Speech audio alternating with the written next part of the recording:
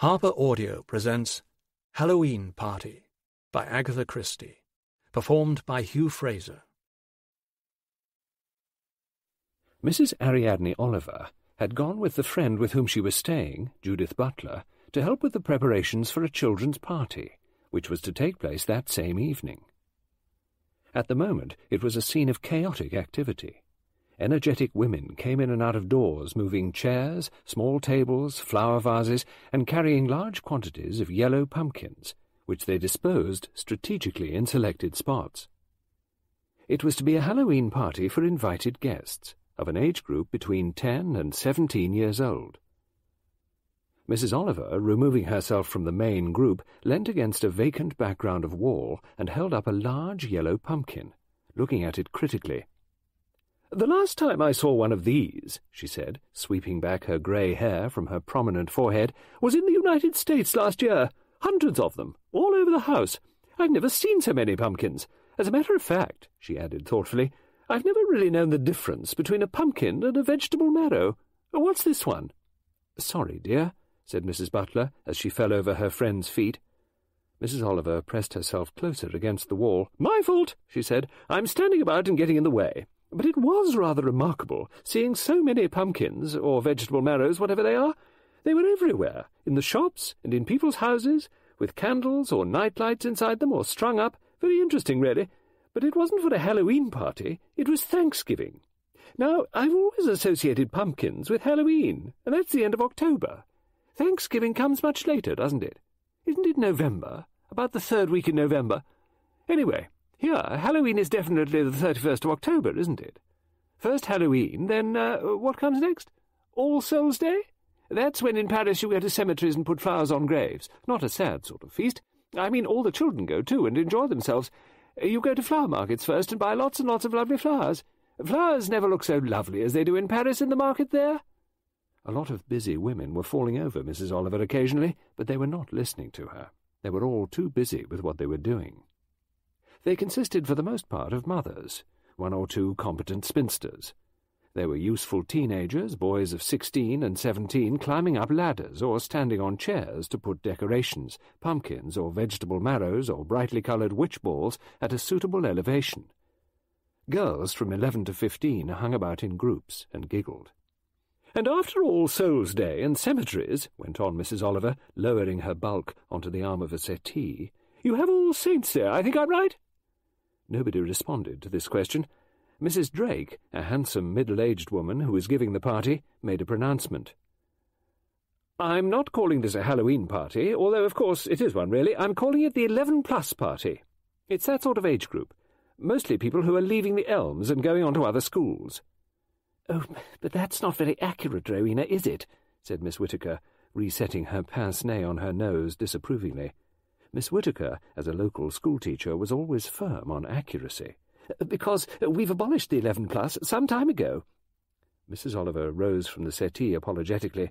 I haven't been making myself useful. I've just been sitting here saying silly things about pumpkins and vegetable marrows, and resting my feet, she thought, with a slight pang of conscience, but without sufficient feeling of guilt to say it aloud. Now, what can I do next? she asked, and added, What lovely apples! Someone had just brought a large bowl of apples into the room. Mrs. Oliver was partial to apples. Lovely red ones, she added. Uh, they're not really very good, said Rowena Drake. But they look nice and partified. Uh, that's for bobbing for apples. They're rather soft apples, so people will be able to get their teeth into them better. Take them into the library, will you, Beatrice? Bobbing for apples always makes a mess with the water slopping over, but that doesn't matter with the library carpet, it's so old. Oh, thank you, Joyce. Joyce, a sturdy thirteen-year-old, seized the bowl of apples. Two rolled off it and stopped as though arrested by a witch's wand at Mrs. Oliver's feet. You like apples, don't you? said Joyce. I read you did. Or perhaps I heard it on the telly. You're the one who writes murder stories, aren't you? Yes, said Mrs. Oliver. We ought to have made you do something connected with murders. Have a murder at the party tonight and make people solve it. No, thank you, said Mrs. Oliver. Never again. What do you mean, never again? Well, I did once, and it uh, didn't turn out much of a success, said Mrs. Oliver. But you've written lots of books, said Joyce. You make a lot of money out of them, don't you? In a way, said Mrs. Oliver, her thoughts flying to the Inland Revenue. And you've got a detective who's a Finn. Mrs. Oliver admitted the fact. A small, stolid boy, not yet, Mrs. Oliver would have thought, arrived at the seniority of the eleven plus, said sternly, Why a Finn? I've often wondered, said Mrs. Oliver truthfully. Mrs. Hargreaves, the organist's wife, came into the room breathing heavily and bearing a large green plastic pail. What about this? she said. For the apple bobbing. Kind of gay, I thought. Miss Lee, the doctor's dispenser, said, Galvanized bucket's better. Won't tip over so easily. Where are you going to have it, Mrs. Drake? I thought the bobbing for apples had better be in the library. The carpet's old there, and a lot of water always gets spilled anyway. All right, we'll take them along. Rowena, here's another basket of apples. Let me help, said Mrs. Oliver. She picked up the two apples at her feet. Almost without noticing what she was doing, she sank her teeth into one of them and began to crunch it. Mrs. Drake abstracted the second apple from her firmly and restored it to the basket. A buzz of conversation broke out. Yes, but where are we going to have the snapdragon? You ought to have the snapdragon in the library. It's much the darkest room. No, uh, we're going to have that in the dining room. Uh, we'll have to put something on the table first. There's a green baize to put on that, and then the rubber sheet over it. What about the looking glasses? Shall we really see our husbands in them? Surreptitiously removing her shoes and still quietly chomping at her apple, Mrs. Oliver lowered herself once more onto the settee and surveyed the room full of people critically. She was thinking, in her authoress's mind, Now, if I was going to make a book about all these people, how should I do it? They're nice people, I should think, on the whole. But who knows? In a way, she felt it was rather fascinating not to know anything about them. They all lived in Woodleigh Common, some of them had faint tags attached to them in her memory because of what Judith had told her. Miss Johnson. Something to do with the church. Not the vicar's sister. No, it was the organist's sister, of course. Rowena Drake, who seemed to run things in Woodleigh Common. The puffing woman who had brought in the pail, a particularly hideous plastic pail. But then Mrs. Oliver had never been fond of plastic things. And then the children. The teenage girls and boys. So far, they were really only names to Mrs. Oliver. There was a Nan, and a Beatrice, and a Cathy, a Diana, and a Joyce, who was boastful and asked questions. I don't like Joyce much, thought Mrs. Oliver. A girl called Anne, who looked tall and superior. There were two adolescent boys who appeared to have just got used to trying out different hairstyles, with rather unfortunate results. A smallish boy entered in some condition of shyness. Mummy sent these mirrors to see if they do, he said in a slightly breathless voice. Mrs. Drake took them from him.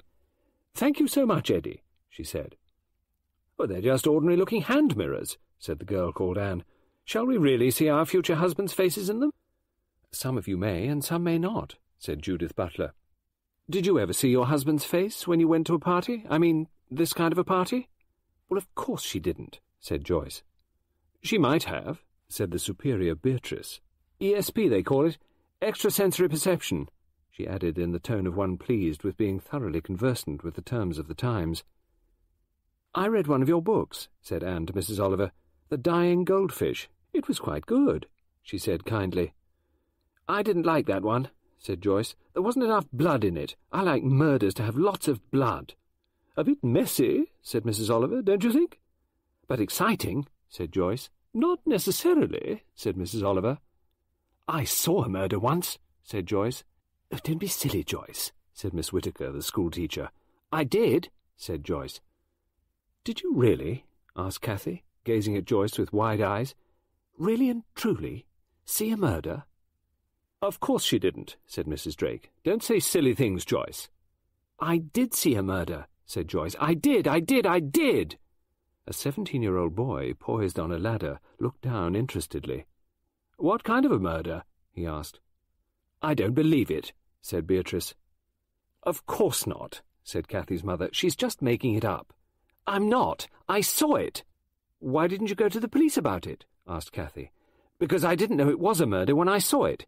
It wasn't really till a long time afterwards, I mean, that I began to know it was a murder. Something that somebody said only about a month or two ago suddenly made me think, of course, that was a murder I saw. You see, said Anne. She's making it all up. It's nonsense. When did it happen? asked Beatrice. Years ago, said Joyce. I was quite young at the time, she added. Who murdered who? said Beatrice. I shan't tell any of you, said Joyce. You're all so horrid about it. Miss Lee came in with another kind of bucket. Conversation shifted to a comparison of buckets or plastic pails as most suitable for the sport of bobbing for apples. The majority of the helpers repaired to the library for an appraisal on the spot. Some of the younger members, it may be said, were anxious to demonstrate by a rehearsal of the difficulties in their own accomplishment in the sport. Hair got wet, water got spilt, towels were sent for to mop it up. In the end, it was decided that a galvanized bucket was preferable to the more meretricious charms of a plastic pail, which overturned rather too easily. Mrs. Oliver, setting down a bowl of apples, which she had carried in to replenish the store required for tomorrow, once more helped herself to one. I read in the paper that you were fond of eating apples. The accusing voice of Anne or Susan, she was not quite sure which, spoke to her. It's my besetting sin, said Mrs. Oliver. It would be more fun if it was melons, objected one of the boys. They're so juicy. Think of the mess it would make, he said, surveying the carpet with pleasurable anticipation. Mrs. Oliver, feeling a little guilty at the public arraignment of greediness, left the room in search of a particular apartment the geography of which is usually fairly easily identified. She went up the staircase, and turning the corner on the half-landing, cannoned into a pair, a girl and a boy, clasped in each other's arms and leaning against the door, which Mrs. Oliver felt fairly certain was the door to the room to which she herself was anxious to gain access. The couple paid no attention to her. They sighed and they snuggled. Mrs. Oliver wondered how old they were. The boy was fifteen, perhaps, the girl little more than twelve, although the development of her chest seemed certainly on the mature side. Appletree's was a house of a fair size. It had, she thought, several agreeable nooks and corners. How selfish people are, thought Mrs. Oliver, no consideration for others. That well-known tag from the past came into her mind. It had been said to her in succession by a nursemaid, a nanny, a governess, her grandmother, two great-aunts, her mother, and a few others. Excuse me, said Mrs. Oliver in a loud, clear voice. The boy and the girl clung closer than ever, their lips fastened on each other's. Excuse me, said Mrs. Oliver. Do you mind letting me pass? I want to get in at this door. Unwillingly, the couple fell apart. They looked at her in an aggrieved fashion. Mrs. Oliver went in, banged the door, and shot the bolt. It was not a very close-fitting door. The faint sound of words came to her from outside. Isn't that like people? One voice said in a somewhat uncertain tenor. They might see we didn't want to be disturbed. People are so selfish, piped a girl's voice. They never think of anyone but themselves. No consideration for others, said the boy's voice. Preparations for a children's party usually give far more trouble to the organisers than an entertainment devised for those of adult years food of good quality and suitable alcoholic refreshment, with lemonade on the side. That to the right people is quite enough to make a party go. It may cost more, but the trouble is infinitely less. So Ariadne Oliver and her friend Judith Butler agreed together. What about teenage parties? said Judith. I don't know much about them, said Mrs. Oliver. In one way, said Judith, I think they're probably least trouble of all. I mean, they just throw all of us adults out and say they'll do it all themselves. And do they? Well, not in our sense of the word, said Judith. They forget to order some of the things and order a lot of other things that nobody likes. Having toughed us out, then they say there were things we ought to have provided for them to find. They break a lot of glasses and other things, and there's always somebody undesirable who brings an undesirable friend. You know the sort of thing. Peculiar drugs and... what do they call it? Flower pot or purple hemp or LSD, which I've always thought just meant money, but apparently it doesn't. I suppose it costs it, suggested Ariadne Oliver. It's very unpleasant, and hemp has a nasty smell. It all sounds very depressing, said Mrs. Oliver. Anyway, this party will go all right. Trust Rowena Drake for that. She's a wonderful organizer. You'll see. I don't feel I even want to go to a party, sighed Mrs. Oliver. You go up and lie down for an hour or so. You'll see. You'll enjoy it when you get there. I wish Miranda hadn't got a temperature. She's so disappointed at not being able to go, poor child. The party came into being at half past seven. Ariadne Oliver had to admit that her friend was right. Arrivals were punctual. Everything went splendidly. It was well imagined, well run, and ran like clockwork. There were red and blue lights on the stairs and yellow pumpkins in profusion. The girls and boys arrived holding decorated broomsticks for a competition. After greetings, Rowena Drake announced the programme for the evening. First, judging of the broomstick competition, she said. Three prizes, first, second, and third. Then comes cutting the flower cake. That'll be in the small conservatory. Then bobbing for apples. Uh, there's a list pinned up on the wall over there of the partners for that event. Then there'll be dancing. Every time the lights go out, you change partners. Then girls to the small study, where they'll be given their mirrors. After that, supper, snapdragon, and then prize giving. Like all parties, it went slightly stickily at first. The brooms were admired. They were very small miniature brooms, and on the whole the decorating of them had not reached a very high standard of merit, which makes it easier, said Mrs. Drake in an aside to one of her friends. And it's a very useful thing, because, I mean, there are always one or two children one knows only too well won't win a prize at anything else, so one can cheat a little over this. So unscrupulous, Rowena. I'm not really. I just arrange it so that things should be fair and evenly divided. The whole point is that everyone wants to win something. What's the flower game? asked Ariadne Oliver. Oh, yes, of course, you weren't here when we were doing it. Well, you just fill a tumbler with flour, press it in well, then turn it out on a tray, and place a sixpence on top of it. Then everyone slices a slice off it very carefully so as not to tumble the sixpence off. As soon as someone tumbles the sixpence off, that person goes out. It's a sort of elimination. The last one left in gets the sixpence, of course. Now then, away we go. And away they went. Squeals of excitement were heard coming from the library where bobbing for apples went on, and competitors returned from there with wet locks and having disposed a good deal of water about their persons. One of the most popular contests, at any rate among the girls, was the arrival of the Halloween witch, played by Mrs. Goodbody, a local cleaning woman, who, not only having the necessary hooked nose and chin, which almost met, was admirably proficient in producing a semi-cooing voice which had definitely sinister undertones and also produced magical doggerel rhymes. Now then, come along. Beatrice, is it? Ah, Beatrice, a very interesting name. Now, you want to know what your husband is going to look like. Now, my dear, sit here. Yes, yes, under this light here. Sit here and hold this little mirror in your hand, and presently, when the lights go out, you'll see him appear. You'll see him looking over your shoulder. Now, hold the mirror steady. Abracadabra, who shall see the face of the man who will marry me? Beatrice, Beatrice, you shall find the face of the man who shall please your mind. A sudden shaft of light shot across the room from a stepladder placed behind a screen. It hit the right spot in the room, which was reflected in the mirror grasped in Beatrice's excited hand. Oh! cried Beatrice. I've seen him! I've seen him! I can see him in my mirror!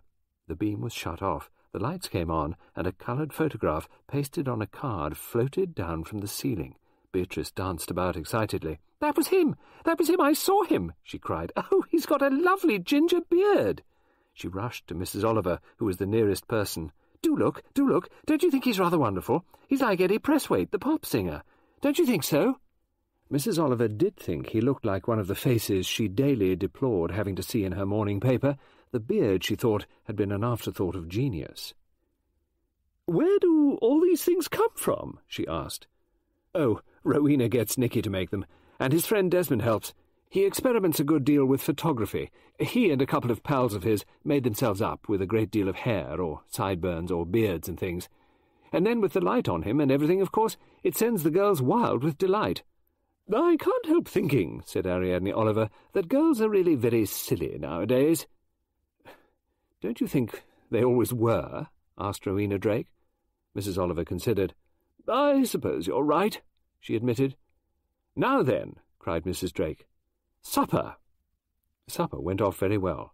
Rich iced cakes, savouries, prawns, cheese, and nut confections. The eleven pluses stuffed themselves. And now, said Rowena, the last one for the evening. Snapdragon. Across there through the pantry. That's right. Now then, prizes first. The prizes were presented.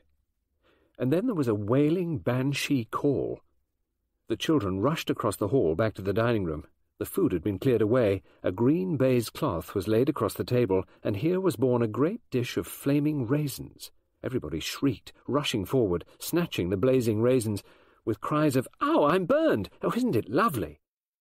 Little by little the snapdragon flickered and died down. The lights went up.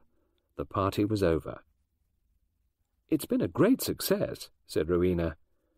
So it should be, with all the trouble you've taken. It was lovely, said Judith quietly. Lovely. And now, she added ruefully, we'll have to clear up a bit. We can't leave everything for those poor women tomorrow morning.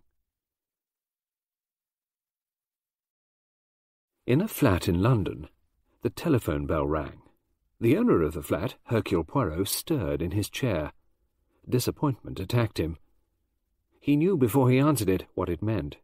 His friend Solly with whom he had been going to spend the evening, reviving their never-ending controversy about the real culprit in the Canning Road municipal baths murder, was about to say that he could not come.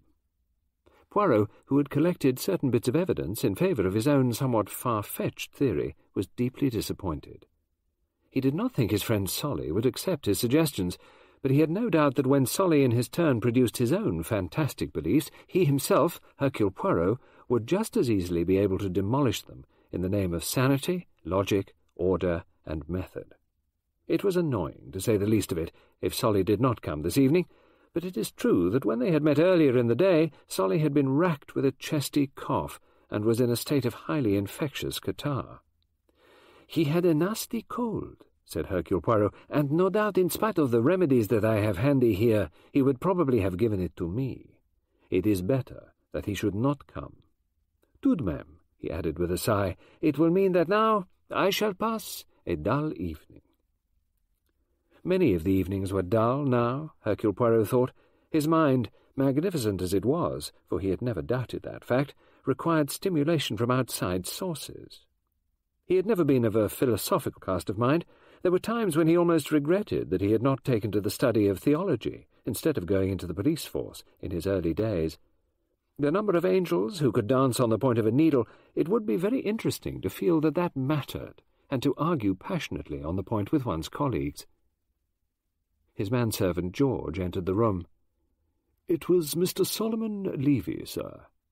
Ah, yes, said Hercule Poirot. He very much regrets that he will not be able to join you this evening. He is in bed with a serious bout of flu. He has not got flu, said Hercule Poirot. He has only a nasty cold. Everyone always thinks they have flu. It sounds more important. One gets more sympathy. The trouble with a catarrhal cold is that it is hard to glean the proper amount of sympathetic consideration from one's friends. Just as well he isn't coming here, sir, really, said George. Those colds in the head are very infectious. Wouldn't be good for you to go down with one of those. It would be extremely tedious, Poirot agreed. The telephone bell rang again. And now who has a cold? he demanded. I have not asked anyone else? George crossed towards the telephone. I will take the call here, said Poirot. I have no doubt that it is nothing of interest. But at any rate, he shrugged his shoulders, it will perhaps pass the time. Who knows? George said, Very good, sir, and left the room. Poirot stretched out a hand and raised the receiver, thus stilling the clamour of the bell. Hercule Poirot speaks, he said, with a certain grandeur of manner designed to impress whoever was at the other end of the line. Oh, that's wonderful, said an eager voice, a female voice, slightly impaired with breathlessness. I thought you'd be sure to be out, uh, that you wouldn't be there. Why should you think that? Inquired Poirot. Because I can't help feeling that nowadays things always happen to frustrate one. You want someone in a terrible hurry, you feel you can't wait, and you have to wait. I wanted to get hold of you urgently, absolutely urgently. And who are you? asked Hercule Poirot. The voice, a female one, seemed surprised. Oh, don't you know? it said incredulously. Yes, I know, said Hercule Poirot. You are my friend Ariadne. And I'm in a terrible state, said Ariadne. Yes, yes, I can hear that. Have you also been running? You are very breathless, are you not? I haven't exactly been running. It's emotion. Can I come and see you at once? Poirot let a few moments elapse before he answered. His friend, Mrs. Oliver, sounded in a highly excitable condition. Whatever was the matter with her, she would no doubt spend a very long time pouring out her grievances, her woes, her frustrations, or whatever was ailing her. Once having established herself within Poirot's sanctum, it might be hard to induce her to go home without a certain amount of impoliteness. The things that excited Mrs. Oliver were so numerous and frequently so unexpected that one had to be careful how one embarked upon a discussion of them. Something has upset you? Yes, of course I'm upset. I don't know what to do. I don't know. I don't know anything. What I feel is that I've got to come and tell you. Tell you just what's happened. For you're the only person who might know what to do, who might tell me what I ought to do. So can I come? But certainly, but certainly I shall be delighted to receive you. The receiver was thrown down heavily at the other end, and Poirot summoned George, reflected a few minutes, then ordered lemon barley water, bitter lemon, and a glass of brandy for himself. Mrs. Oliver will be here in about ten minutes, he said. George withdrew. He returned with the brandy for Poirot, who accepted it with a nod of satisfaction, and George then proceeded to provide the teetotal refreshment that was the only thing likely to appeal to Mrs. Oliver. Poirot took a sip of brandy delicately, fortifying himself for the ordeal which was about to descend upon him. It is a pity, he murmured to himself, that she is so scatty, and yet she has originality of mind. It could be that I am going to enjoy what she is coming to tell me. It could be, he reflected a minute, that it may take a great deal of the evening, and that it will all be excessively foolish. Eh bien, one must take one's risks in life. A bell sounded, a bell on the outside door of the flat this time. It was not a single pressure of the button, it lasted for a long time with a kind of steady action that was very effective the sheer making of noise. Assuredly, she has excited herself, said Poirot. He heard George go to the door, open it, and before any decorous announcement could be made, the door of his sitting room opened, and Ariadne Oliver charged through it, with George in tow behind her, hanging on to something that looked like a fisherman's sou'wester and oilskins. What on earth are you wearing? said Hercule Poirot. Let Georges take it from you. It's very wet. Well, of course it's wet, said Mrs. Oliver. It's very wet out. I never thought about water before. It's a terrible thing to think of. Poirot looked at her with interest. Will you have some lemon barley water? he said. Or could I persuade you to a small glass of eau de vie? I hate water, said Mrs. Oliver. Poirot looked surprised. I hate it. I've never thought about it before. What it can do and everything. My dear friend, said Hercule Poirot, as George extricated her from the flapping folds of watery oilskin, Come and sit down here. Let Georges finally relieve you of... Uh, what is it you are wearing? I got it in Cornwall, said Mrs. Oliver. Oilskins, a real proper fisherman's oilskin. Very useful to him, no doubt, said Poirot, but not, I think, so suitable for you. Heavy to wear. But come, sit down and tell me. Oh, I don't know how, said Mrs. Oliver, sinking into a chair. Sometimes, you know, I can't feel it's really true. But it happened. It really happened. Tell me, said Poirot. Oh, that's what I've come for. But now I've got here, it's so difficult, uh, because I don't know where to begin. At the beginning? suggested Poirot. Or is that too conventional a way of acting? I don't know when the beginning was. Not really. It could have been a long time ago, you know. Calm yourself, said Poirot. Gather together the various threads of this matter in your mind and tell me, what is it that has so upset you? It would have upset you, too, said Mrs. Oliver. At least I suppose it would. She looked rather doubtful. One doesn't know really what upsets you. You take so many things with a lot of calm. It is often the best way, said Poirot. All right, said Mrs. Oliver. It began with a party. Ah, yes, said Poirot relieved to have something as ordinary and sane as a party presented to him. A party. You went to a party, and something happened. Do you know what a Halloween party is? said Mrs. Oliver. I know what Halloween is, said Poirot, the thirty-first of October. He twinkled slightly as he said, when witches ride on broomsticks. There were broomsticks, said Mrs. Oliver. They gave prizes for them. Prizes? Yes, for who brought the best decorated ones. Poirot looked at her rather doubtfully. Originally relieved at the mention of a party, he now again felt slightly doubtful, Since he knew that Mrs. Oliver did not partake of spirituous liquor, he could not make one of the assumptions that he might have made in any other case. A children's party, said Mrs. Oliver, or rather, an eleven-plus party. Eleven-plus? Well, that's what they used to call it, you know, in schools. I mean, they see how bright you are, and if you're bright enough to pass your 11 plus, you go on to a grammar school or something. But if you're not bright enough, you go to something called a secondary modern. A silly name. It doesn't seem to mean anything. I do not, I confess, really understand what you are talking about, said Poirot. They seem to have got away from parties and entered into the realms of education. Mrs. Oliver took a deep breath and began again. It started, really, she said, with the apples. Ah, yes, said Poirot, it would. It always might with you, mightn't it? He was thinking to himself of a small car on a hill, and a large woman getting out of it, and a bag of apples breaking, and the apples running and cascading down the hill. Yes, he said encouragingly. Apples? Bobbing for apples, said Mrs. Oliver. That's one of the things you do at a Halloween party. Ah, yes, I think I have heard of that, yes. You see, all sorts of things were being done, there was bobbing for apples and cutting sixpence off a tumbler full of flour and looking in a looking-glass. To see your true love's face? suggested Poirot knowledgeably. Ah, said Mrs. Oliver, you're beginning to understand at last.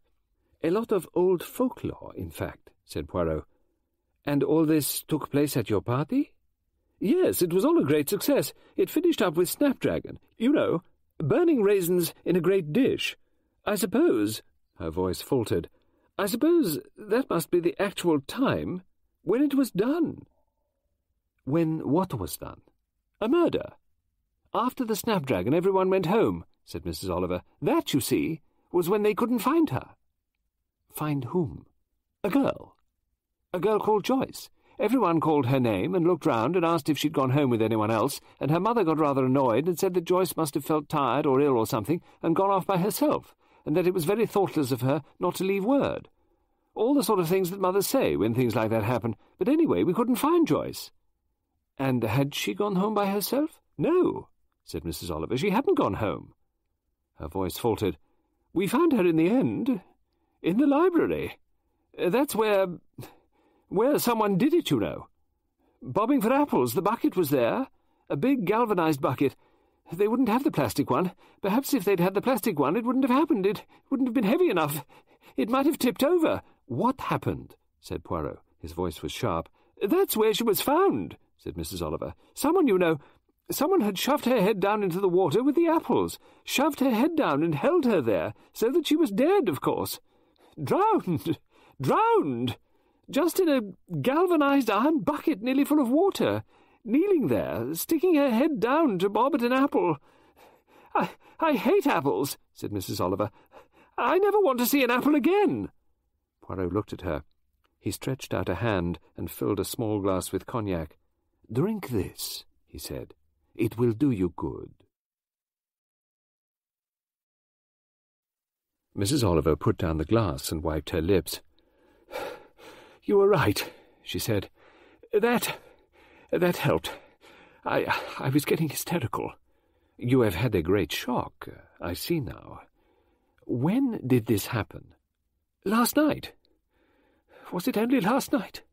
Y yes, yes, of course. And you came to me. It was not quite a question, but it displayed a desire for more information than Poirot had yet had. You came to me. Why? I thought you could help, said Mrs. Oliver. You see, it's it's not simple. It could be, and it could not, said Poirot. A lot depends. You must tell me more, you know. The police, I presume, are in charge.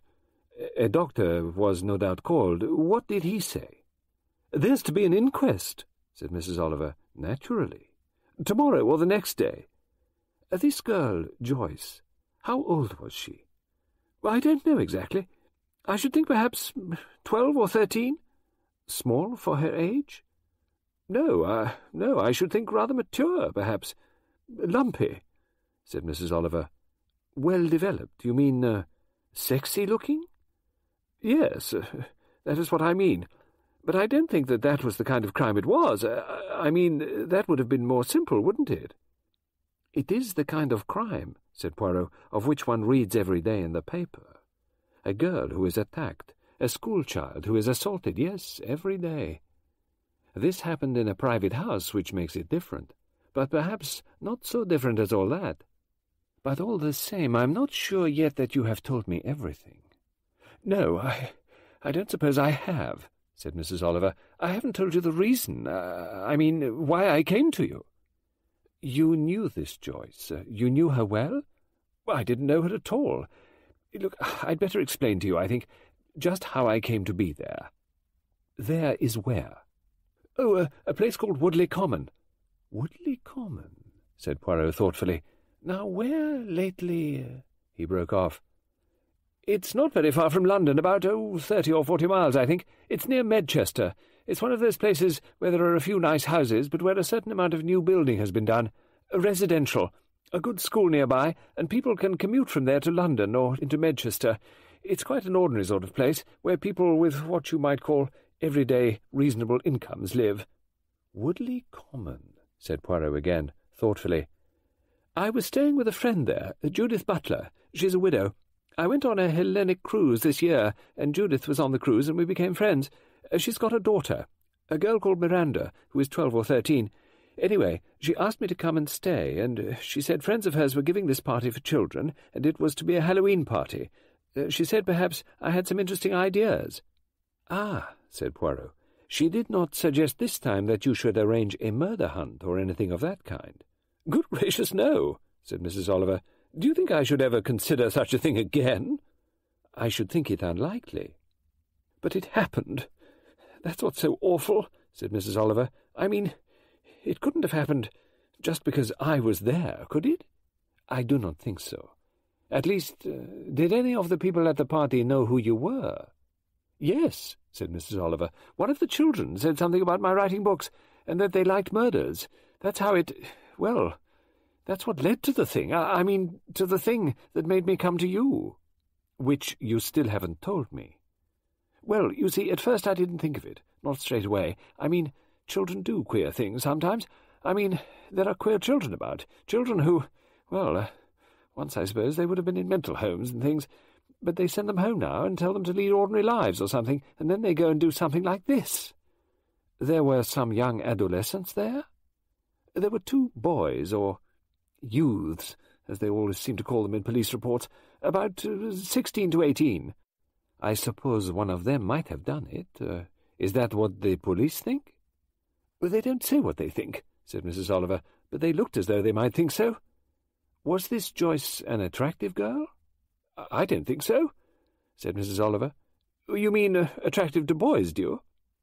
No, said Poirot. I think I meant, uh, well, just the plain, simple meaning of the word. I don't think she was a very nice girl, said Mrs. Oliver. Not one you'd want to talk to much. She was the sort of girl who shows off and boasts. It's rather a tiresome age, I think. It sounds unkind what I'm saying, but... It is not unkind in murder to say what the victim was like, said Poirot. It is very, very necessary. The personality of the victim is the cause of many a murder. How many people were there in the house at that time? Oh, you mean for the party and so on?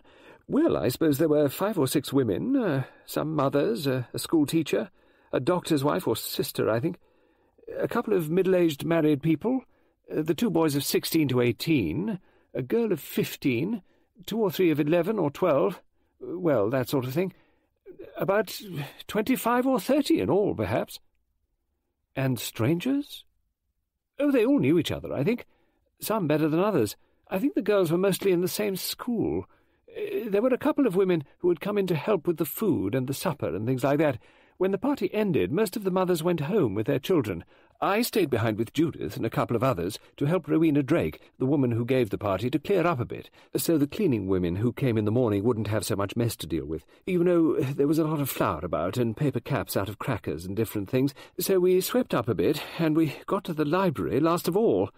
And that's when... when we found her and then I remembered what she'd said. What? Who had said? Joyce. What did she say?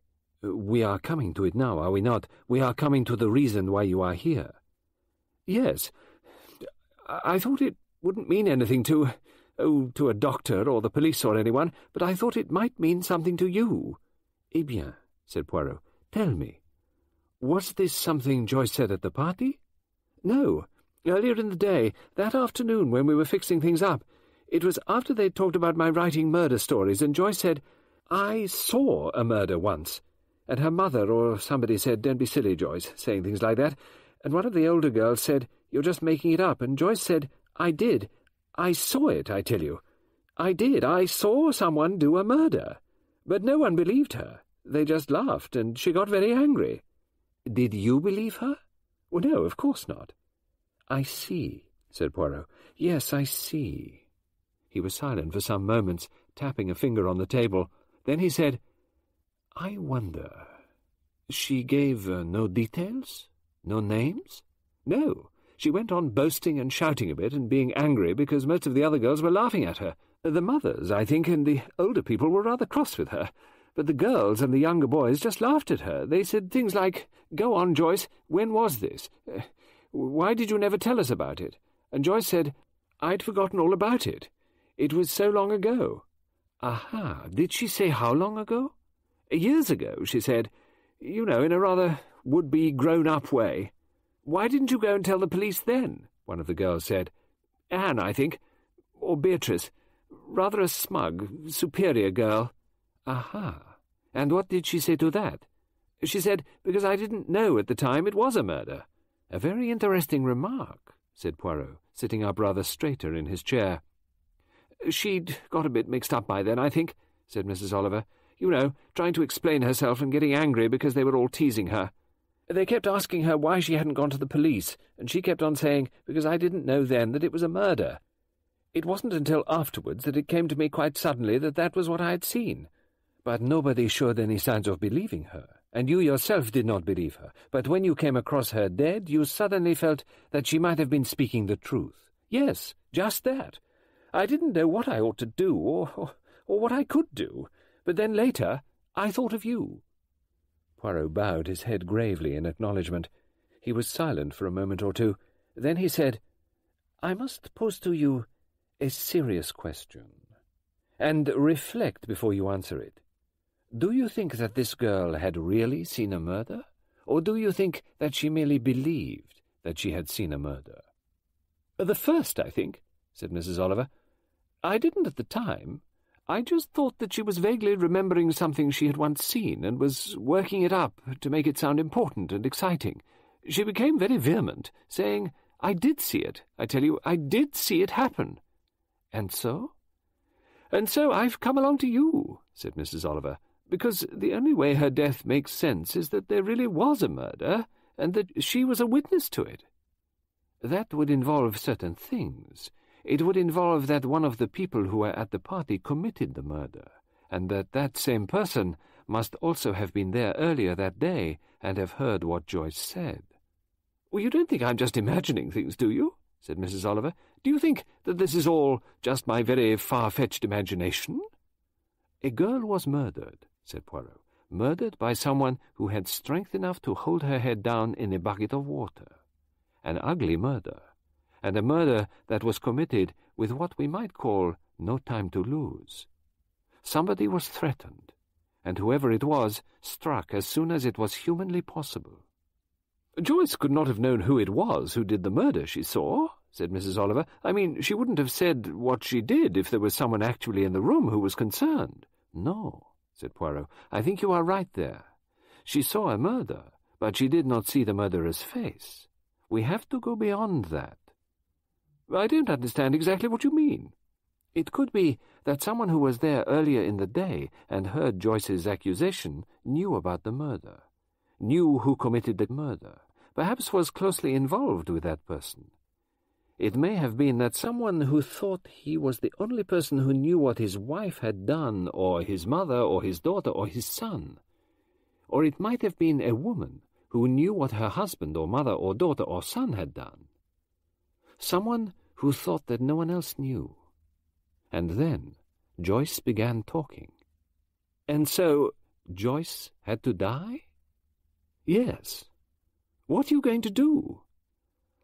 I have just remembered, said Hercule Poirot, why the name of Woodleigh Common was familiar to me. Hercule Poirot looked over the small gate which gave admission to Pine Crest. It was a modern, perky little house, nicely built. Hercule Poirot was slightly out of breath. The small, neat house in front of him was very suitably named. It was on a hilltop, and the hilltop was planted with a few sparse pines. It had a small, neat garden, and a large elderly man was trundling a big tin galvanized waterer along a path. Superintendent Spence's hair was now grey all over, instead of having a neat touch of grey hair at the temples. He had not shrunk much in girth. He stopped trundling his can and looked at the visitor at the gate. Hercule Poirot stood there without moving. God bless my soul, said Superintendent Spence. It must be. It can't be, but, but it is. Yes, it must be. Hercule Poirot, as I live. Aha, said Hercule Poirot. You know me. That is gratifying. May your moustaches never grow less, said Spence. He abandoned the watering can and came down to the gate. Diabolical weeds, he said. And what brings you down here? What has brought me to many places in my time, said Hercule Poirot, and what, once a good many years ago, brought you to see me? Murder. Ah, I've done with murder, said Spence, except in the case of weeds. That's what I'm doing now, applying weed killer. Never so easy as you think. Something's always wrong, usually the weather. Mustn't be too wet, mustn't be too dry, and all the rest of it. How did you know where to find me? he asked, as he unlatched the gate and Poirot passed through. You sent me a Christmas card. It had your new address notified on it. Ah, yes, so I did. I'm old-fashioned, you know. I like to send round cards at Christmas time to a few old friends. I appreciate that, said Poirot. Spence said, I'm an old man now. We are both old men. Oh, not much grey in your hair, said Spence. I attend to that with a bottle, said Hercule Poirot. There is no need to appear in public with grey hair, unless you wish to do so. Well, I don't think jet black would suit me, said Spence. I agree, said Poirot. You look most distinguished with grey hair. I should never think of myself as a distinguished man. I think of you as such. Why have you come to live in Woodleigh Common? As a matter of fact, I came here to join forces with a sister of mine. She lost her husband. Her children are married and living abroad, one in Australia and the other in South Africa. So I moved in here. Pensions don't go far nowadays, but we do pretty comfortably, living together. Come and sit down. He led the way onto a small glazed-in veranda, where there were chairs and a table or two. The autumn sun fell pleasantly upon this retreat. What shall I get you? said Spence. No fancy stuff here, I'm afraid. No blackcurrant or rosehip syrup or any of your patent things. Beer? Or shall I get Elspeth to make you a cup of tea? Or I can do you a shandy, or Coca-Cola or some cocoa if you like it. My sister Elspeth is a cocoa drinker. You are very kind. For me, I think uh, a shandy. The ginger beer and the beer, that is right, is it not? Absolutely so. He went into the house and returned shortly afterwards carrying two large glass mugs. I'm joining you, he said. He drew a chair up to the table and sat down, placing the two glasses in front of himself and Poirot. What was it you said just now? he said, raising his glass. We won't say here's to crime. I've done with crime. And if you mean the crime I think you do, in fact, which I think you have to do, because I don't recall any other crime just lately, I don't like the particular form of murder we've just had. No, I do not think you would do so. We are talking about the child who had her head shoved into a bucket. Yes, said Poirot, that is what I am talking about. I don't know why you come to me, said Spence. I'm nothing to do with the police nowadays. All that's over, many years ago. Once a policeman, said Hercule Poirot, always a policeman. That is to say, there is always the point of view of the policeman behind the point of view of the ordinary man. I know. I who talk to you. I, too, started in the police force in my country. Yes, so you did. I remember now, you telling me. Well, I suppose one's outlook is a bit slanted, but it's a long time since I've had any active connection. But you hear the gossip, said Poirot. You have friends of your own trade. You will hear what they think, or suspect, or what they know? Spence sighed. One knows too much, he said. That is one of the troubles nowadays. There is a crime, a crime of which the pattern is familiar, and you know, that is to say, the active police officers know pretty well who's probably done that crime. They don't tell the newspapers, but they make their inquiries, and they know. But whether they're going to get any further than that, well, things have their difficulties. You mean the wives and the girlfriends and the rest of it? Well, partly that, yes. In the end, perhaps, one gets one's man. Sometimes a year or two passes. I'd say, you know, roughly, Poirot, that more girls nowadays marry wrong uns than they ever used to in my time. Hercule Poirot considered, pulling his moustaches. Yes, he said, I can see that that might be so. I suspect that girls have always been partial to the bad lots, as you say, but in the past there were safeguards. That's right. People were looking after them. Their mothers looked after them. Their aunts and their older sisters looked after them. Their younger sisters and brothers knew what was going on. Their fathers were not averse to kicking the wrong un out of the house. Sometimes, of course, the girls used to run away with one of the bad lots. Nowadays, there's no need even to do that. Mother doesn't know who the girl's out with. Father's not told who the girl's out with. Brothers know who the girl is out with, but they think more fool her. If the parents refuse consent, the couple go before a magistrate and manage to get permission to marry. And then, when the young man who everyone knows is a bad lot proceeds to prove to everybody, including his wife, that he is a bad lot, the fat's in the fire. But love's love. The girl doesn't want to think that her Henry has these revolting habits, these criminal tendencies, and all the rest of it. She'll lie for him, swear black's white for him, and everything else. Yes, it's difficult. Difficult for us, I mean. Well, there's no good going on saying things were better in the old days. Perhaps we only thought so. Anyway, Poirot, how did you get yourself mixed up in all this? This isn't your part of the country, is it? Always thought you lived in London. You used to when I knew you. I still live in London. I involved myself here at the request of a friend, Mrs. Oliver. You remember Mrs. Oliver? Spence raised his head, closed his eyes, and appeared to reflect. Mrs. Oliver?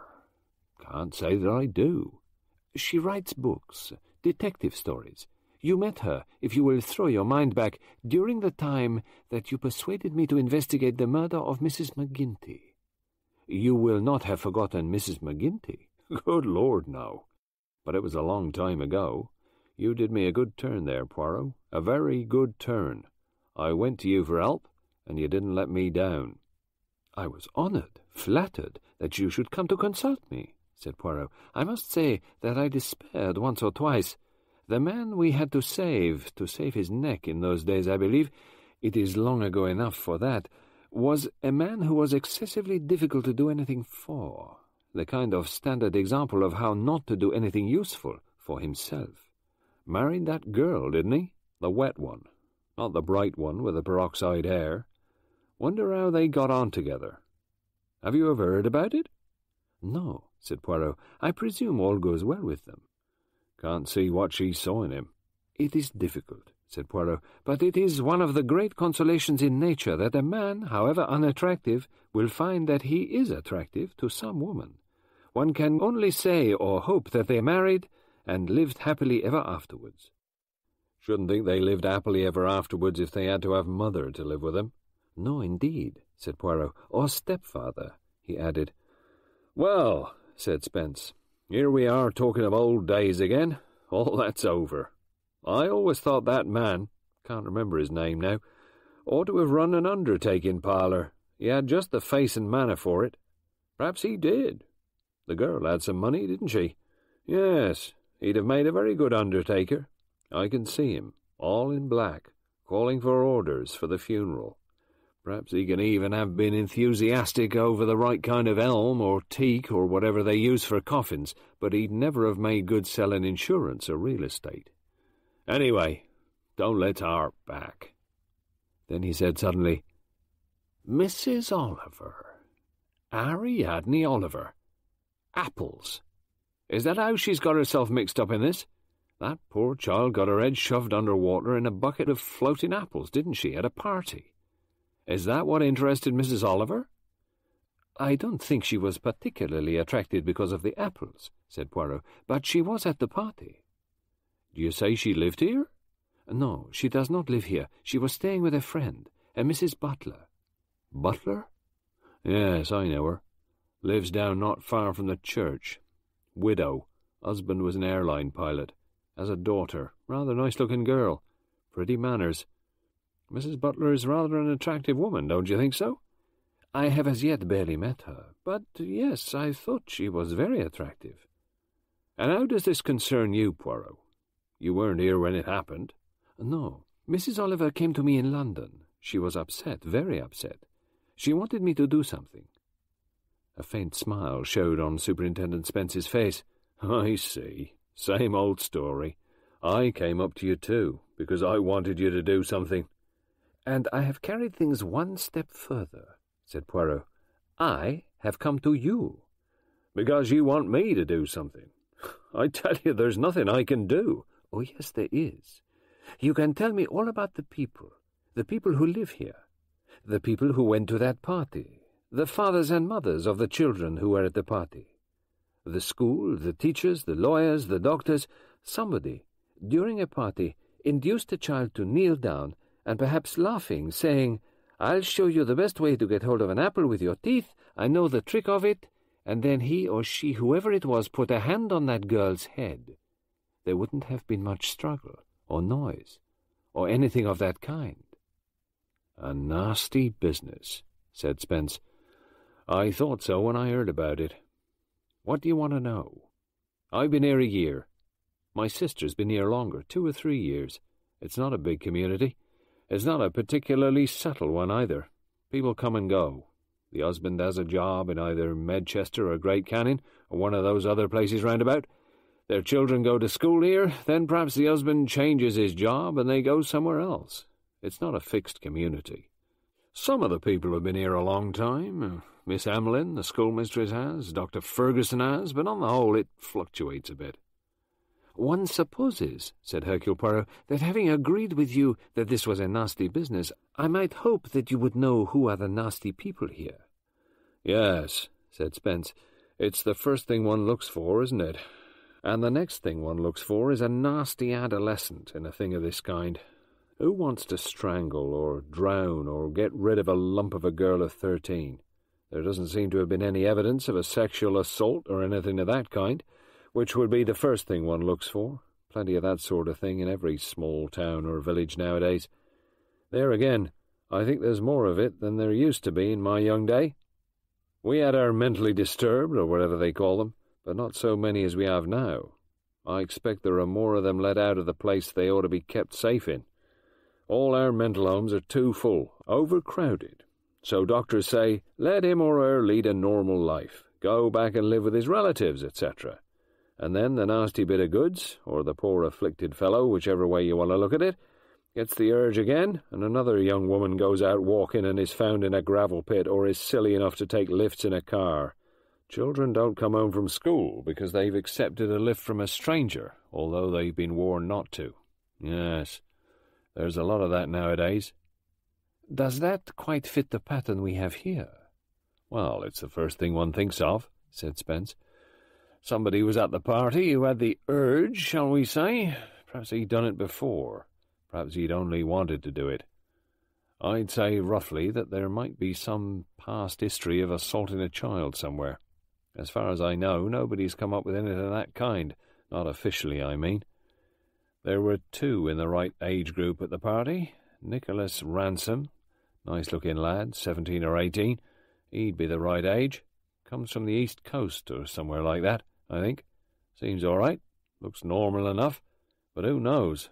And there's Desmond, remanded once for a psychiatric report, but I wouldn't say there was much to it.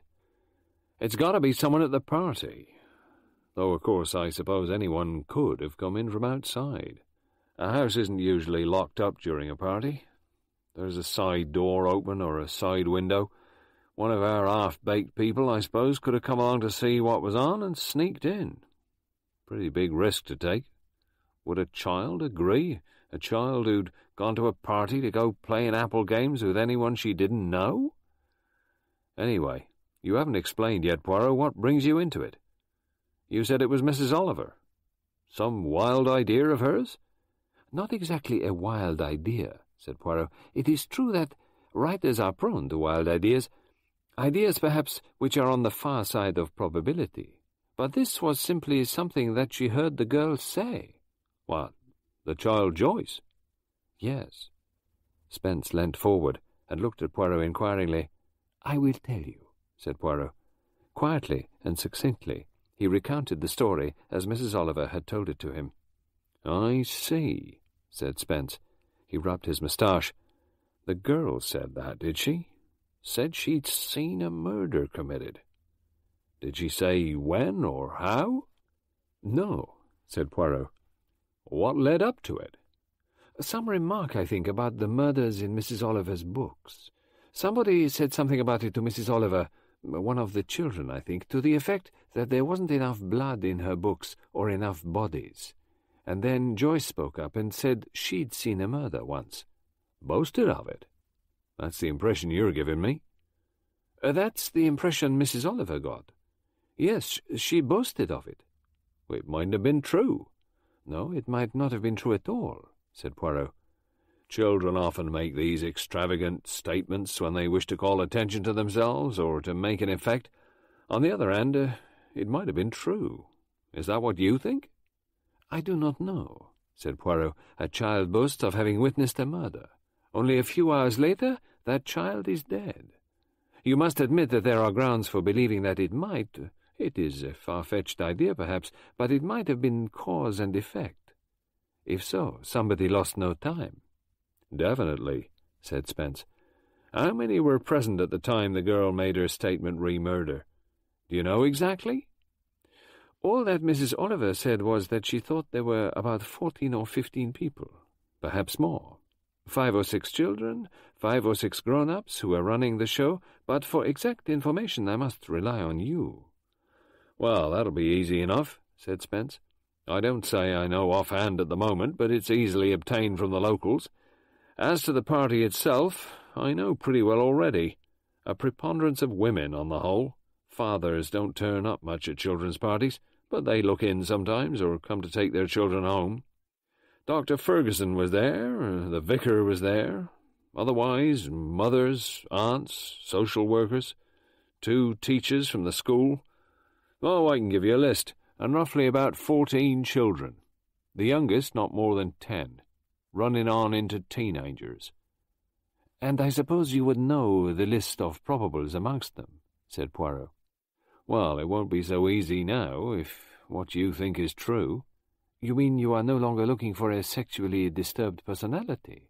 You are looking instead for somebody who has committed a murder and got away with it.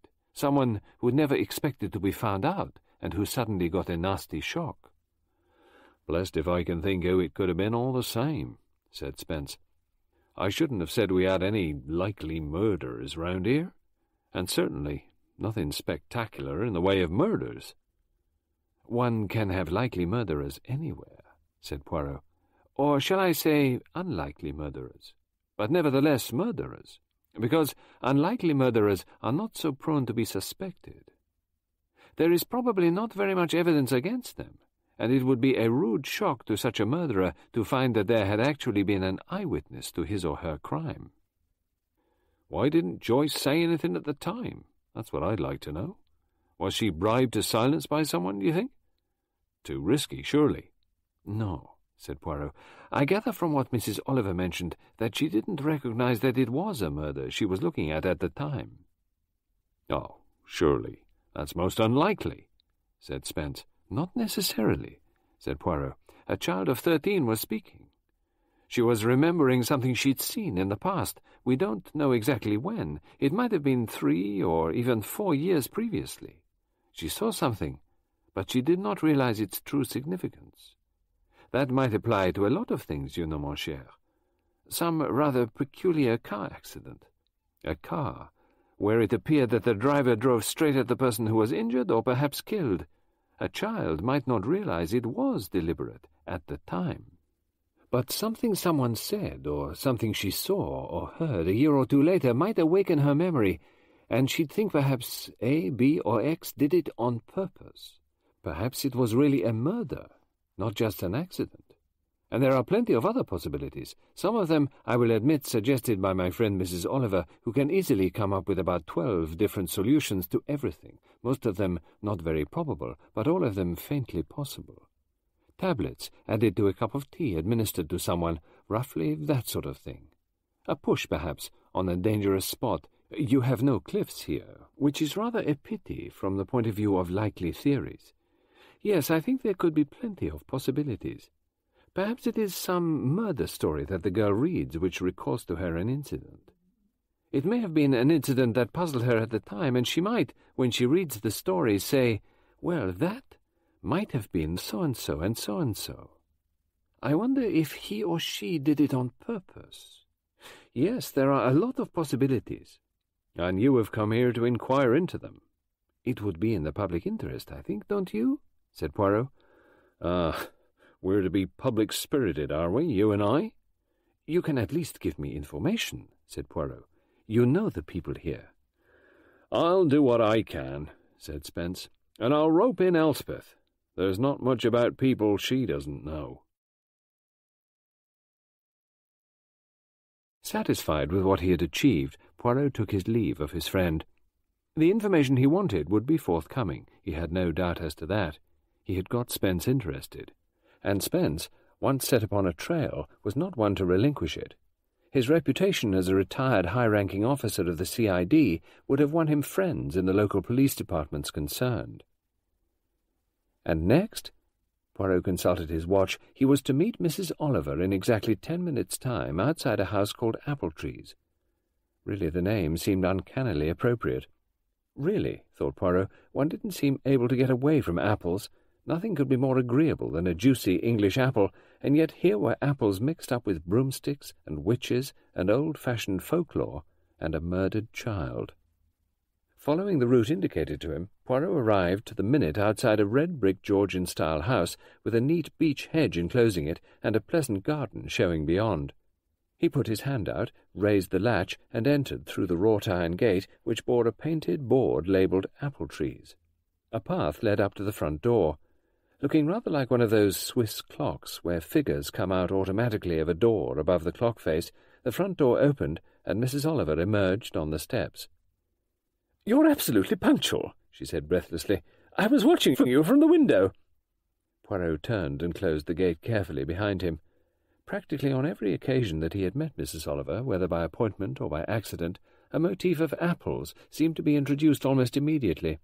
She was either eating an apple, or had been eating an apple, witness an apple core nestling on her broad chest, or was carrying a bag of apples.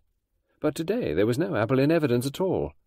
Very correct, Poirot thought approvingly. It would have been in very bad taste to be gnawing an apple here, on the scene of what had been not only a crime, but a tragedy. For what else can it be but that, thought Poirot, the sudden death of a child of only thirteen years old? He did not like to think of it, and because he did not like to think of it, he was all the more decided in his mind that that was exactly what he was going to think of, until by some means or other light should shine out of the darkness, and he should see clearly what he had come here to see. I can't think why you wouldn't come and stay with Judith Butler, said Mrs. Oliver, instead of going to a fifth-class guest-house. Because it is better that I should survey things with a certain degree of aloofness, said Poirot. One must not get involved, you comprehend. I don't see how you can avoid getting involved, said Mrs. Oliver. You've got to see everyone, and talk to them, haven't you? That most decidedly, said Poirot. Who have you seen so far? Uh, my friend, Superintendent Spence. Uh, what's he like nowadays? said Mrs. Oliver. A good deal older than he was, said Poirot. Naturally, said Mrs. Oliver. What else would you expect? Is he deafer or blinder or fatter or thinner? Poirot considered. He has lost a little weight. Uh, he wears spectacles for reading the paper. I do not think he is deaf, not to any noticeable extent. And what does he think about it all? You go too quickly, said Poirot. And what exactly are you and he going to do? I have planned my programme, said Poirot. First I have seen and consulted with my old friend. I asked him to get me perhaps some information that would not be easy to get otherwise. Oh, you mean the police here will be his buddies, and he'll get a lot of inside stuff from them? Well, I should not put it exactly like that, but uh, yes, those are the lines along which I have been thinking. And after that? I come to meet you here, madame. I have to see just where this thing happened. Mrs. Oliver turned her head and looked up at the house. It doesn't look the sort of house there'd be a murder in, does it? she said. Poirot thought again. What an unerring instinct she has. No, he said. It does not look at all that sort of a house. After I have seen where, then I go with you to see the mother of the dead child. I hear what she can tell me. This afternoon my friend Spence is making an appointment for me to talk with the local inspector at a suitable hour. I should also like a talk with the doctor here, and possibly the headmistress at the school. At six o'clock I drink tea and eat sausages with my friend Spence and his sister again in their house and we discuss. Uh, what more do you think he'll be able to tell you? I want to meet his sister. She has lived here longer than he has. He came here to join her when her husband died. She will know, perhaps, the people here fairly well. Do you know what you sound like? said Mrs. Oliver. A computer. You know, you're programming yourself. That's what they call it, isn't it? I mean, you're feeding all these things into yourself all day, and then you're going to see what comes out. It is certainly an idea you have there, said Poirot, with some interest. Yes, yes, I play the part of the computer. One feeds in the information. And supposing you come up with all the wrong answers, said Mrs. Oliver. That would be impossible, said Hercule Poirot. Computers do not do that sort of a thing. Well, they're supposed not to, said Mrs. Oliver, but you'd be surprised at the things that happen sometimes. My last electric light bill, for instance. I know there's a proverb which says to err is human, but a human error is nothing to what a computer can do if it tries. Come on in and meet Mrs. Drake. Mrs. Drake was certainly something, Poirot thought. She was a tall, handsome woman of forty-odd. Her golden hair was lightly tinged with grey. Her eyes were brilliantly blue. She oozed competence from the fingertips downwards. Any party she had arranged would have been a successful one. In the drawing-room, a tray of morning coffee with two sugared biscuits was awaiting them. Apple Trees, he saw, was a most admirably kept house. It was well furnished, it had carpets of excellent quality, everything was scrupulously polished and cleaned, and the fact that it had hardly any outstanding object of interest in it was not readily noticeable. One would not have expected it. The colours of the curtains and the covers were pleasant but conventional. It could have been let furnished at any moment for a high rent to a desirable tenant without having to put away any treasures or make any alterations to the arrangement of the furniture. Mrs. Drake greeted Mrs. Oliver and Poirot and concealed almost entirely what Poirot could not help suspecting was a feeling of vigorously suppressed annoyance at the position in which she found herself as the hostess at a social occasion at which something as antisocial as murder had occurred. As a prominent member of the community of Woodleigh Common, he suspected that she felt an unhappy sense of having herself in some way proved inadequate. What had occurred should not have occurred. To someone else, in someone else's house, yes, but at a party for children, arranged by her, given by her, organized by her, nothing like this ought to have happened. Somehow or other, she ought to have seen to it that it did not happen and Poirot also had a suspicion that she was seeking round irritably in the back of her mind for a reason. Not so much a reason for murder having taken place, but to find out and pin down some inadequacy on the part of someone who had been helping her, and who had by some mismanagement or some lack of perception failed to realize that something like this could happen. Monsieur Poirot, said Mrs. Drake, in her fine speaking voice, which Poirot thought would come over excellently in a small lecture room or the village hall. I am so pleased you could come down here. Mrs. Oliver has been telling me how invaluable your help will be to us in this terrible crisis. Rest assured, madame, I shall do what I can. But as you no doubt realize from your experience of life, it is going to be a difficult business. Difficult? said Mrs. Drake. Of course it's going to be difficult. It seems incredible, absolutely incredible, that such an awful thing should have happened. I suppose, she added, the police may know something? Inspector Raglan has a very good reputation locally, I believe. Whether or not they ought to call Scotland Yard in, I don't know. The idea seems to be that this poor child's death must have had a local significance. I needn't tell you, Monsieur Poirot, after all, you read the papers as much as I do, that there have been very many sad fatalities with children all over the countryside. They seem to be getting more and more frequent. Mental instability seems to be on the increase, though I must say that mothers and families generally are not looking after children properly, as they used to do. Children are sent home from school alone on dark evenings, go alone on dark early mornings, and children, however much you warn them, are unfortunately very foolish when it comes to being offered a lift in a smart-looking car. They believe what they're told. I suppose one cannot help that. But what happened here, madame, was of an entirely different nature. Oh, I know. I know. That's why I used the term incredible. I still cannot quite believe it, said Mrs. Drake. Everything was entirely under control. All the arrangements were made. Everything was going perfectly, all according to plan. It just seems seems incredible. Personally, I consider myself there must be what I call an outside significance to this. Someone walked into the house. Not a difficult thing to do under the circumstances. Someone of highly disturbed mentality, I suppose, the kind of people who are let out of mental homes simply because there is no room for them there, as far as I can see. Nowadays, room has to be made for fresh patients all the time.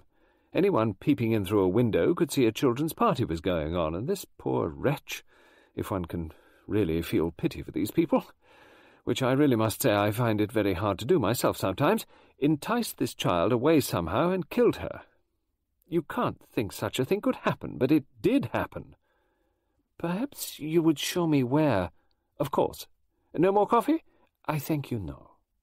Mrs. Drake got up. The police seem to think it took place while the Snapdragon was going on. That was taking place in the dining room. She walked across the hall, opened the door, and, rather in the manner of someone doing the honours at a stately home for a party of charabanc goers, indicated the large dining table and the heavy velvet curtains. It was dark here, of course, except for the blazing dish, and now... She led them across the hall and opened the door of a small room with armchairs, sporting prints, and bookshelves. The library, said Mrs. Drake, and shivered a little. The bucket was here, on a plastic sheet, of course. Mrs. Oliver had not accompanied them into the room. She was standing outside in the hall. I can't come in, she said to Poirot. It makes me think of it too much. Uh, there's nothing to see now, said Mrs. Drake. I mean, I'm just showing you where, as you asked. I suppose, said Poirot, there was water, a good deal of water? There was water in the bucket, of course, said Mrs. Drake. She looked at Poirot as though she thought he was not quite all there. And there was water on the sheet. I mean, if the child's head was pushed under water, there would be a lot of water splashed about. Oh, yes. Even while the bobbing was going on, the bucket had to be filled up once or twice. So the person who did it, that person also would have got wet, one would think. Yes. Yes, I suppose so. That was not specially noticed. No. No, the inspector asked me about that. You see, by the end of the evening, nearly everyone was a bit dishevelled, or damp, or flowery. There doesn't seem to be any useful clues there at all. I mean, the police didn't think so. No, said Poirot. I suppose the only clue was the child herself. I hope you will tell me all you know about her. About Joyce? Mrs. Drake looked slightly taken aback. It was as though Joyce, in her mind, had by now retreated so far out of things that she was quite surprised to be reminded of her. The victim is always important, said Poirot. The victim, you see, is so often the cause of the crime. Well, I suppose... Yes, I see what you mean, said Mrs. Drake, who quite plainly did not. Shall we come back to the drawing-room? And then you will tell me about Joyce, said Poirot. They settled themselves once more in the drawing-room. Mrs. Drake was looking uncomfortable. I don't know, really, what you expect me to say, Monsieur Poirot, she said. Surely all information can be obtained quite easily from the police or from Joyce's mother. Poor woman. It will be painful for her, no doubt, but... But what I want, said Poirot, is not a mother's estimate of a dead daughter. It is a clear, unbiased opinion from someone who has a good knowledge of human nature.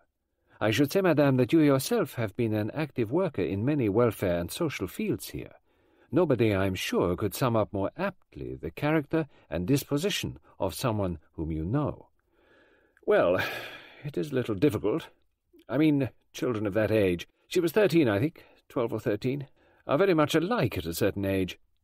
Ah, no, surely not, said Poirot. There are very great differences in character, in disposition. Did you like her? Mrs. Drake seemed to find the question embarrassing. Well, of course I... I liked her. Uh, I mean, well, I, I like all children. Most people do. Ah, there I do not agree with you, said Poirot. Some children I consider are most unattractive. Well, I, I agree they're not brought up very well nowadays. Everything seems left to the school, and of course they lead very permissive lives, have their own choice of friends, and, uh, really, Monsieur Poirot, was she a nice child or not a nice child? said Poirot insistently.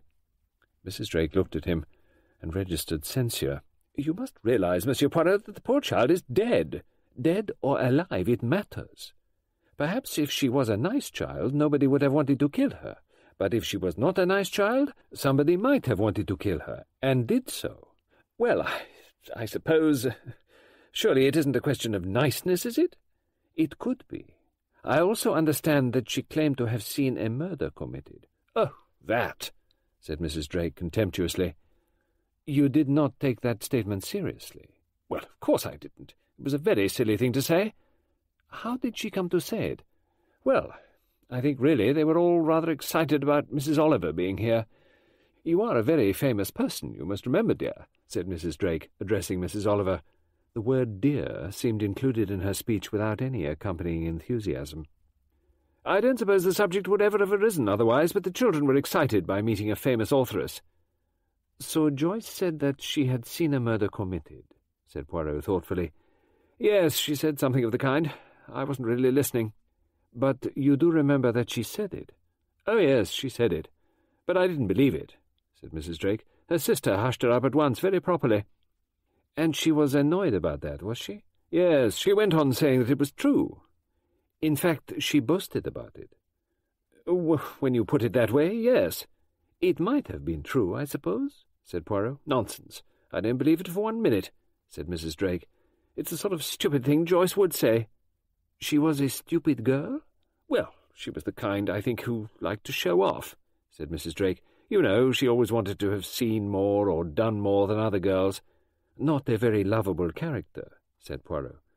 No, indeed, said Mrs. Drake. Really the kind that you have to be shutting up all the time. What did the other children who were here have to say about it? Were they impressed? Well, they laughed at her, said Mrs. Drake, so of course that made her worse. Well, said Poirot as he rose. I am glad to have your positive assurance on that point. He bowed politely over her hand. Goodbye, madame. Thank you so much for allowing me to view the scene of this very unpleasant occurrence. I hope it has not recalled unpleasant memories too definitely to you. Well, of course, said Mrs. Drake. It is very painful to recall anything of this kind. I had so hoped our little party would go off well. Indeed, it was going off well, and everyone seemed to be enjoying it so much till this terrible thing happened. However, the only thing one can do is to try and forget it all. Of course, it's very unfortunate that Joyce should have made this silly remark about seeing a murder. Have you ever had a murder in Woodleigh Common?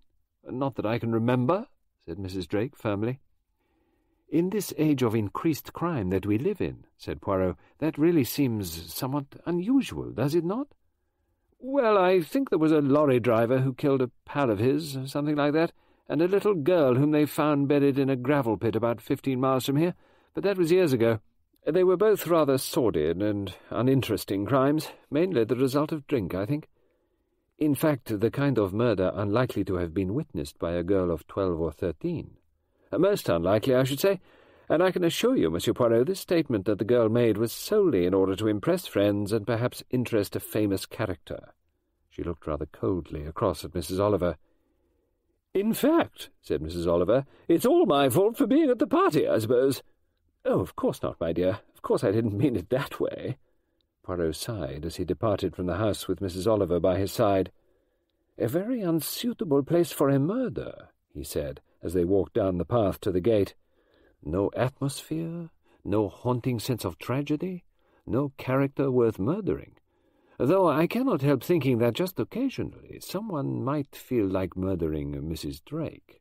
I know what you mean. She can be intensely irritating sometimes, so pleased with herself and so complacent. What is her husband like? Oh, she's a widow. Her husband died a year or two ago. He got polio, and had been a cripple for years. He was a banker originally, I think. He was very keen on games and sport, and hated having to give all that up and be an invalid. Yes, indeed. He reverted to the subject of the child Joyce. Just tell me this. Did anyone was listening take this assertion of the child Joyce about murder seriously? I don't know. I shouldn't have thought anyone did. The other children, for instance? Well, I was thinking really of them. Uh, no, I, I don't think they believed what Joyce was saying. They thought she was making things up. Did you think that too? Well, I did really, said Mrs. Oliver. Of course, she added, Mrs. Drake would like to believe that the murder never really happened, but she can't very well go as far as that, can she? I understand that this may be painful for her. Well, I suppose it is in a way, said Mrs. Oliver, but I think that by now, you know, she's actually getting quite pleased to talk about it. I don't think she likes to have to bottle it up all the time. Do you like her? asked Poirot. Do you think she's a nice woman? You do ask the most difficult questions. Embarrassing ones, said Mrs. Oliver. It seems the only thing you are interested in is whether people are nice or not.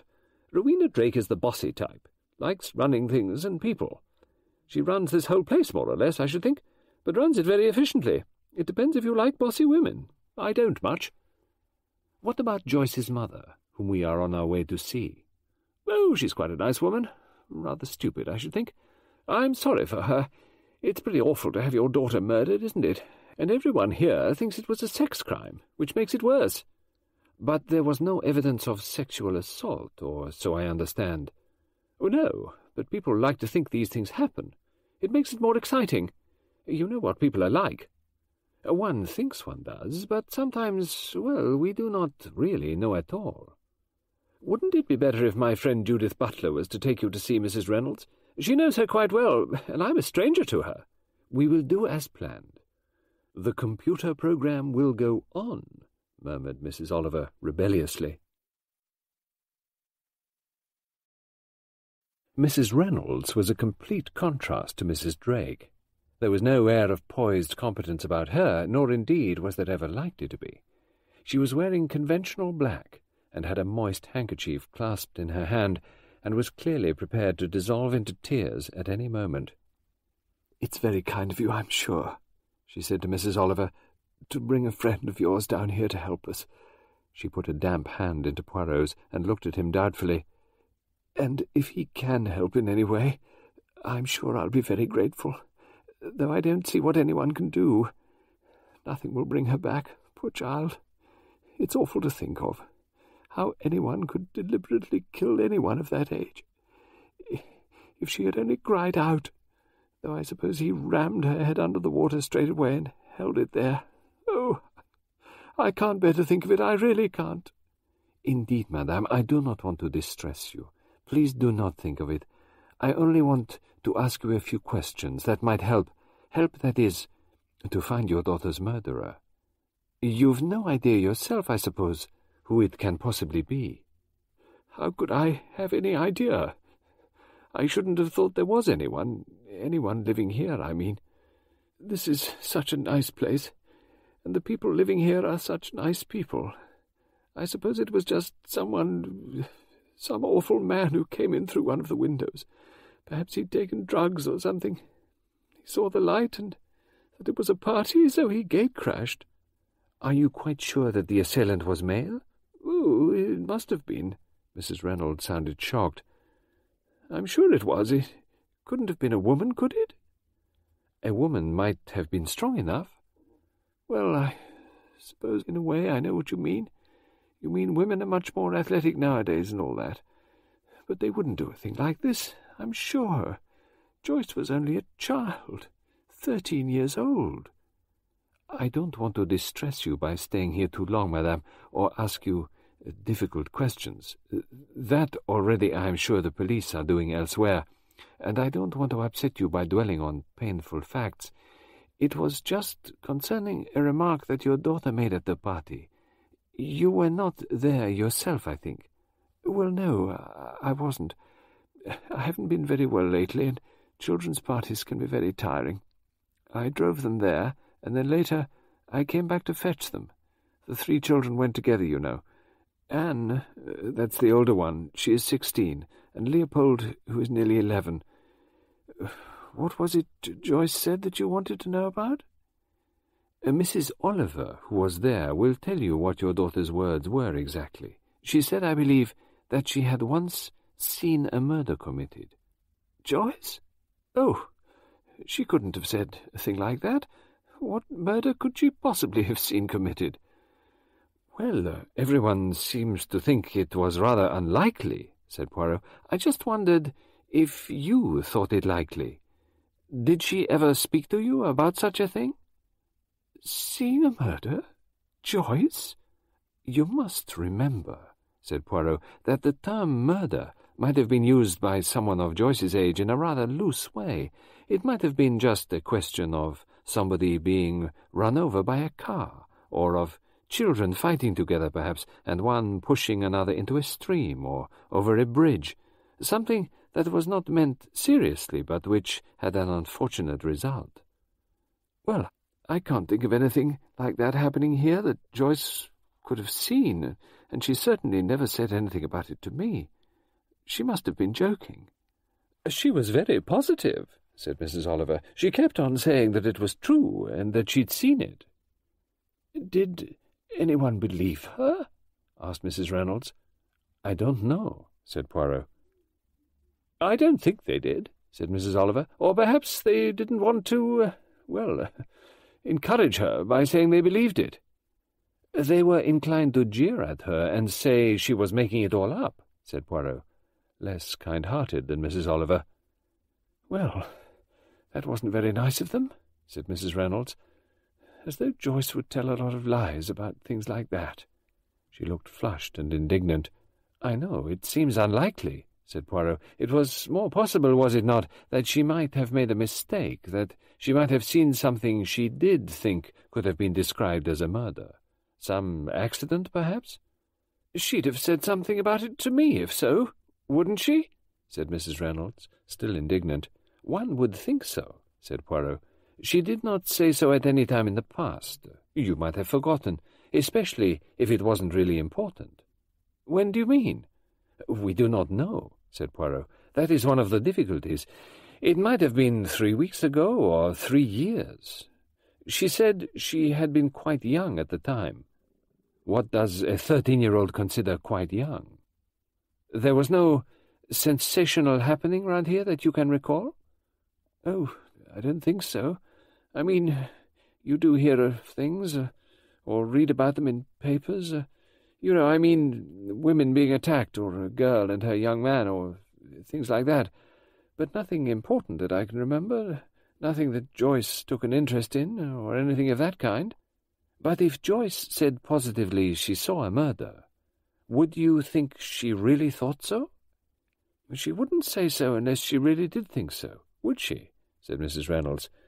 I think she must have got something mixed up, really. Yes, it seems possible. I wonder, he asked, if I might speak to your two children who were also at the party. Well, uh, of course, though I don't know what you can expect them to tell you. Anne's doing her work for her A-levels upstairs, and Leopold's in the garden, assembling a model aeroplane. Leopold was a solid, pudgy-faced boy, entirely absorbed, it seemed, in mechanical construction. It was some few moments before he could pay attention to the questions he was being asked. You were there, weren't you, Leopold? You heard what your sister said? What did she say?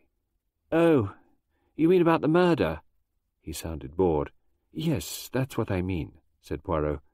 She said she saw a murder once. Did she really see such a thing? No, of course she didn't, said Leopold. Who on earth would she see murdered? It was just like Joyce, that. How do you mean it was just like her? Showing off, said Leopold, winding round a piece of wire and breathing forcefully through his nose as he concentrated. She was an awfully stupid sort of girl, he added. She'd say anything, you know, to make people sit up and take notice. So you really think she invented the whole thing? Leopold shifted his gaze to Mrs. Oliver. I expect she wanted to impress you a bit, he said. You write detective stories, don't you? I think she was just putting it on, so that you should take more notice of her than you did of the others. That would also be rather like her, would it? said Poirot. Oh, she'd say anything, said Leopold. I bet nobody believed her, though. Were you listening? Do you think anyone believed it? Well, I heard her say it, but I didn't really listen. Beatrice laughed at her, and so did Cathy. They said that's a tall story or something. There seemed little more to be got out of Leopold. They went upstairs to where Anne, looking rather more than her sixteen years, was bending over a table with various study books spread round her.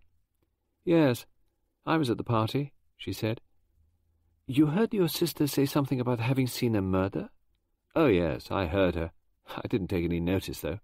You didn't think it was true? Or of course it wasn't true. There haven't been any murders here for ages. I don't think there's been a proper murder for years. Then why do you think she said so? Oh, she likes showing off. I mean, she used to like showing off. She had a wonderful story once about having travelled to India. My uncle had been on a voyage there, and she pretended she went with him. Lots of girls at school actually believed her. So you don't remember any what you call murders taking place here in the last three or four years? No, only the usual kind, said Anne. I mean the ones you read every day in the newspaper. And they weren't actually here in Woodleigh Common. They were mostly in Medchester, I think. Who do you think killed your sister, Anne? You must have known her friends. You would know any people who didn't like her. I can't imagine who'd want to kill her. I suppose someone who was just batty. Nobody else would, would they? There was no one who had uh, quarrelled with her, or who did not get on with her? You mean, did she have an enemy? I think that's silly. People don't have enemies, really. There are just people you don't like. As they departed from the room, Anne said, I don't want to be nasty about Joyce, because she's dead and it wouldn't be kind, but she really was the most awful liar, you know. I mean, I'm sorry to say things about my sister, but it's quite true. Are we making any progress? said Mrs. Oliver as they left the house. None whatever, said Hercule Poirot. That is interesting, he said thoughtfully. Mrs. Oliver looked as though she didn't agree with him. It was six o'clock at Pine Crest. Hercule Poirot put a piece of sausage into his mouth and followed it up with a sip of tea. The tea was strong, and to Poirot singularly unpalatable. The sausage, on the other hand, was delicious, cooked to perfection. He looked with appreciation across the table to where Mrs. Mackay presided over the large brown teapot. Elspeth Mackay was as unlike her brother, Superintendent Spence, as she could be in every way. Where he was broad, she was angular. Her sharp, thin face looked out on the world with shrewd appraisal. She was thin as a thread, yet there was a certain likeness between them, mainly the eyes and the strongly marked line of the jaw. Either of them, Poirot thought, could be relied upon for judgment and good sense. They would express themselves differently, but that was all.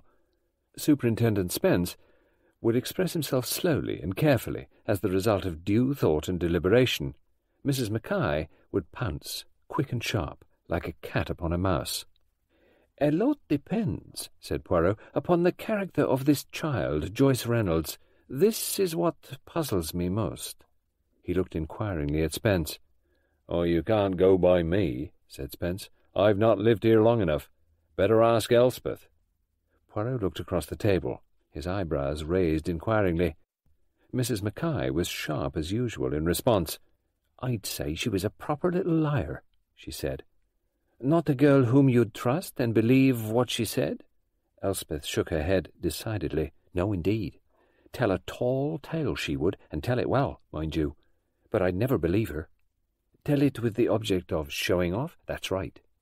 They told you the Indian story, didn't they?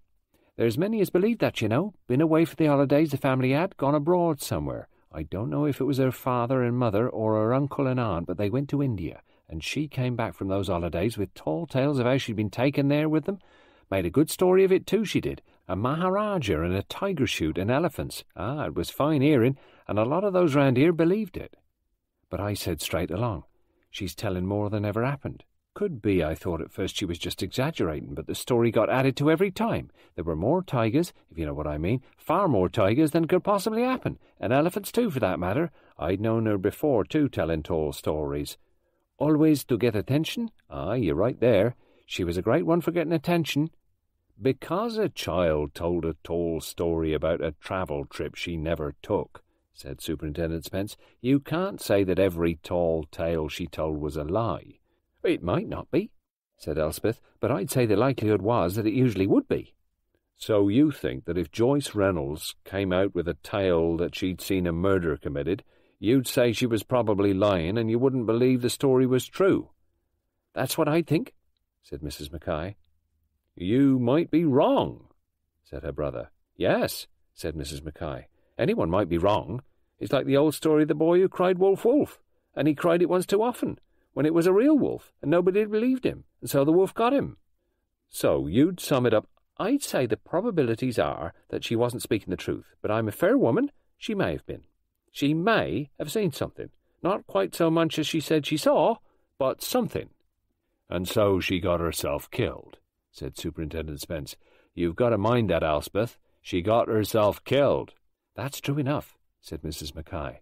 And that's why I'm saying maybe I've misjudged her and if so, I'm sorry. But ask anyone who knew her, and they'll tell you that lies came natural to her. It was a party she was at, remember, and she was excited. She'd want to make an effect. Indeed, they didn't believe her, said Poirot. Elspeth Mackay shook her head doubtfully. Who could she have seen murdered? asked Poirot. He looked from brother to sister. Nobody, said Mrs. Mackay with decision. There must have been deaths here, say, over the last three years.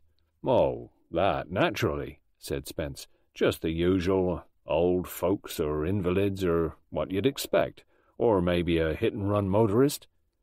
No unusual or unexpected deaths? Well, Elspeth hesitated. I mean, Spence took over. I've jotted a few names down here. He pushed the paper over to Poirot. Save you a bit of trouble, asking questions around. Are these uh, suggested victims? Hardly as much as that. Say, uh, within the range of possibility. Poirot read aloud. Mrs. Llewellyn Smythe, Charlotte Benfield, Janet White, Leslie Ferrier. He broke off, looked across the table, and repeated the first name. Mrs. Llewellyn Smythe. Could be, said Mrs. Mackay. Yes, you might have something there. She added a word that sounded like opera. Opera? Poirot looked puzzled. He had heard of no opera. Went off one night, she did, said Elspeth. Was never heard of again. Mrs. Llewellyn Smythe? No, no, the opera girl. She could have put something in the medicine easily enough, and she came into all the money, didn't she? Or so she thought at the time. Poirot looked at Spence for enlightenment. And never been heard of since, said Mrs. Mackay. These foreign girls are all the same. The significance of the word opera came to Poirot. An au pair girl, he said. That's right. Live with the old lady, and a week or two after the old lady died, the au pair girl just disappeared. Went off with some man, I'd say, said Spence. Well, nobody knew of him if so, said Elspeth. And there's usually plenty to talk about here. Usually know just who's going with who. Did anybody think there had been anything wrong about Mrs. Llewellyn Smythe's death? asked Poirot. No, she'd got heart trouble. Doctor attended her regularly. But you headed your list of possible victims with her, my friend. Well, she was a rich woman, very rich woman. Her death was not unexpected, but it was sudden. I'd say offhand that Dr. Ferguson was surprised, even if only slightly surprised. I think he expected her to live longer but doctors do have these surprises. She wasn't one to do as the doctor ordered. She'd been told not to overdo things, but she did exactly as she liked. For one thing, she was a passionate gardener, and that doesn't do art cases any good. Elspeth Mackay took up the tale. She came here when her health failed. She was living abroad before. She came here to be near her nephew and niece, Mr. and Mrs. Drake, and she bought the quarry house, a big Victorian house, which included a disused quarry, which attracted her as having possibilities. She spent thousands of pounds on turning that quarry into a sunk garden, or whatever they call the thing. Had a landscape gardener down from Wisley or one of those places to design it. Oh, I can tell you, it's something to look at.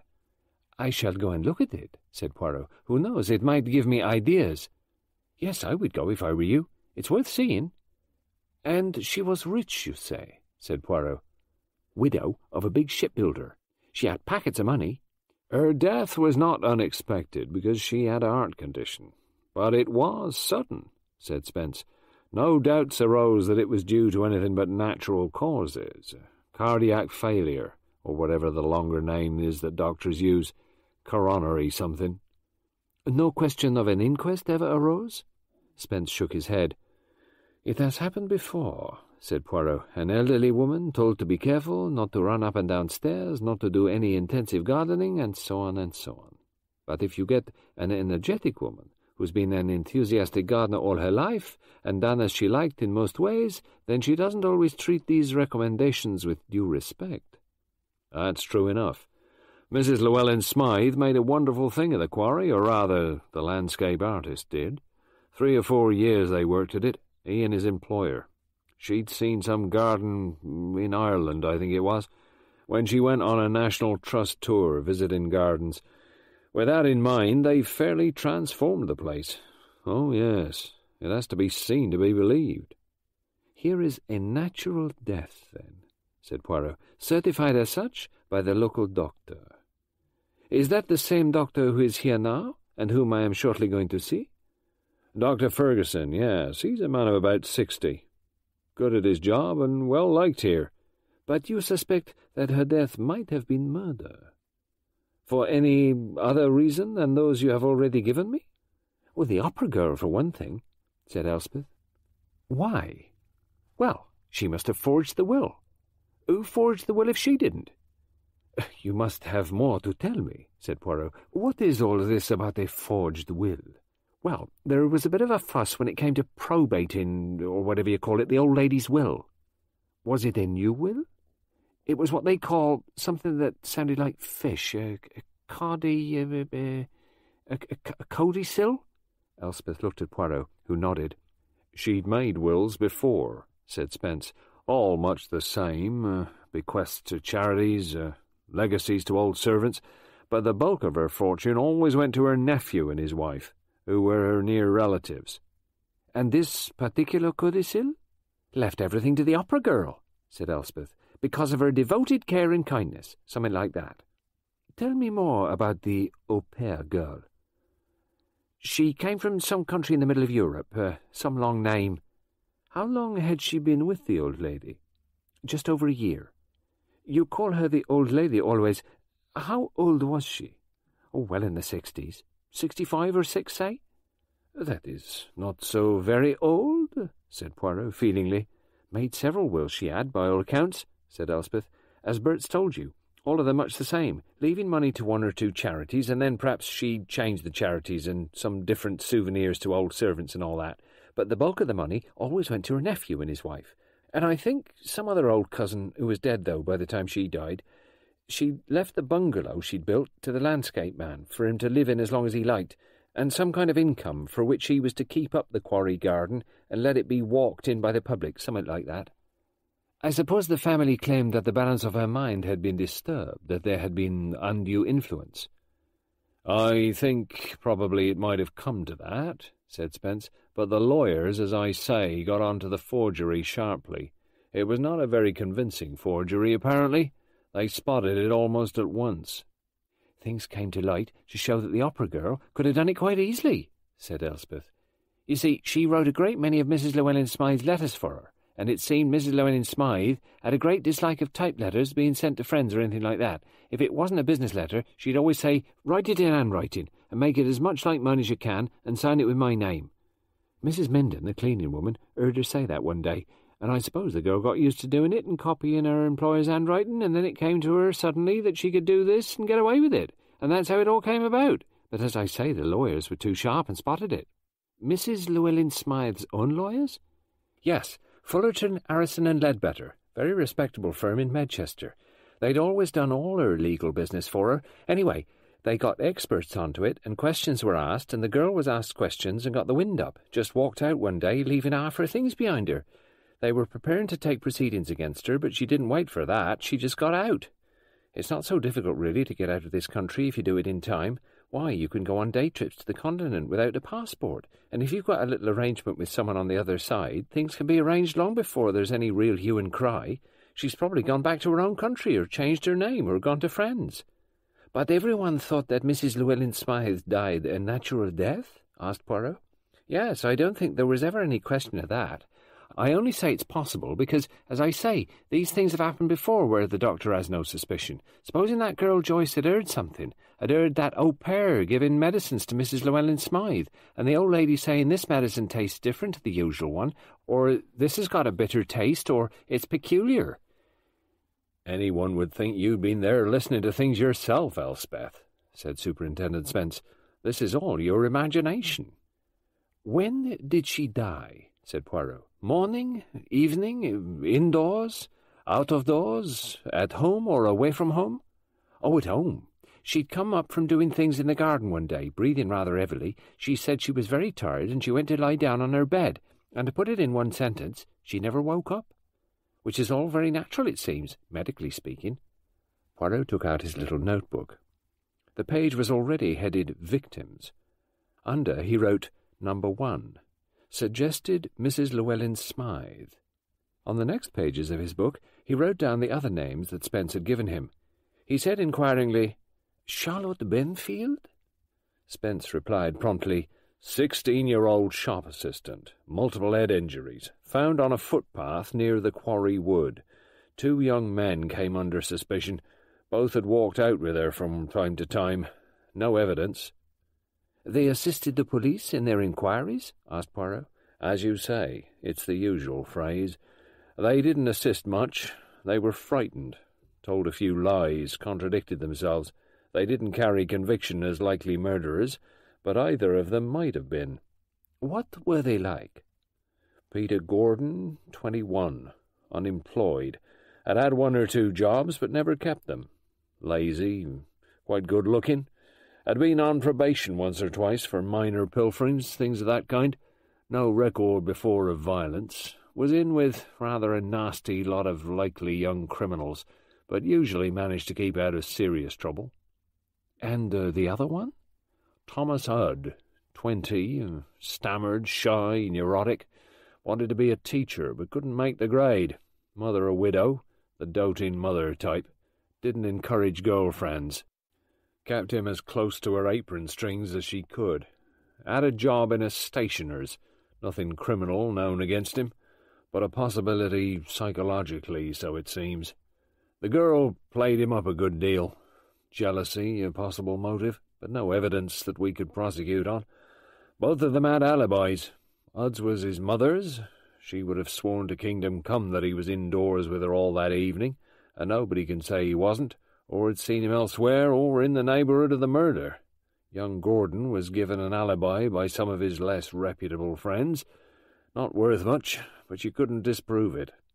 This happened when? Eighteen months ago. And where? In a footpath in a field not far from Woodleigh Common. Three quarters of a mile, said Elspeth. Near Joyce's house? Uh, the Reynolds house? No, it was on the other side of the village. It seems unlikely to have been the murder Joyce was talking about, said Poirot thoughtfully. If you see a girl being bashed on the head by a young man, you'd be likely to think of murder straight away, not to wait for a year before you began to think it was murder. Poirot read another name. Leslie Ferrier. Spence spoke again. Lawyer's clerk, uh, 28, employed by Messrs. Fullerton, Harrison, and Ledbetter of Market Street, Medchester. Those were Mrs. Llewellyn Smythe's solicitors, I think you said. Yes, same ones. And what happened to Leslie Ferrier? He was stabbed in the back, not far from the Green Swan pub. He was said to have been having an affair with the wife of the landlord, Harry Griffin. Handsome piece she was, indeed still is. Getting perhaps a bit long in the tooth, uh, five or six years older than he was, but she liked them young. The weapon?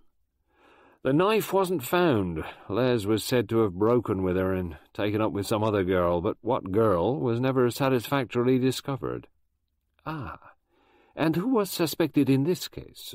The landlord or the wife? Quite right, said Spence. Might have been either.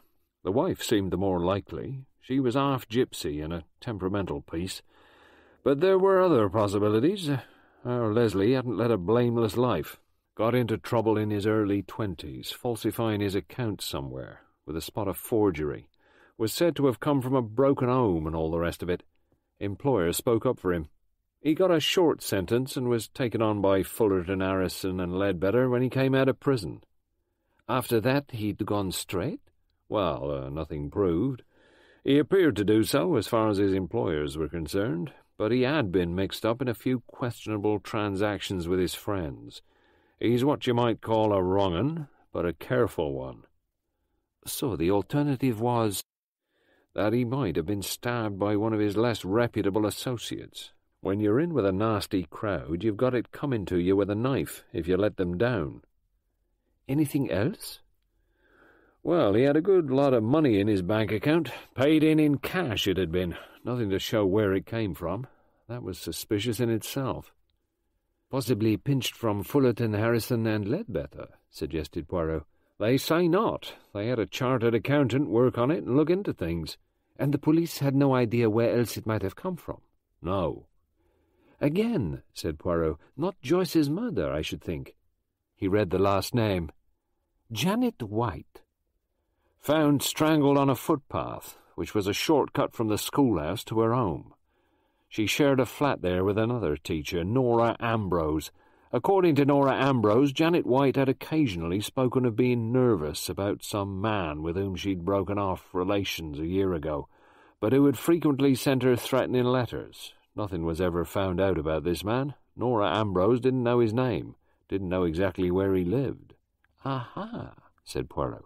I like this better. He made a good thick black tick against Janet White's name. For what reason? asked Spence.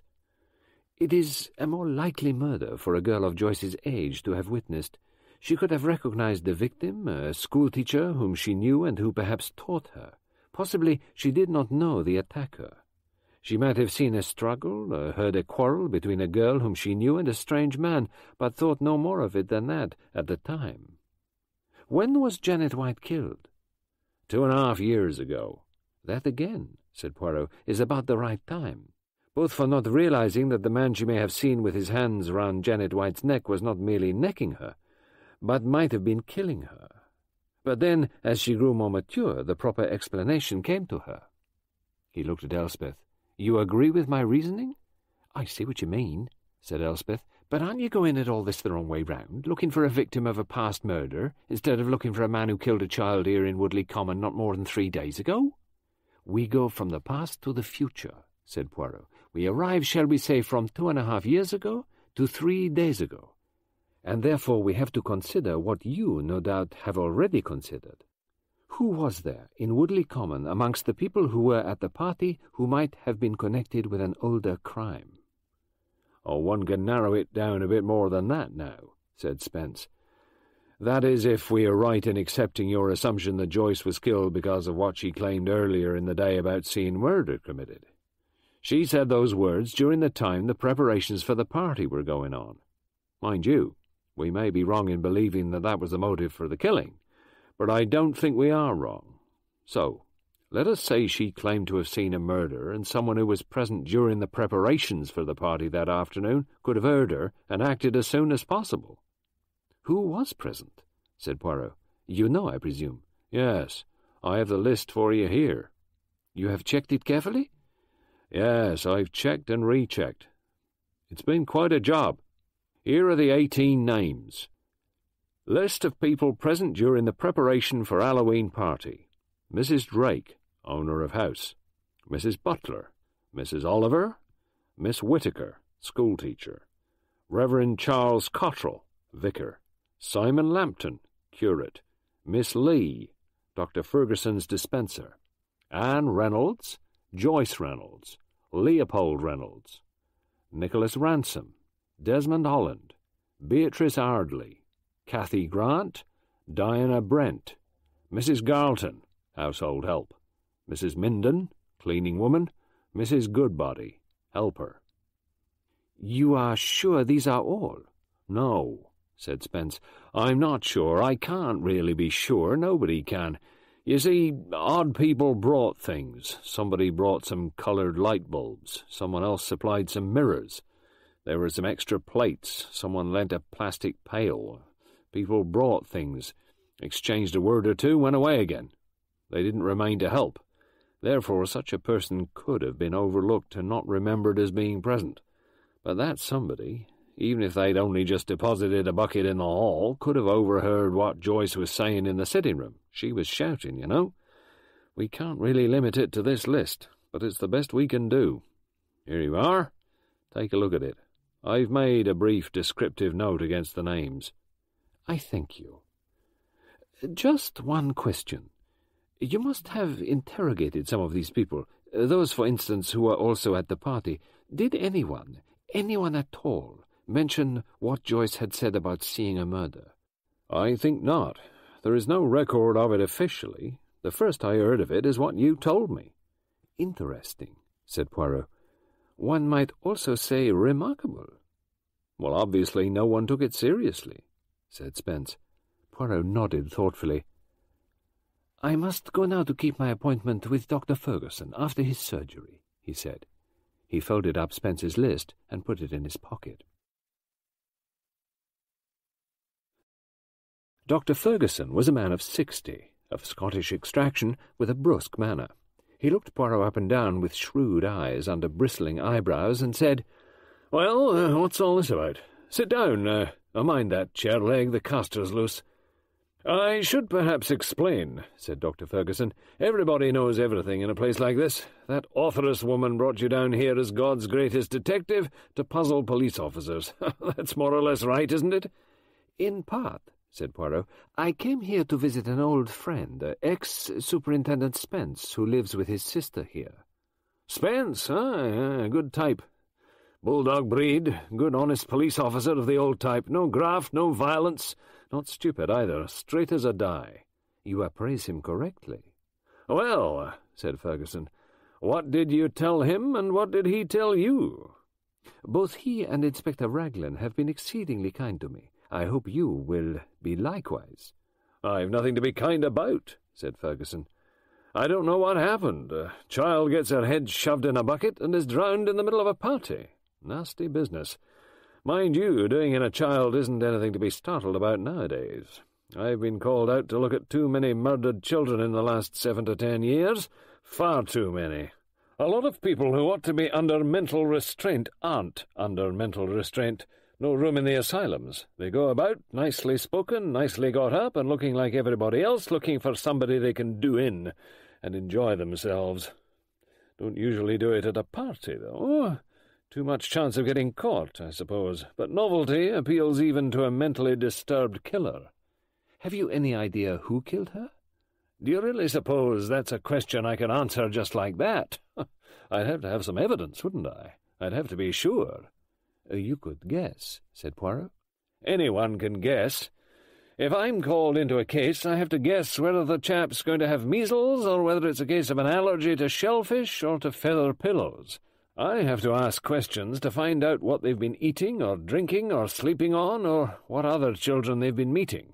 Whether they've been in a crowded bus with Mrs. Smith's or Mrs. Robinson's children, who've all got the measles, and a few other things.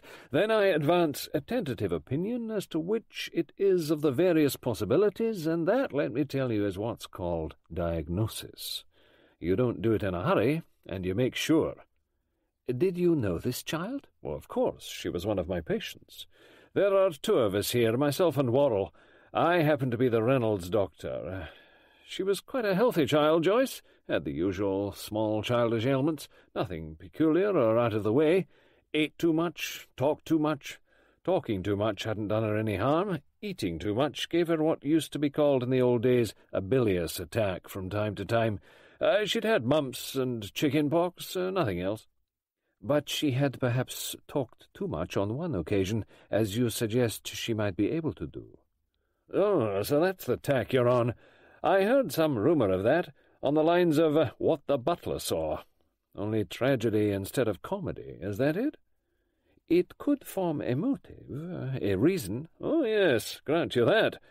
But there are other reasons. Mentally disturbed seems the usual answer nowadays.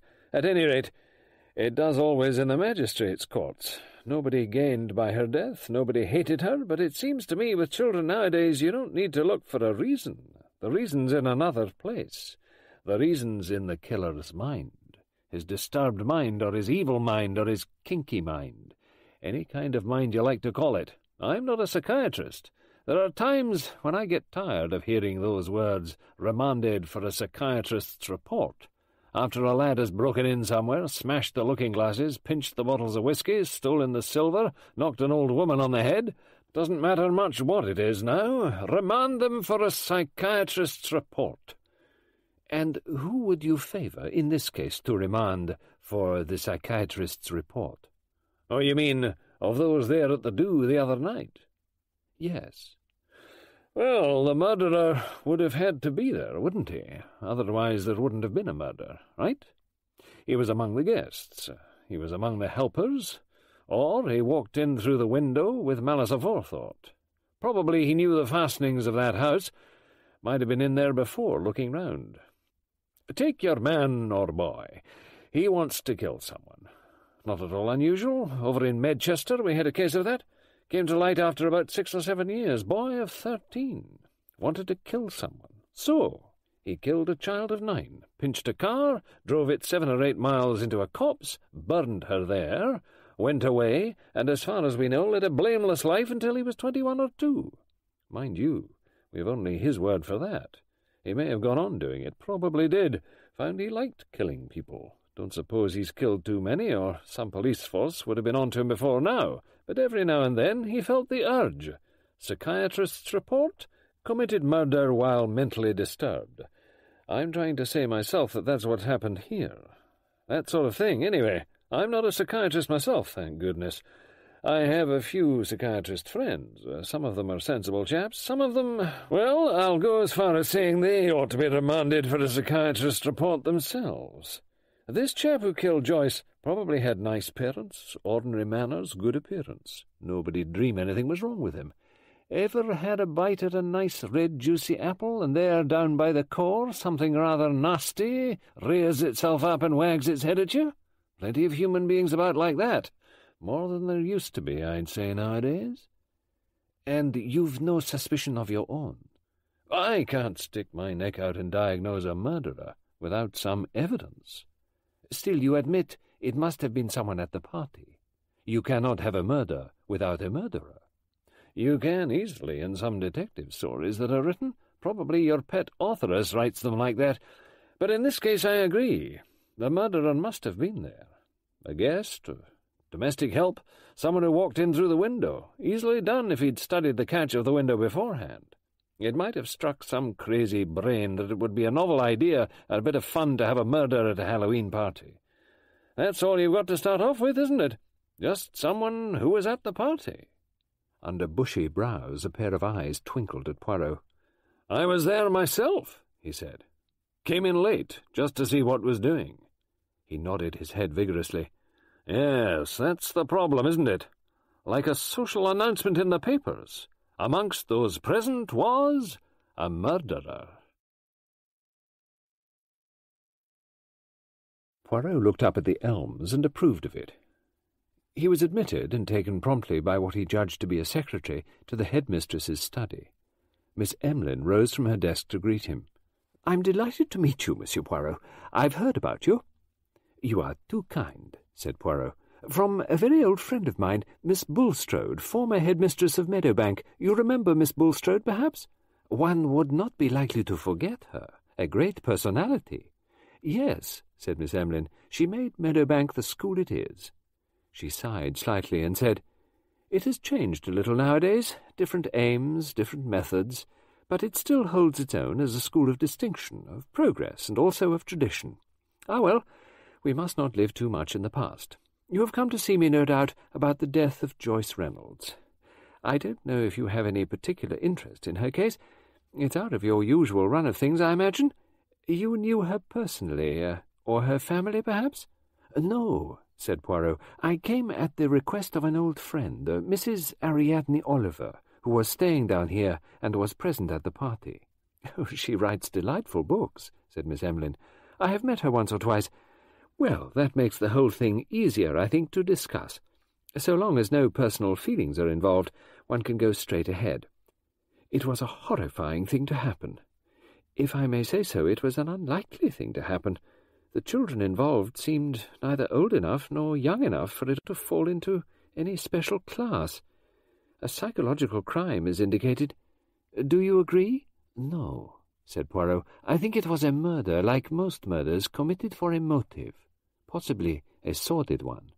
Indeed. And the reason? The reason was a remark made by Joyce, not actually at the party, I understand, but earlier in the day when preparations were being made by some of the older children and other helpers. She announced that she had once seen a murder committed. Was she believed? On the whole, I think she was not believed. That seems the most likely response. Joyce, I speak plainly to you, Monsieur Poirot, because we do not want unnecessary sentiment to cloud mental faculties. She was a rather mediocre child, neither stupid nor particularly intellectual.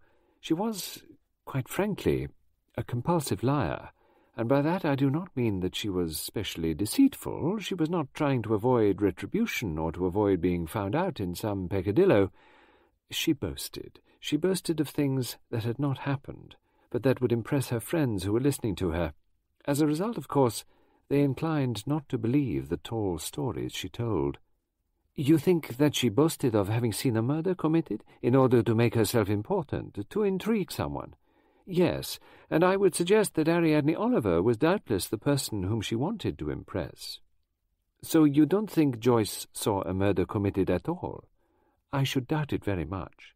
You are of the opinion that she made the whole thing up? I would not say that.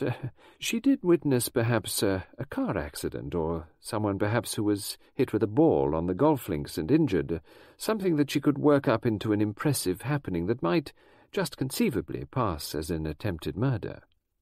So the only assumption that we can make with any certainty is that there was a murderer present at the Halloween party. Certainly, said Miss Emlyn, without turning a grey hair. Certainly, that follows on logically, does it not? Would you have any idea who that murderer might be? That is certainly a sensible question, said Miss Emlyn. After all, the majority of the children at the party were aged between nine and fifteen, and I suppose nearly all of them had been or were pupils at my school. I ought to know something about them, something too about their families and their backgrounds. I believe that one of your own teachers, a year or two ago, was strangled by an unknown killer. You are referring to Janet White? About twenty-four years of age. An emotional girl. As far as is known, she was out walking alone. She may, of course, have arranged to meet some young man. She was a girl who was quite attractive to men in a modest sort of way. Her killer has not been discovered. The police questioned various young men or asked them to assist them in their inquiries as the technique goes, but they were not able to find sufficient evidence to bring a case against anyone. An unsatisfactory business from their point of view, and, I may say, from mine you and I have a principle in common. We do not approve of murder. Miss Emlyn looked at him for a moment or two. Her expression did not change, but Poirot had an idea that he was being sized up with a great deal of care. I like the way you put it, she said. From what you read and hear nowadays, it seems that murder under certain aspects is slowly but surely being made acceptable to a large section of the community. She was silent for a few minutes, and Poirot also did not speak. She was, he thought, considering a plan of action. She rose and touched a bell. I think, she said, that you had better talk to Miss Whittaker. Some five minutes passed after Miss Emlyn had left the room, and then the door opened, and a woman of about forty entered. She had russet-coloured hair, cut short, and came in with a brisk step. Monsieur Poirot, she said, can I help you? Miss Emlyn seems to think that that might be so. If Miss Emlyn thinks so, then it is almost a certainty that you can. I would take her word for it. You know her? I have only met her this afternoon. But you've made up your mind quickly about her. I hope you are going to tell me that I am right. Elizabeth Whittaker gave a short, quick sigh. Oh, yes, you're right. I presume that this is about the death of Joyce Reynolds. I don't know exactly how you come into it. Uh, through the police? She shook her head slightly in a dissatisfied manner. No, uh, not through the police. Privately, through a friend. She took a chair, pushing it back a little so as to face him. Yes, what do you want to know?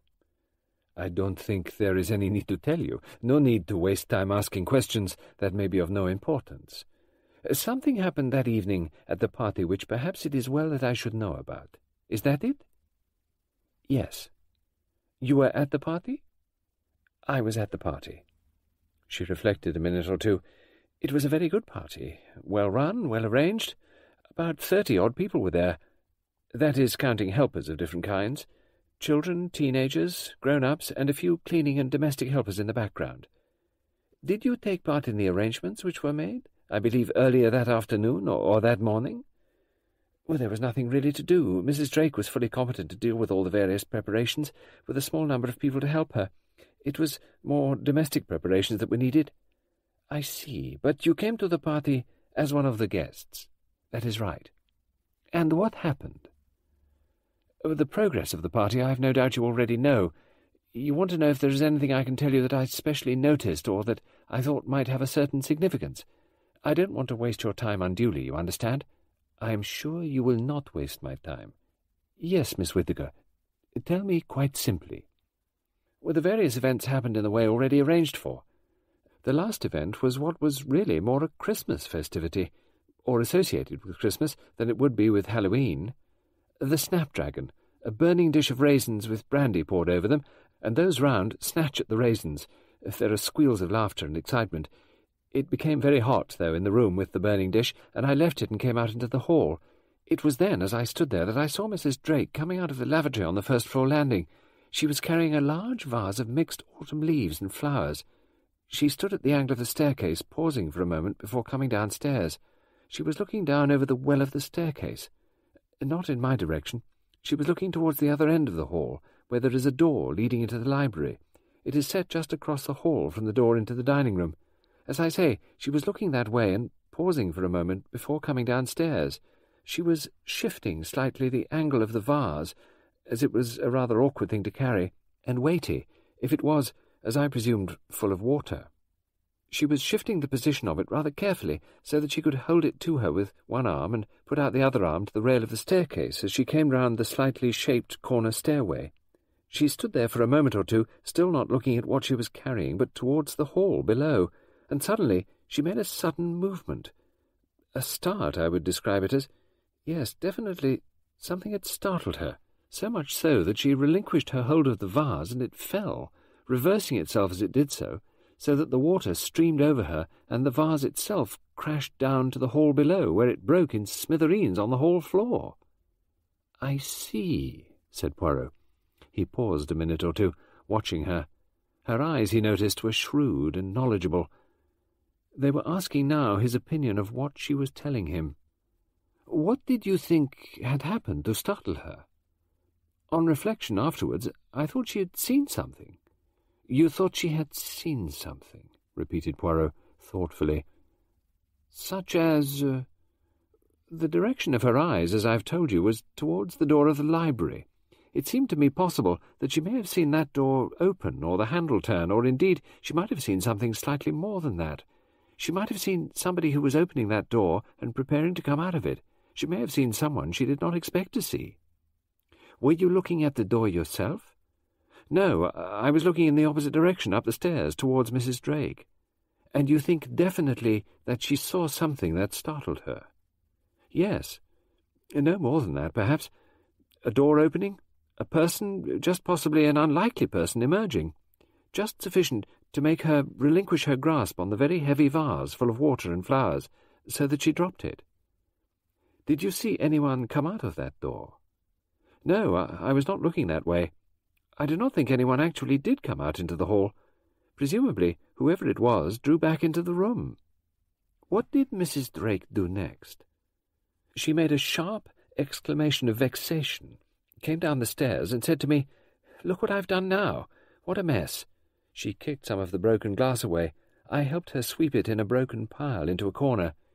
It wasn't practicable to clear it all up at that moment. The children were beginning to come out of the Snapdragon room. I fetched a glass cloth and mopped her up a bit, and shortly after that the party came to an end. Mrs. Drake did not say anything about having been startled, or make any reference as to what might have startled her? No, nothing of the kind. But you think she was startled? Possibly, Monsieur Poirot, you think I am making a rather unnecessary fuss about something of no importance whatever. No, said Poirot. I do not think that at all. I have only met Mrs. Drake once, he added thoughtfully, when I went to her house with my friend Mrs. Oliver to visit, as one might say if one wishes to be melodramatic, the scene of the crime. It did not strike me during that brief period I had for observation that Mrs. Drake could be a woman who is easily startled. Do you agree with my view? Certainly. That is why I myself since have wondered. You asked no special questions at the time. I had no earthly reason to do so. If your hostess has been unfortunate to drop one of her best glass vases, and it has smashed to smithereens, it is hardly the part of a guest to say, What on earth made you do that? thereby accusing her of a clumsiness which I can assure you is not one of Mrs. Drake's characteristics. And after that, as you have said, the party came to an end. The children and their mothers or friends left, and Joyce could not be found. We know now that Joyce was behind the library door and that Joyce was dead. So who could it have been who was about to come out of the library door a little while earlier, shall we say, and then, hearing voices in the hall, shut the door again and made an exit later, when there were people milling about in the hall making their farewells, putting on their coats, and all the rest of it? It was not until after the body had been found, I presume, Miss Whittaker, that you had time to reflect on what you had seen. That is so. Miss Whittaker rose to her feet. I'm afraid there's nothing else I can tell you. Even this may be a, a very foolish little matter, but noticeable. Everything noticeable is worth remembering. By the way, there is one question I should like to ask. Two, as a matter of fact. Elizabeth Whittaker sat down again. Go on she said. Ask anything you like. Can you remember the order in which the various events occurred at the party? I, I think so. Elizabeth Whittaker reflected for a moment or two. It started with a broomstick competition, decorated broomsticks. There were three or four different small prizes for that. Then there was a kind of contest with balloons, punching them and batting them about, a sort of mild horseplay to get the children warmed up. There was a looking-glass business where the girls went into a small room and held a mirror, where a boy's or a young man's face reflected in it. How was that managed? Oh, very simply. The transom of the door had been removed, and uh, so different faces looked through and were reflected in the mirror a girl was holding. Did the girls know who it was they saw reflected in the glass? I presume some of them did, and some of them didn't. A little make-up was employed on the male half of the arrangement, you know, a a mask or a wig, sideburns, a beard, some grease paint effects. Most of the boys were probably known to the girls already, and one or two strangers might have been included. Anyway, there was quite a lot of happy giggling, said Miss Whittaker, showing for a moment or two a kind of academic contempt for this kind of fun. After that, there was an obstacle race, and then there was flour packed into a glass tumbler and reversed, sixpence laid on top, and everyone took a slice off. When the flour collapsed, that person was out of the competition, and the others remained until the last one claimed the sixpence. After that there was dancing, and then there was supper. After that, as a final climax, came the snapdragon. When did you yourself see the girl Joyce last? I've no idea, said Elizabeth Whittaker. I don't know her very well. She's not in my class. She wasn't a very interesting girl, so I wouldn't have been watching her. I do remember I saw her cutting the flour because she was so clumsy that she capsized it almost at once. So she was alive then, but that was quite early on. You did not see her go into the library with anyone? Certainly not. I should have mentioned it before if I had. That at least might have been significant and important. And now, said Poirot, for my second question, or questions. How long have you been at the school here? Six years this next autumn. And you teach uh, mathematics and Latin. Do you remember a girl who was teaching here two years ago, Janet White by name? Elizabeth Whittaker stiffened. She half rose from her chair, then sat down again. But that... that has nothing to do with all this, surely? It could have, said Poirot. But how? In what way? Scholastic circles were less well informed than village gossip, Poirot thought. Joyce claimed before witnesses to have seen a murder done some years ago. Could that possibly have been the murder of Janet White, do you think? How did Janet White die? She was strangled, walking home from school one night. Alone? Probably not alone. But not with Nora Ambrose. What do you know about Nora Ambrose? Nothing as yet, said Poirot, but I should like to. What were they like, Janet White and Nora Ambrose? Oversexed, said Elizabeth Whittaker, but in different ways. How could Joyce have seen anything of the kind, or know anything about it? It took place in a lane near Quarry Wood. She wouldn't have been more than ten or eleven years old. Which one had the boyfriend? asked Poirot. Nora or Janet? All this is past history. Old sins have long shadows, quoted Poirot. As we advance through life, we learn the truth of that saying. Where is Nora Ambrose now? She left the school and took another post in the north of England. She was naturally very upset. They were great friends. The police never solved the case? Miss Whittaker shook her head. She got up and looked at her watch. I must go now. Thank you for what you have told me. Hercule Poirot looked up at the facade of Quarry House, a solid, well-built example of mid-Victorian architecture. He had a vision of its interior, a heavy mahogany sideboard, a central rectangular table also of heavy mahogany, a billiard room perhaps, a large kitchen with adjacent scullery, stone flags on the floor, a massive coal range, now no doubt replaced by electricity or gas. He noted that most of the upper windows were still curtained. He rang the front doorbell. It was answered by a thin, grey-haired woman who told him that Colonel and Mrs. Weston were away in London and would not be back until next week. He asked about the Quarry Woods, and was told that they were open to the public without charge. The entrance was about five minutes' walk along the road. He would see a notice board on an iron gate. He found his way there easily enough, and passing through the gate began to descend a path that led downwards through trees and shrubs. Presently he came to a halt and stood there lost in thought. His mind was not only on what he saw and what lay around him, he was also conning over one or two sentences and reflecting over one or two facts that had given him at the time, as he expressed it to himself, furiously to think. A forged will. A forged will and a girl. A girl who had disappeared. The girl in whose favour the will had been forged, a young artist who had come here professionally to make out of an abandoned quarry of rough stone a garden, a sunk garden. Here again, Poirot looked round him and nodded his head with approval of the phrase. A quarry garden was an ugly term. It suggested the noise of blasting rock, the carrying away by lorries of vast masses of stone for road making. It had behind it industrial demand. But a sunk garden, that was different. It brought with it vague remembrances in his own mind. So Mrs. Llewellyn Smythe had gone on a National Trust tour of gardens in Ireland. He himself, he remembered, had been in Ireland five or six years ago. He had gone there to investigate a robbery of old family silver. There had been some interesting points about the case which had aroused his curiosity, and having, as usual, Poirot added this bracket to his thoughts, solved his mission with full success, he had put in a few days travelling around and seeing the sights. He could not remember now the particular garden he had been to see. Somewhere, he thought, not very far from Cork. Killarney? No, not Killarney. Somewhere not far from Bantry Bay. And he remembered it because it had been a garden quite different from the gardens which he had so far acclaimed as the great successes of this age, the gardens of the chateau in France, the formal beauty of Versailles. Here, he remembered, he had started with a little group of people in a boat. A boat difficult to get into if two strong and able boatmen had not practically lifted him in. They had rowed towards a small island, not a very interesting island, Poirot had thought, and began to wish that he had not come. His feet were wet and cold, and the wind was blowing through the crevices of his mackintosh. What beauty, he had thought, what formality, what symmetrical arrangement of great beauty could there be on this rocky island with its sparse trees?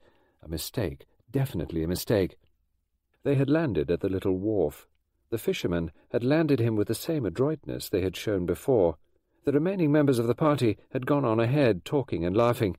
Poirot, readjusting his mackintosh in position and tying up his shoes again, had followed them up the rather dull path with shrubs and bushes and a few sparse trees either side. A most uninteresting park, he thought. And then, rather suddenly, they had come out from among the scrub onto a terrace with steps leading down from it.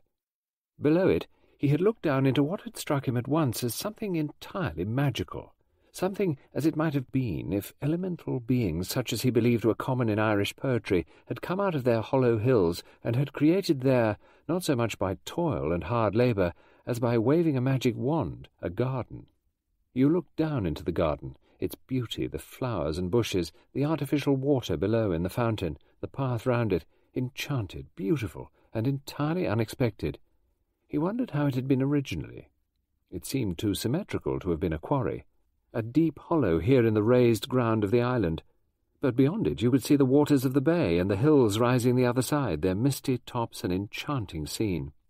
He thought perhaps that it might have been that particular garden which had stirred Mrs. Llewellyn Smythe to possess such a garden of her own, to have the pleasure of taking an unkempt quarry set in this smug, tidy, elementary, and essentially conventional countryside of that part of England and so she had looked about for the proper kind of well-paid slave to do her bidding, and she had found the professionally qualified young man called Michael Garfield, and had brought him here, and paid him no doubt a large fee, and had in due course built a house for him.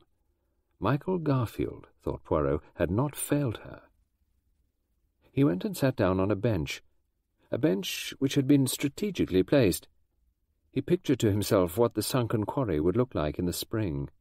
There were young beech trees and birches with their white shivering barks, bushes of thorn and white rose, little juniper trees. But now it was autumn, and autumn had been catered for also, the gold and red of acers, a parrotia or two, a path that led along a winding way to fresh delights. There were flowering bushes of gorse or Spanish broom. Poirot was not famous for knowing the names of either flowers or shrubs. Only roses and tulips could he approve and recognize but everything that grew here had the appearance of having grown by its own will. It had not been arranged or forced into submission, and yet, thought Poirot, that is not really so. All has been arranged, all has been planned to this tiny little plant that grows here, and to that large, towering bush that rises up so fiercely with its golden and red leaves. Oh, yes, all has been planned here and arranged. What is more, I would say that it had obeyed.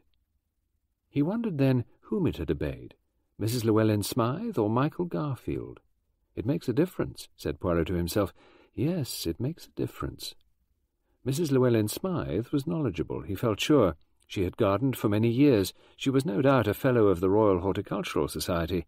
She went to shows, she consulted catalogues, she visited gardens, she took journeys abroad, no doubt for botanical reasons. She would know what she wanted, she would say what she wanted. Was that enough? Poirot thought it was not quite enough.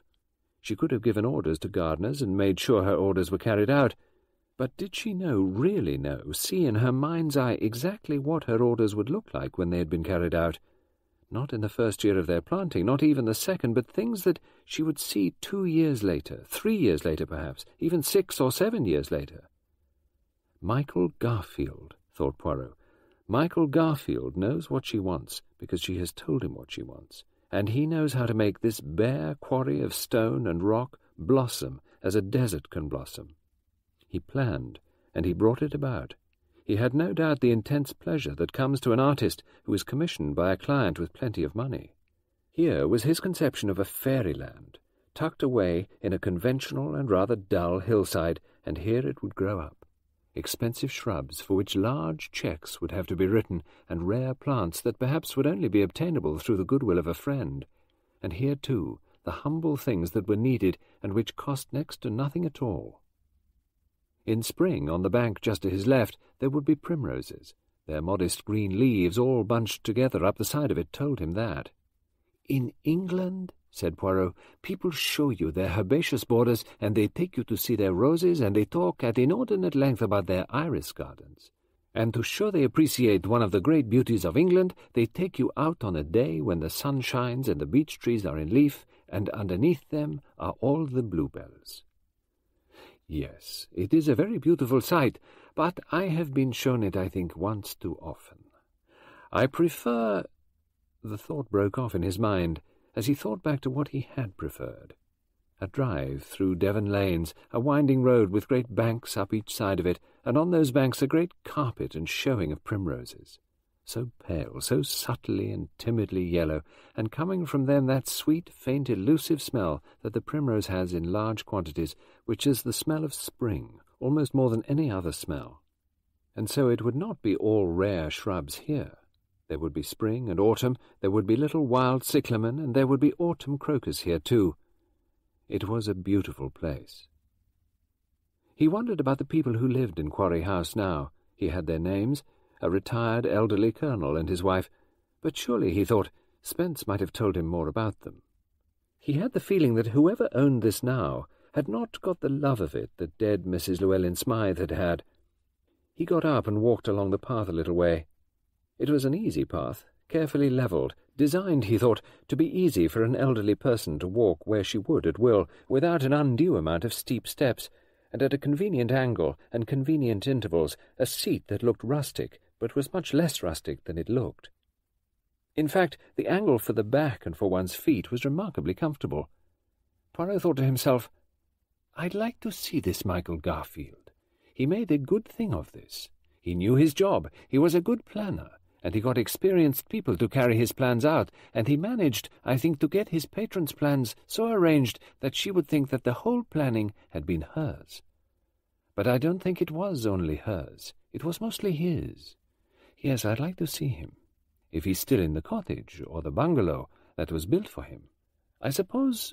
His thought broke off. He stared. Stared across a hollow that lay at his feet, where the path ran round the other side of it, stared at one particular golden-red branching shrub, which framed something that Poirot did not know for a moment was really there, or was merely effect of shadow and sunshine and leaves. What am I seeing? thought Poirot. Is this the result of enchantment? It could be. In this place here, it could be. Is it a human being I see, or is it... What could it be? His mind reverted to some adventures of his early years, which he had christened the labours of Hercules. Somehow, he thought, this was not an English garden in which he was sitting. There was an atmosphere here. He tried to pin it down. It had qualities of magic, of enchantment, certainly of beauty, bashful beauty, yet wild. Here, if you were staging a scene in the theatre, you would have your nymphs, your fauns, you would have Greek beauty, you would have fear, too. Yes, he thought, in this sunk garden there is fear. What did Spence's sister say? Something about a murder that took place in the original quarry years ago?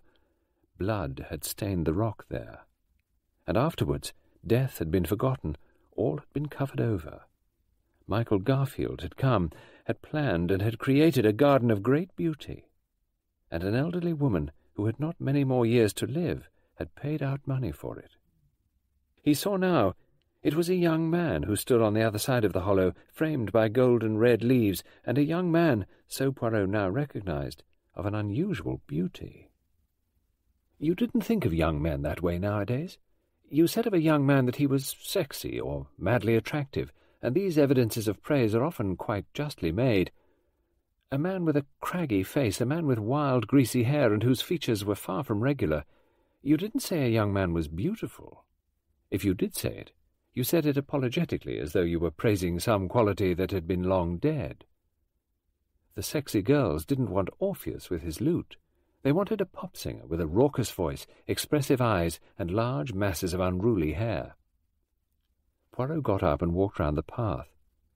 As he got to the other side of the steep descent, the young man came out from the trees to meet him. His youth seemed the most characteristic thing about him, yet as Poirot saw, he was not really young. He was past thirty, perhaps nearer forty. The smile on his face was very, very faint. It was not quite a welcoming smile, it was just a smile of quiet recognition. He was tall, slender, with features of great perfection, such as a classical sculptor might have produced. His eyes were dark, his hair was black, and fitted him as a woven chain mail helmet or cap might have done. For a moment, Poirot wondered whether he and this young man might not be meeting in the course of some pageant that was being rehearsed. If so, thought Poirot, looking down at his galoshes, I, alas, shall have to go to the wardrobe, mistress, to get myself better equipped. He said, I am perhaps trespassing here. If so, I must apologize. I am a stranger in this part of the world. I only arrived yesterday. I don't think one could call it trespassing. The voice was very quiet. It was polite, yet in a curious way uninterested, as if this young man's thoughts were really somewhere quite far away. It's not exactly open to the public, but people do walk round here. Old Colonel Weston and his wife don't mind. They would mind if there was any damage done, but that's not very likely. And no vandalism, said Poirot, looking round him. No litter that is noticeable, not even a little basket. That is very unusual, is it not? And it seems deserted. Strange. Here, you would think, he went on, there would be lovers walking. Lovers don't come here, said the young man. It's supposed to be unlucky for some reason. Are you, I wonder, the architect? But perhaps I'm guessing wrong. My name is Michael Garfield, said the young man. I thought it might be, said Poirot. He gesticulated with a hand around him. You made this? Yes, said Michael Garfield. It is beautiful, said Poirot. Somehow one feels it is always rather unusual when something beautiful is made in, well, frankly, what is a dull part of the English landscape. I congratulate you, he said. You must be satisfied with what you have done here. Is one ever satisfied, I wonder? You made it, I think, for a Mrs. Llewellyn Smythe. No longer alive, I believe. There is a Colonel and Mrs. Weston, I believe. Do they own it now? Yes. They got it cheap. It's a big, ungainly house, not easy to run, not what most people want. She left it in her will to me. And you sold it? I sold the house. And not the quarry garden. Oh, yes, the quarry garden went with it. Practically thrown in, as one might say. Now why? Said Poirot. It is interesting that. You do not mind if I am perhaps a little curious. Your questions are not the usual ones, said Michael Garfield. I ask not so much for facts as for reasons. Why did A do so and so? Why did B do something else? Why was C's behavior quite different from that of A and B? You should be talking to a scientist, said Michael. It is a matter, or so we are told nowadays, of genes or chromosomes, the arrangement, the pattern, and so on. You said just now you were not entirely satisfied because no one ever was.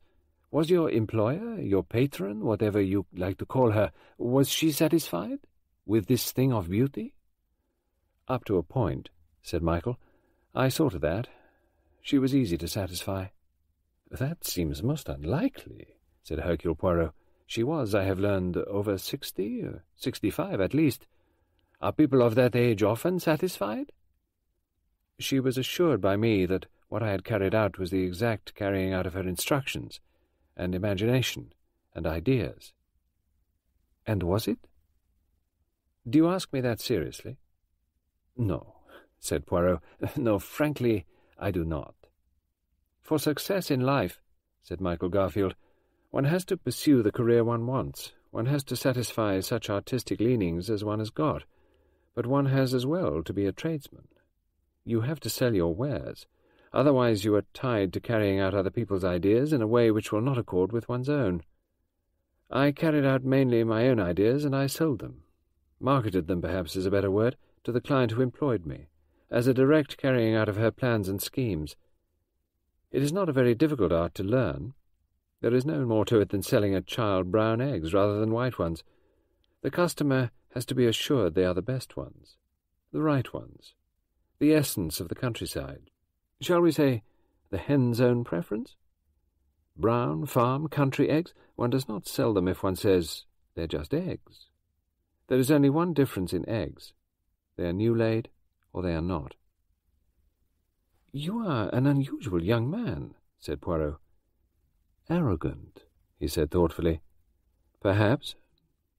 You have made here something very beautiful. You have added vision and planning to the rough material of stone, hollowed out in the pursuit of industry, with no thought of beauty in that hacking out.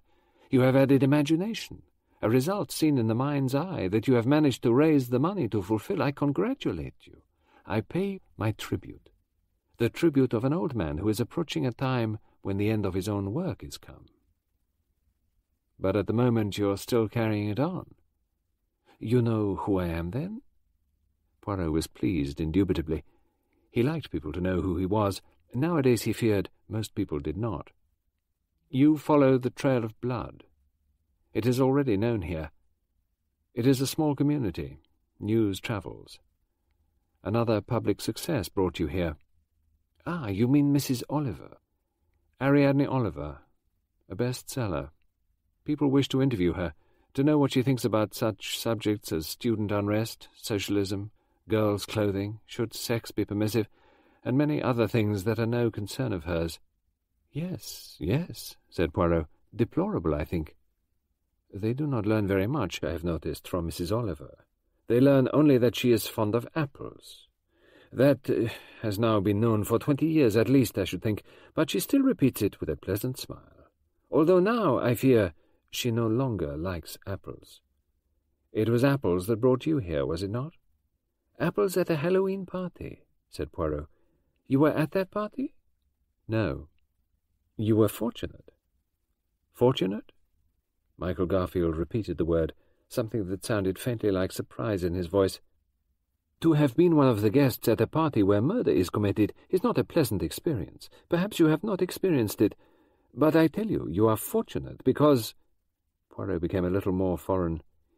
Il y a des ennuis, vous comprenez? People ask you times, dates, impertinent questions. He went on. You knew the child? Oh, yes. The Reynolds are well known here. I know most of the people living round here. We all know each other in Woodleigh Common, though in varying degrees. There is some intimacy, some friendships. Some people remain the merest acquaintances, and so on. What was she like, the child Joyce? She was, how can I put it, not important. She had rather an ugly voice, shrill. Really, that's about all I remember about her. I'm not particularly fond of children. Mostly they bore me. Joyce bored me. When she talked, she talked about herself. She was not interesting? Michael Garfield looked slightly surprised. I shouldn't think so, he said.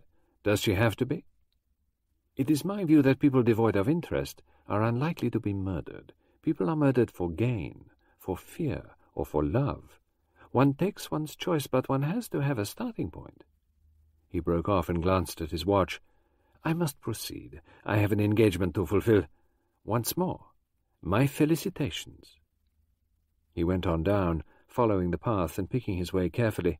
He was glad that for once he was not wearing his tight patent leather shoes.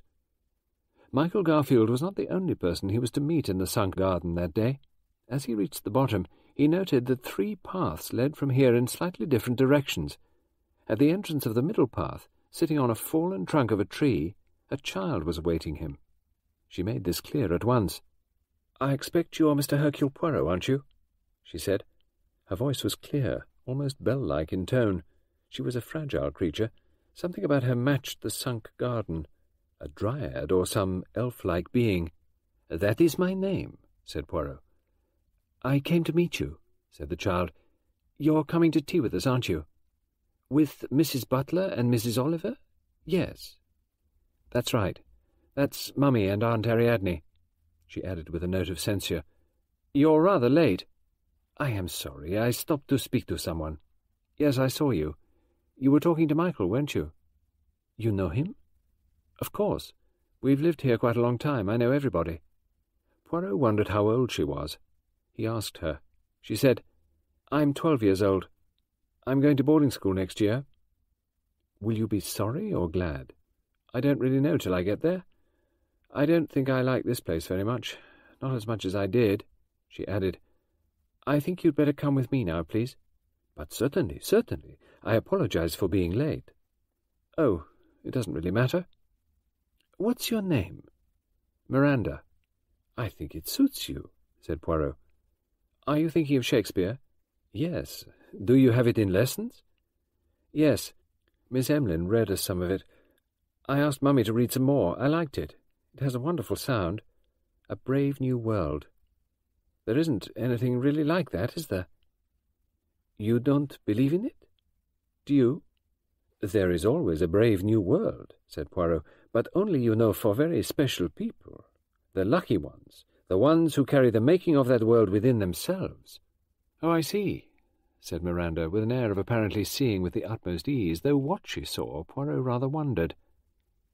She turned, started along the path, and said, We go this way. It's not very far. You can go through the hedge of our garden. Then she looked back over her shoulder and pointed, saying, In the middle there. That's where the fountain was. A fountain? Oh, years ago. I suppose it's still there, underneath the shrubs and the azaleas and the other things. It was all broken up, you see. People took bits of it away, but nobody has put a new one there. It seems a pity. I don't know. I'm not sure. Do you like fountains very much? Ça dépend, said Poirot. I know some French, said Miranda. That's it depends, isn't it? You are quite right. You seem very well educated. Everyone says Miss Emlyn is a very fine teacher. She's our headmistress.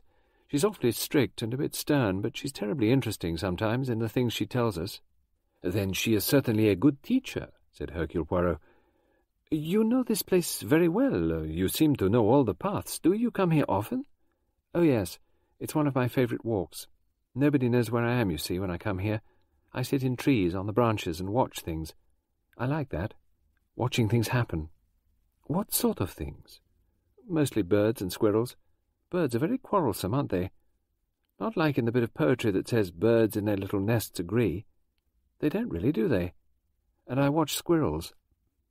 And you watch people? Sometimes, but there aren't many people who come here. Why not, I wonder? I suppose they're afraid. Why should they be afraid? Because someone was killed here long ago, before it was a garden, I mean.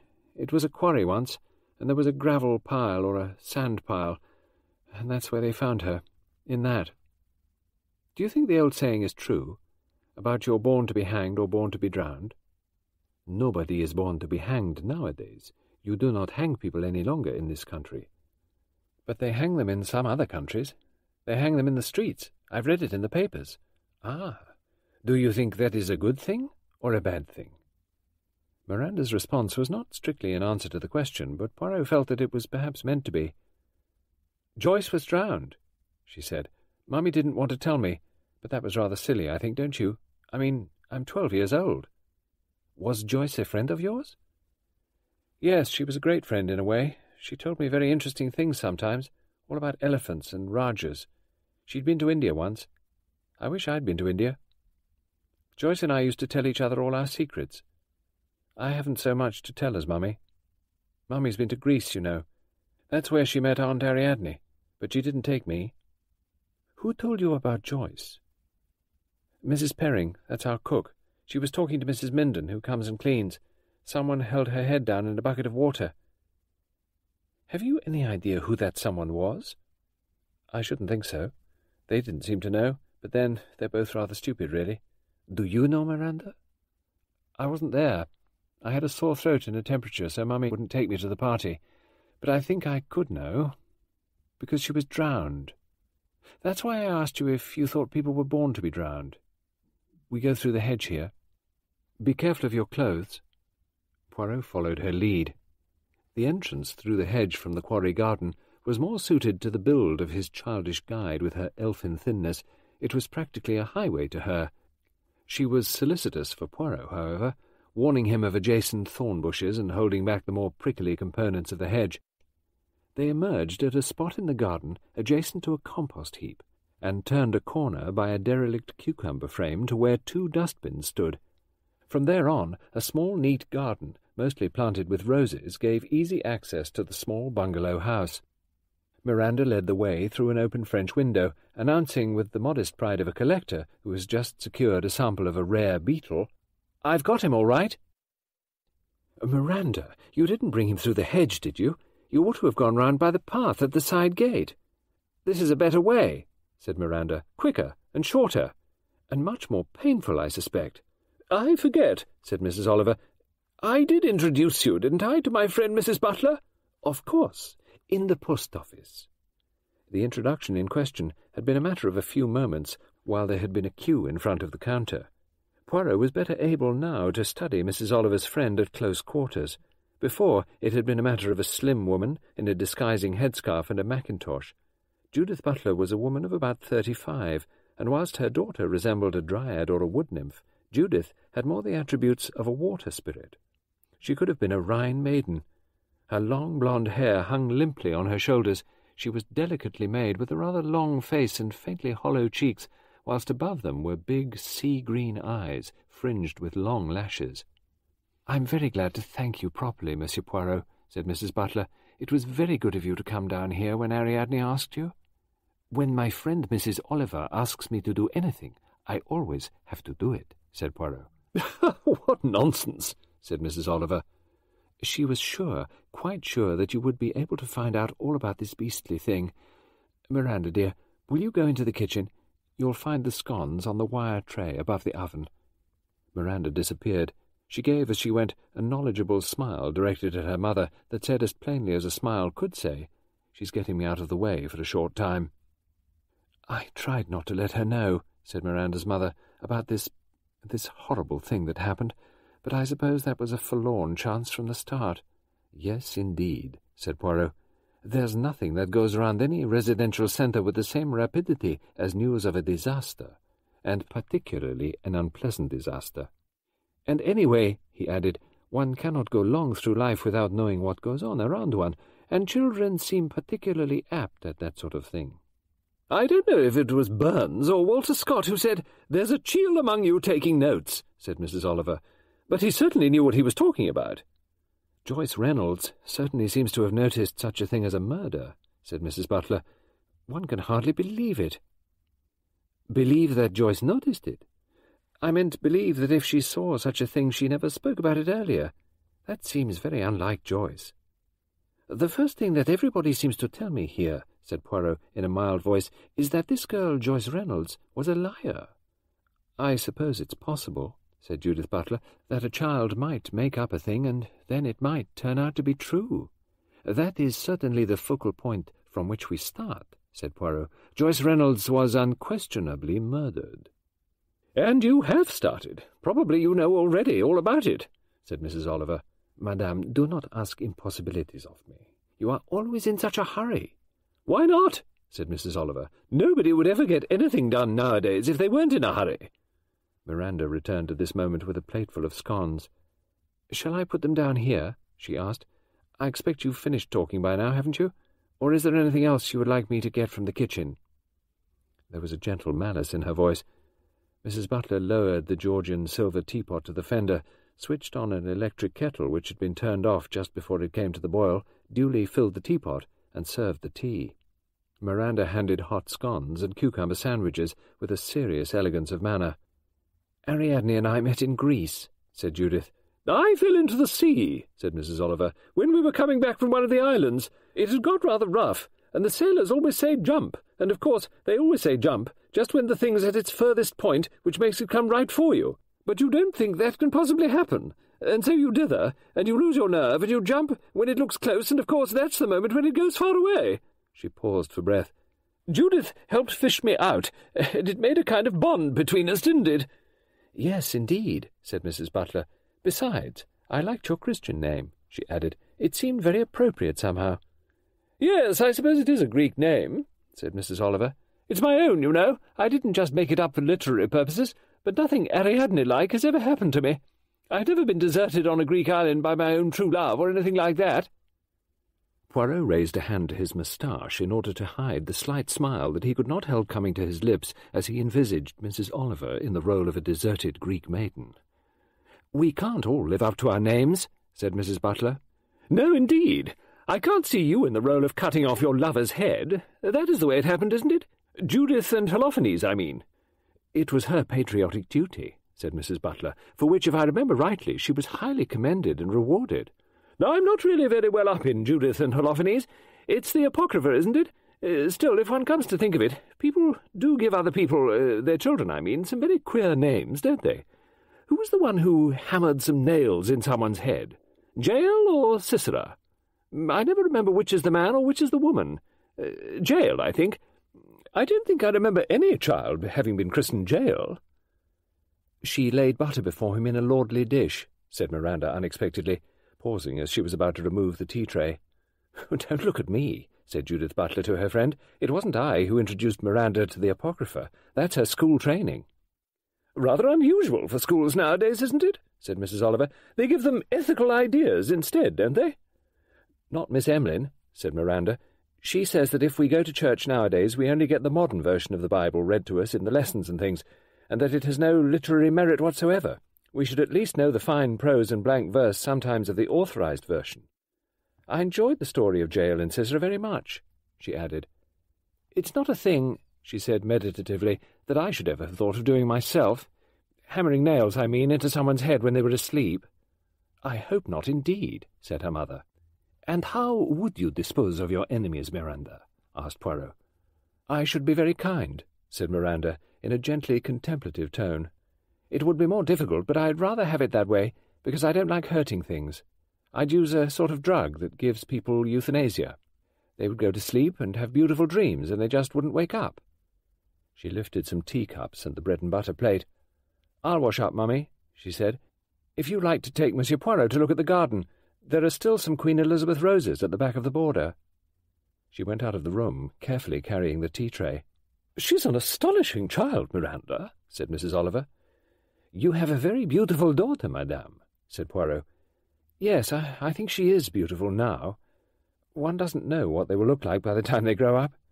They acquire puppy fat and look like well-fattened pigs sometimes, but now, now she's like a wood nymph. One does not wonder that she is fond of the quarry garden which adjoins your house. I wish she wasn't so fond of it sometimes. One gets nervous about people wandering about in isolated places, even if they are quite near people or a village. One's... oh, One's very frightened all the time nowadays.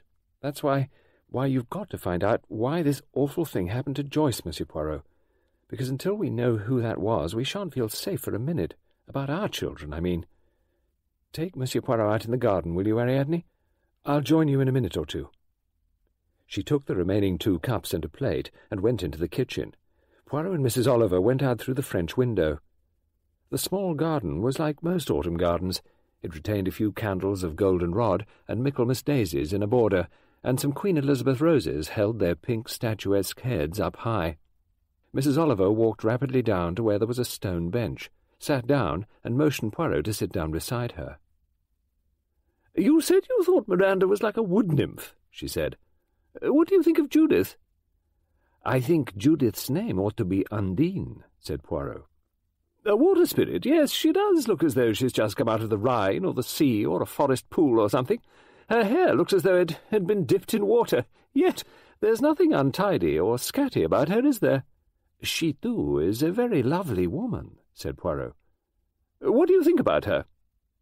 I have not had time to think as yet. I just think that she is beautiful and attractive, and that something is giving her great concern. Well, of course, wouldn't it?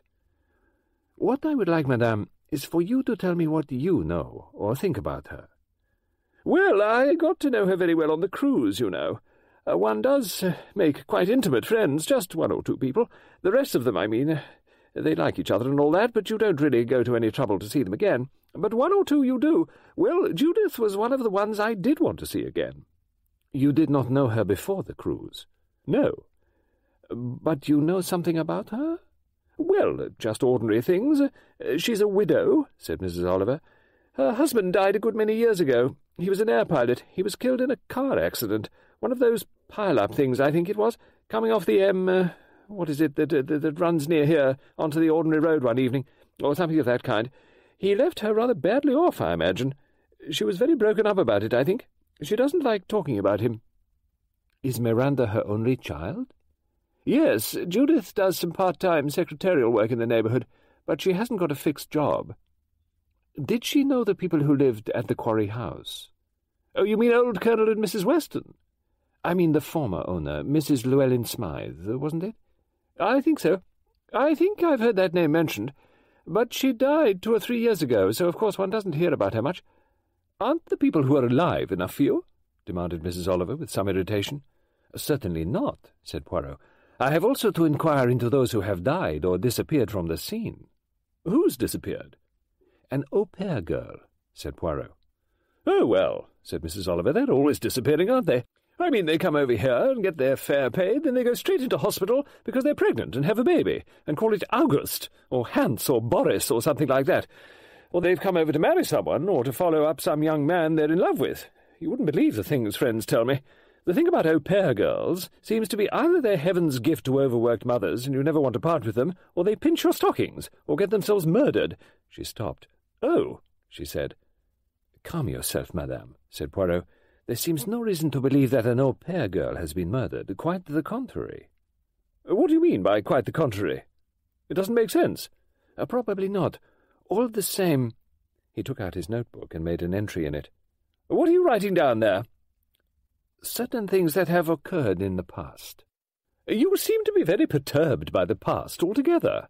The past is the father of the present, said Poirot sententiously. He offered her the notebook. Do you wish to see what I have written? Well, of course I do. I dare say it won't mean anything to me. The things you think important to write down, I never do. He held out the small black notebook.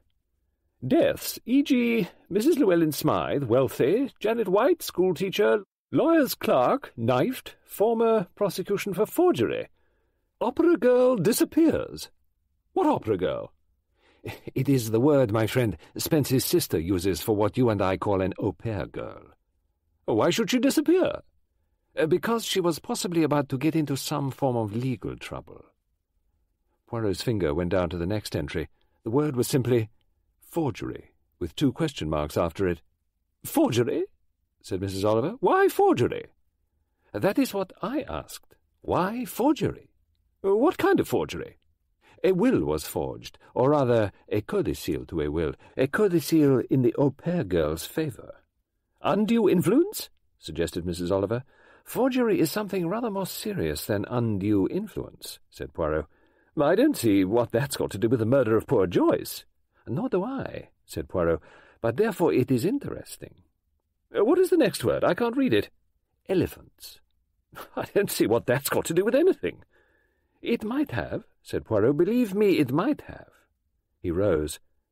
I must leave you now, he said. Apologize, please, to my hostess for my not saying good-bye to her. I much enjoyed meeting her and her lovely and unusual daughter. Tell her to take care of that child. My mother said I never should play with the children in the wood, quoted Mrs. Oliver. Well, good-bye. If you like to be mysterious, I suppose you will go on being mysterious. You don't even say what you're going to do next. I have made an appointment for tomorrow morning with Messrs. Fullerton, Harrison, and Leadbetter in Medchester. Why? To talk about forgery and other matters. And after that? I want to talk to certain people who were also present. At the party? No, at the preparation for the party. The premises of Fullerton, Harrison, and Leadbetter were typical of an old-fashioned firm of the utmost respectability. The hand of time had made itself felt. There were no more Harrisons and no more Leadbetters. There was a Mr. Atkinson and a young Mr. Cole, and there was still Mr. Jeremy Fullerton, senior partner. A lean, elderly man, Mr. Fullerton, with an impassive face, a dry legal voice, and eyes that were unexpectedly shrewd. Beneath his hand rested a sheet of notepaper the few words on which he had just read. He read them once again, assessing their meaning very exactly. Then he looked at the man whom the note introduced to him. Monsieur Hercule Poirot? He made his own assessment of the visitor. An elderly man, a foreigner, very dapper in his dress, unsuitably attired as to the feet in patent leather shoes, which were, so Mr. Fullerton guessed shrewdly, too tight for him. Faint lines of pain were already etching themselves round the corners of his eyes. A dandy, a fop, a foreigner, and recommended to him by, of all people, Inspector Henry Raglan, C.I.D., and also vouched for by Superintendent Spence, retired, formerly of Scotland Yard. Superintendent Spence, eh? said Mr. Fullerton. Fullerton knew Spence. A man who had done good work in his time, had been highly thought of by his superiors. Faint memories flashed across his mind. Rather a celebrated case, more celebrated actually than it had shown any signs of being, a case that had actually seemed cut and dried. Of course. It came to him that his nephew Robert had been connected with it, had been junior counsel. A psychopathic killer, it had seemed, a man who had hardly bothered to try and defend himself, a man whom you might have thought really wanted to be hanged, because it had meant hanging at that time. No fifteen years or indefinite number of years in prison. No, you paid the full penalty, and more's the pity they've given it up, so Mr. Fullerton thought in his dry mind. The young thugs nowadays thought they didn't risk much by prolonging assault to the point where it became mortal. Once your man was dead, there'd be no witness to identify you. Spence had been in charge of the case, a quiet, dogged man who had insisted all along that they'd got the wrong man. And they had got the wrong man.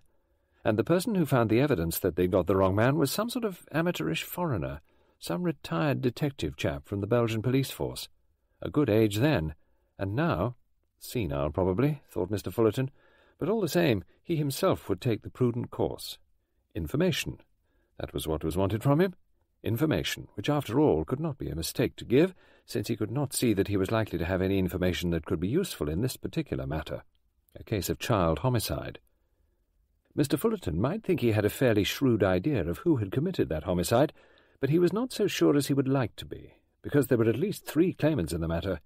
Any one of three young ne'er-do-wells might have done it. Words floated through his head. Mentally retarded. Psychiatrist's report. That's how the whole matter would end, no doubt. All the same, to drown a child at a party. That was rather a different cup of tea from one of the innumerable schoolchildren who did not arrive home and who had accepted a lift in a car after having been repeatedly warned not to do so, and who had been found in a nearby copse or gravel pit. A gravel pit now. When was that? Many, many years ago. All this took about four minutes' time, and Mr. Fullerton then cleared his throat in a slightly asthmatic fashion and spoke. Monsieur Hercule Poirot, he said again, what can I do for you? I suppose it's the business of this young girl, Joyce Reynolds. Nasty business, uh, very nasty business. I can't see actually where I can assist you. I know very little about it all. But you are, I believe, the legal adviser to the Drake family. Oh, yes, yes, Hugo Drake, poor chap. Very nice fellow. I've known them for years, ever since they bought apple trees and came here to live. Sad thing, polio. He contracted it when they were holidaying abroad one year. Mentally, of course, his health was quite unimpaired. It's sad when it happens to a man who has been a good athlete all his life, a sportsman, good at games and all the rest of it. Yes, sad business to know you're a cripple for life. You were also, I believe, in charge of the legal affairs of Mrs. Llewellyn Smythe. Uh, the aunt, yes. Remarkable woman, really. She came here to live after her health broke down, so as to be near her nephew and his wife. Bought that white elephant of a place, Quarry House.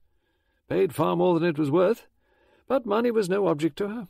She was very well off.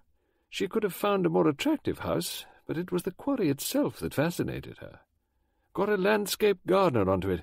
Fellow quite high up in his profession, I believe. One of those handsome, long-haired chaps. But he had ability, all right. He did well for himself in this quarry garden work.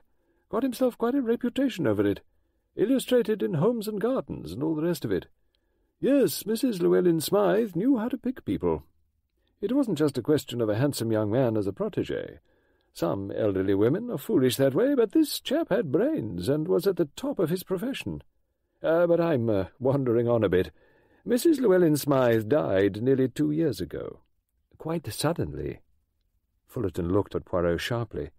Well, no, I wouldn't say that. She had a heart condition, and doctors tried to keep her from doing too much, but she was the sort of woman that you couldn't dictate to. She wasn't a hypochondriac type. He coughed and said, But I expect we're getting away from the subject about which you came to talk to me. Well, not really, said Poirot, although I would like, if I may, to ask you a few questions on a completely different matter some information about one of your employees, by name Leslie Ferrier? Mr. Fullerton looked somewhat surprised. Leslie Ferrier? he said. Leslie Ferrier. let me see. Really, you know, I, I'd nearly forgotten his name. Yes. Yes, of course. Uh, got himself knifed, didn't he? That is the man I mean. Well, I don't know really that I can tell you much about him. It took place some years ago. Knifed near the Green Swan one night. No arrest was ever made. I dare say the police had some idea who was responsible, but it was mainly, I think, a matter of getting evidence. The motive was emotional? inquired Poirot. Oh, yes, I should think certainly so. Uh, jealousy, you know. He'd been going steady with a married woman. Her husband had a pub, the Green Swan at Woodleigh Common. Unpretentious place. Then it seems young Leslie started playing around with another young woman, uh, or more than one, it was said. Quite a one for the girls, he was. There was a bit of trouble once or twice. You were satisfied with him as an employee? Uh, I would rather describe it as not dissatisfied. he had his points. Uh, he handled clients well and was studying for his articles, and if only he'd paid more attention to his position and keeping up a good standard of behaviour, it would have been better, instead of mixing himself up with one girl after another, uh, most of whom I am apt in my old-fashioned way to consider as considerably beneath him in station. There was a row one night at the Green Swan, and Leslie Ferrier was knifed on his way home. Was one of the girls responsible, or would it be Mrs. Green Swan, do you think? Really, it is not a case of knowing anything definite. I believe the police considered it was a case of jealousy, but... Uh, he shrugged his shoulders. But you are not sure? Oh, it happens, said Mr. Fullerton. Hell hath no fury like a woman scorned. That is always being quoted in court. Sometimes it's true. But I think I discern that you yourself are not at all sure that this was the case here. Well, I, I should have preferred rather more evidence, shall we say. The police would have preferred rather more evidence, too. Public prosecutor threw it out, I believe. It could have been something quite different? Oh, yes. One could propound several theories. Not a very stable character, young Ferrier. Uh, well brought up, nice mother, a widow. A father not so satisfactory. Got himself out of several scrapes by the skin of his teeth. Hard luck on his wife. Our young man in some ways resembled his father. He was associated once or twice with a rather doubtful crowd. I gave him the benefit of the doubt. He was still young. But I warned him that he was getting himself mixed up with the wrong lot, too closely connected with fiddling transactions outside the law. Frankly, but for his mother, I wouldn't have kept him. He was young, and he had ability. I, I gave him a warning or two, which I hoped might do the trick. But there's a lot of corruption about these days. It's been on the increase for the last ten years. Someone might have had it in for him, you think? Quite possible. These associations, uh, gangs, is a rather melodramatic word, but you run a certain danger when you get tangled up with them. Any idea that you may split on them, and a knife between your shoulder blades, isn't an uncommon thing to happen. Nobody saw it happen? No, uh, nobody saw it happen. They wouldn't, of course. Whoever took the job on would have all the arrangements nicely made, alibi at the proper place and time, and so on and so on. Yet somebody might have seen it happen, somebody quite unlikely. A child, for instance? Late at night, in the neighbourhood of the Green Swan? Hardly a very credible idea, Monsieur Poirot. A child, persisted Poirot, who might remember. A child coming home from a friend's house, at some short distance, perhaps, from her own home. She might have been coming by a footpath, or seen something from behind a hedge. Oh, really, Monsieur Poirot, what an imagination you have got! What you are saying seems to me most unlikely. It does not seem so unlikely to me, said Poirot. Children do see things. They are so often, you see, not expected to be where they are. But surely, when they go home and relate what they have seen, they might not, said Poirot. They might not, you see, be sure of what they had seen, especially if what they had seen had been fairly frightening to them. Children do not always go home and report a street accident they have seen, or some unexpected violence. Children keep their secrets very well, keep them and think about them. Sometimes they like to feel that they know a secret, a secret which they are keeping to themselves. Well, they'd tell their mothers, said Mr. Fullerton.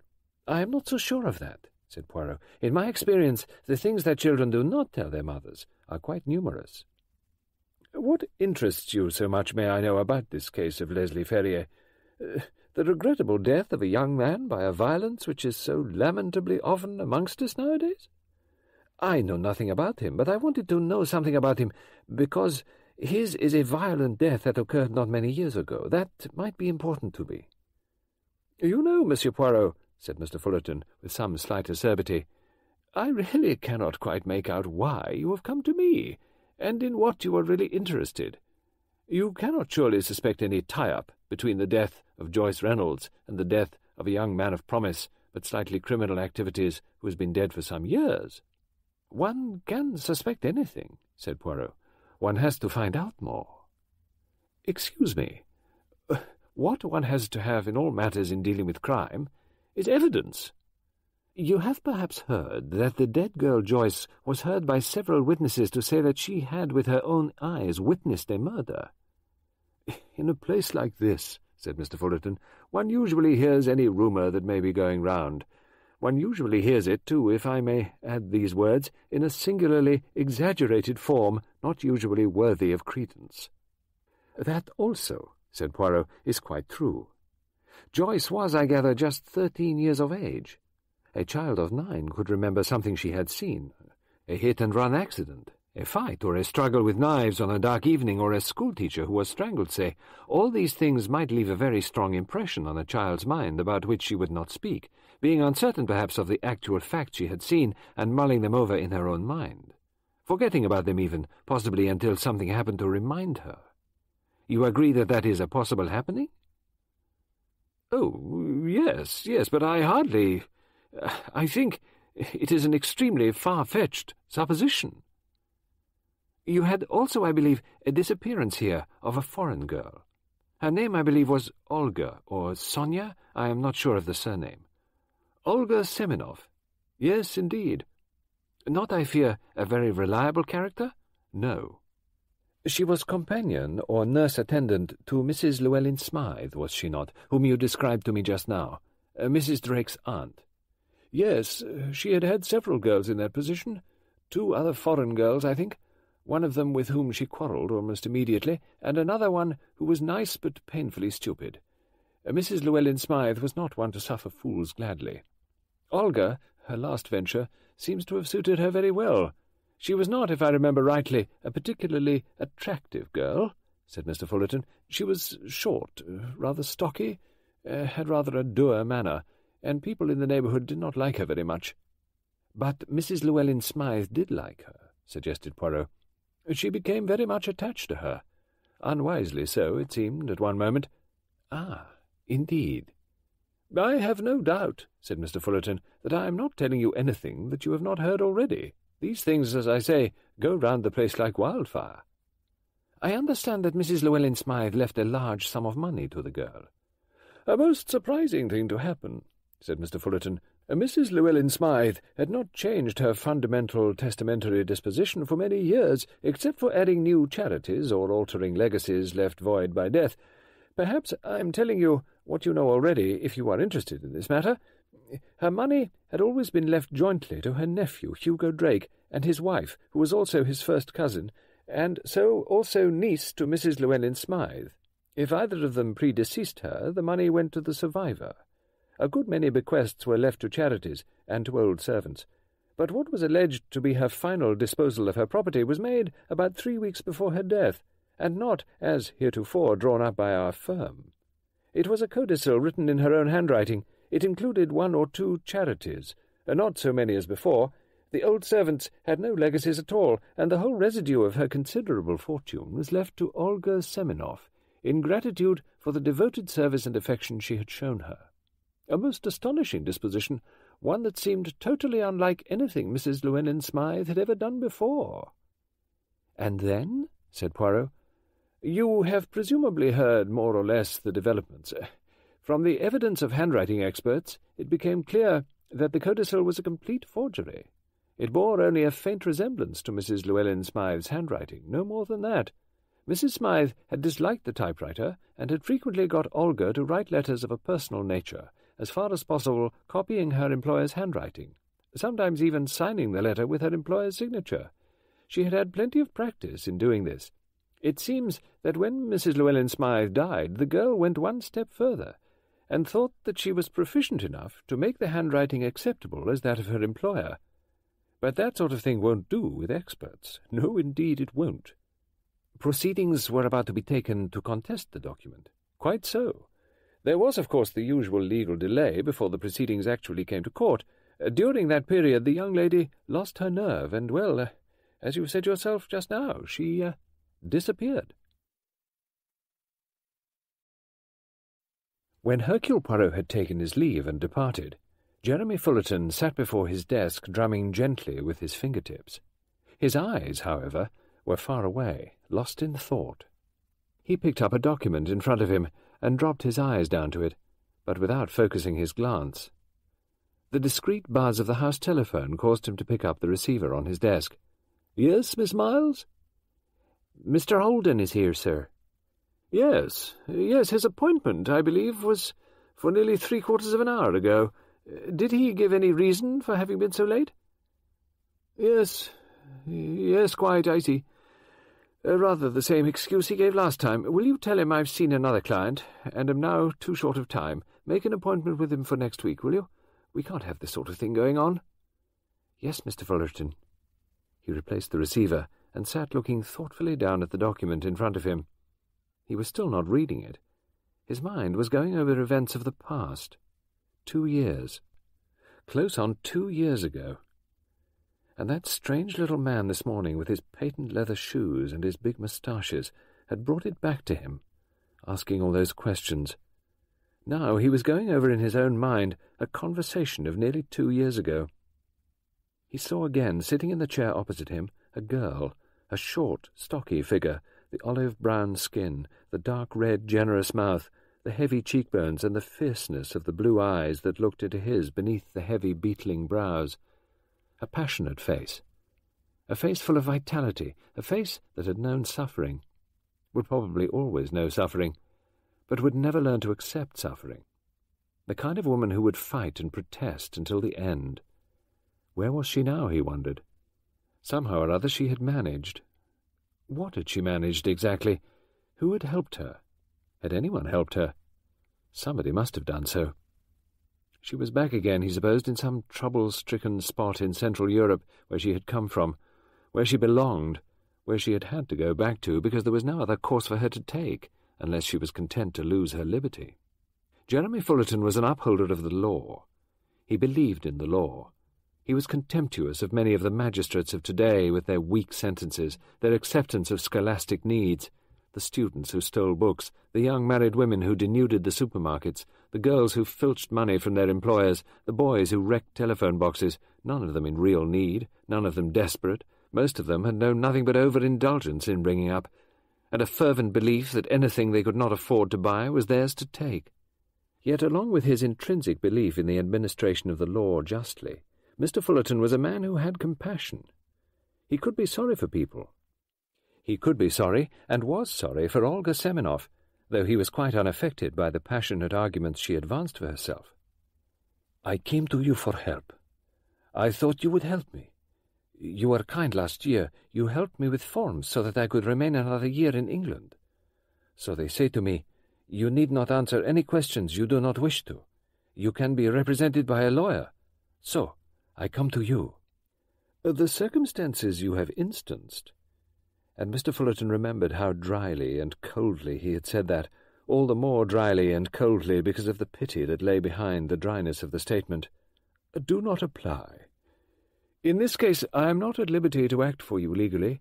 I am representing already the Drake family. As you know, I was Mrs. Llewellyn Smythe's solicitor. But she is dead. She does not want a solicitor when she is dead. She was fond of you, said Mr. Fullerton. Yes, she was fond of me. That is what I am telling you. That is why she wanted to give me the money. All her money? Why not? Why not? She did not like her relations. You are wrong. She was very fond of her niece and nephew. Well, then, uh, she may have liked Mr. Drake, uh, but she did not like Mrs. Drake. She found her very tiresome. Mrs. Drake interfered. She would not let Mrs. Llewellyn Smythe do always what she liked. She would not let her eat the food she liked. She is a very conscientious woman, and she tried to get her aunt to obey the doctor's orders as to diet, and not too much exercise, and many other things. People do not always want to obey a doctor's orders. They do not want to be interfered with by relations. They like living their own lives and doing what they want and having what they want. She had plenty of money. She could have what she wanted. She could have as much as she liked of everything. She was rich, rich, rich, and she could do what she liked with her money. They have already quite enough money, Mr. and Mrs. Drake. They have a fine house and clothes and two cars. They are very well to do. Why should they have any more? They were her only living relations. She wanted me to have the money. She was sorry for me. She knew what I had been through. She knew about my father, arrested by the police and taken away. We never saw him again, my mother and I. And then my mother and how she died. All my family died. It is terrible what I have endured. You do not know what it is like to live in a police state as I have lived in it. No, no. You are on the side of the police. You are not on my side. No, Mr. Fullerton said. I am not on your side. I am very sorry for what has happened to you. But you've brought this trouble about yourself. That is not true. It is not true that I have done anything I should not do. What have I done? I was kind to her. I was nice to her. I brought her in lots of things that she was not supposed to eat, chocolates and butter. All the time, nothing but vegetable fats. She did not like vegetable fats. She wanted butter. She wanted lots of butter. It's not just a question of butter, said Mr. Fullerton. I looked after her. I was nice to her, and so she was grateful. And when she died, and I find that in her kindness and her affection she has left a signed paper leaving all her money to me, then those Drakes come along and say I shall not have it.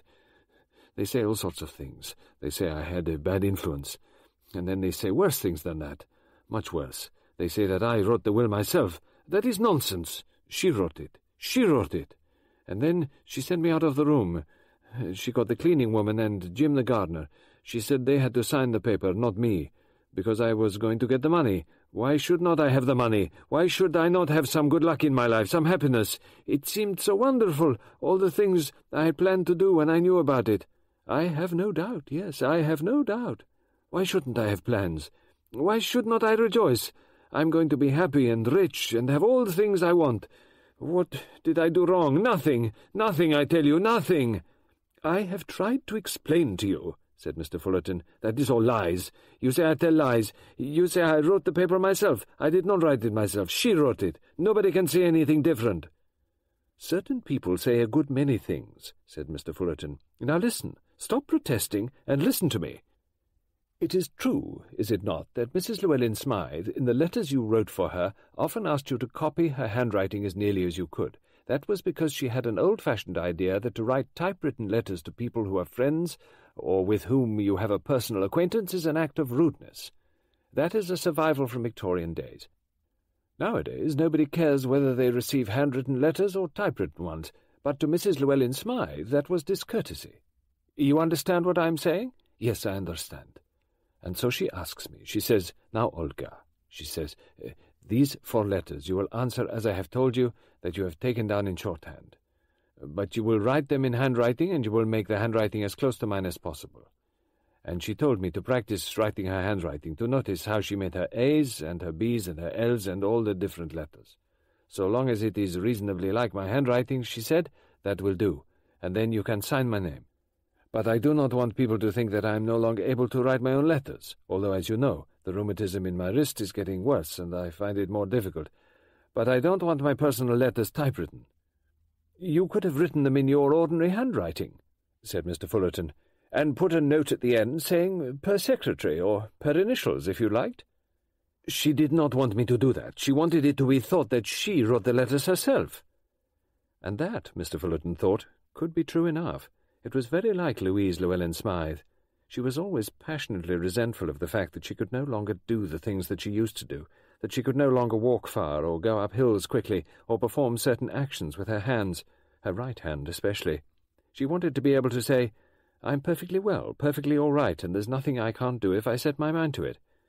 Yes, what Olga was telling him now was perfectly true, and because it was true, it was one of the reasons why the codicil appended to the last will, properly drawn out and signed by Louise Llewellyn Smythe, had been accepted at first, without suspicion. It was in his own office, Mr. Fullerton reflected, that suspicions had arisen, because both he and his younger partner knew Mrs. Llewellyn Smythe's handwriting very well. It was young Cole who had first said, You know, I really can't believe that Louise Llewellyn Smythe wrote that codicil. I know she had arthritis lately, but look at these specimens of her own writing that I've brought along from amongst her papers to show you. There's something wrong about that codicil. Mr. Fullerton had agreed that there was something wrong about it. He had said they would take expert opinion on this handwriting question. The answer had been quite definite. Separate opinions had not varied. The handwriting of the codicil was definitely not that of Louise Llewellyn Smythe. If Olga had been less greedy, Mr. Fullerton thought, if she had been content to write a codicil beginning as this one had done, because of her great care and attention to me, and the affection and kindness she has shown me, I leave. That was how it had begun, and that was how it could have begun. And if it had gone on to specify a good round sum of money left to the devoted au pair girl, the relations might have considered it overdone, but they would have accepted it without questioning. But to cut out the relations altogether, including the nephew, who had been his aunt's residuary legatee in the last four wills she had made during a period of nearly twenty years, to leave everything to the stranger Olga Semenoff, that was not in Louise Llewellyn Smythe's character. In fact, a plea of undue influence could upset such a document anyway. No. She had been greedy, this hot, passionate child. Possibly Mrs. Llewellyn Smythe had told her that some money would be left to her because of her kindness, because of her attention, because of a fondness the old lady was beginning to feel for this girl who fulfilled all her whims, who did whatever she asked her. And that had opened up a vista for Olga. She would have everything. The old lady should leave everything to her, and she would have all the money. All the money and the house and the clothes and the jewels, everything. A greedy girl and now retribution had caught up with her. And Mr. Fullerton, against his will, against his legal instincts, and against a good deal more, felt sorry for her. Very sorry for her. She had known suffering since she was a child, had known the rigours of a police state, had lost her parents, lost a brother and a sister, and known injustice and fear. And it had developed in her a trait that she had no doubt been born with, but which she had never been able so far to indulge, it had developed a childish, passionate greed. Everyone is against me, said Olga. Everyone. You are all against me. You are not fair because I am a foreigner, because I do not belong to this country, because I do not know what to say, what to do, what can I do? Why do you not tell me what I can do? Because I do not really think there is anything much you can do, said Mr. Fullerton. Your best chance is to make a clean breast of things. If I say what you want me to say, it will be all lies and not true. She made that will. She wrote it down there. She told me to go out of the room while the others signed it.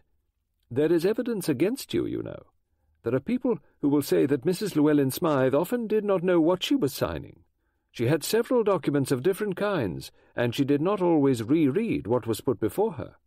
Well, then, she did not know what she was saying. My dear child, said Mr. Fullerton, your best hope is the fact that you are a first offender, that you are a foreigner, that you understand the English language only in a rather rudimentary form. In that case, you may get off with a minor sentence, or you may indeed get put on probation. Oh, words! Nothing but words! I shall be put in prison and never let out again. Now you are talking nonsense, Mr. Fullerton said. It would be better if I ran away, if I ran away and hid myself so that nobody could find me. Once there is a warrant out for your arrest, you would be found. Not if I did it quickly. Not if I went at once. Not if someone helped me. I could get away, get away from England. In a boat or a plane, I could find someone who forges passports or visas or whatever you have to have. Someone who will do something for me. I have friends. I have people who are fond of me. Somebody could help me to disappear. That is what I need. I could put on a wig. I could walk about on crutches. Listen, Mr. Fullerton had said, and he had spoken then with authority. I am sorry for you. I will recommend you to a lawyer who will do his best for you. You can't hope to disappear. You are talking like a child. I've got enough money. I have saved money. And then she said, You have tried to be kind. Yes, I believe that. But you will not do anything because it is all the law, the law. But someone will help me. Someone will, and I shall get away where nobody will find me. Nobody, Mr. Fullerton thought, had found her. He wondered. Yes, he wondered very much where she was or could be now. Admitted to Apple Trees, Hercule Poirot was shown into the drawing room and told that Mrs. Drake would not be long. In passing through the hall, he heard the hum of female voices behind what he took to be the dining room door. Poirot crossed to the drawing room window and surveyed the neat and pleasant garden, well laid out, kept studiously in control. Rampant autumn Michaelmas daisies still survived, tied up severely to sticks. Chrysanthemums had not yet relinquished life. There was still a persistent rose or two scorning the approach of winter. Poirot could discern no sign as yet of the preliminary activities of a landscape gardener. All was care and convention. He wondered if Mrs. Drake had been one too many for Michael Garfield. He had spread his lures in vain. It showed every sign of remaining a splendidly kept suburban garden. The door opened. "'I'm sorry to have kept you waiting, Monsieur Poirot,' said Mrs. Drake. Outside in the hall there was a diminishing hum of voices as various people took their leave and departed. "'It's our church Christmas fete,' explained Mrs. Drake. "'A committee meeting for arrangements for it, and all the rest of it. These things always go on much longer than they ought to, of course. Somebody always objects to something, or has a good idea. The good idea usually being a perfectly impossible one.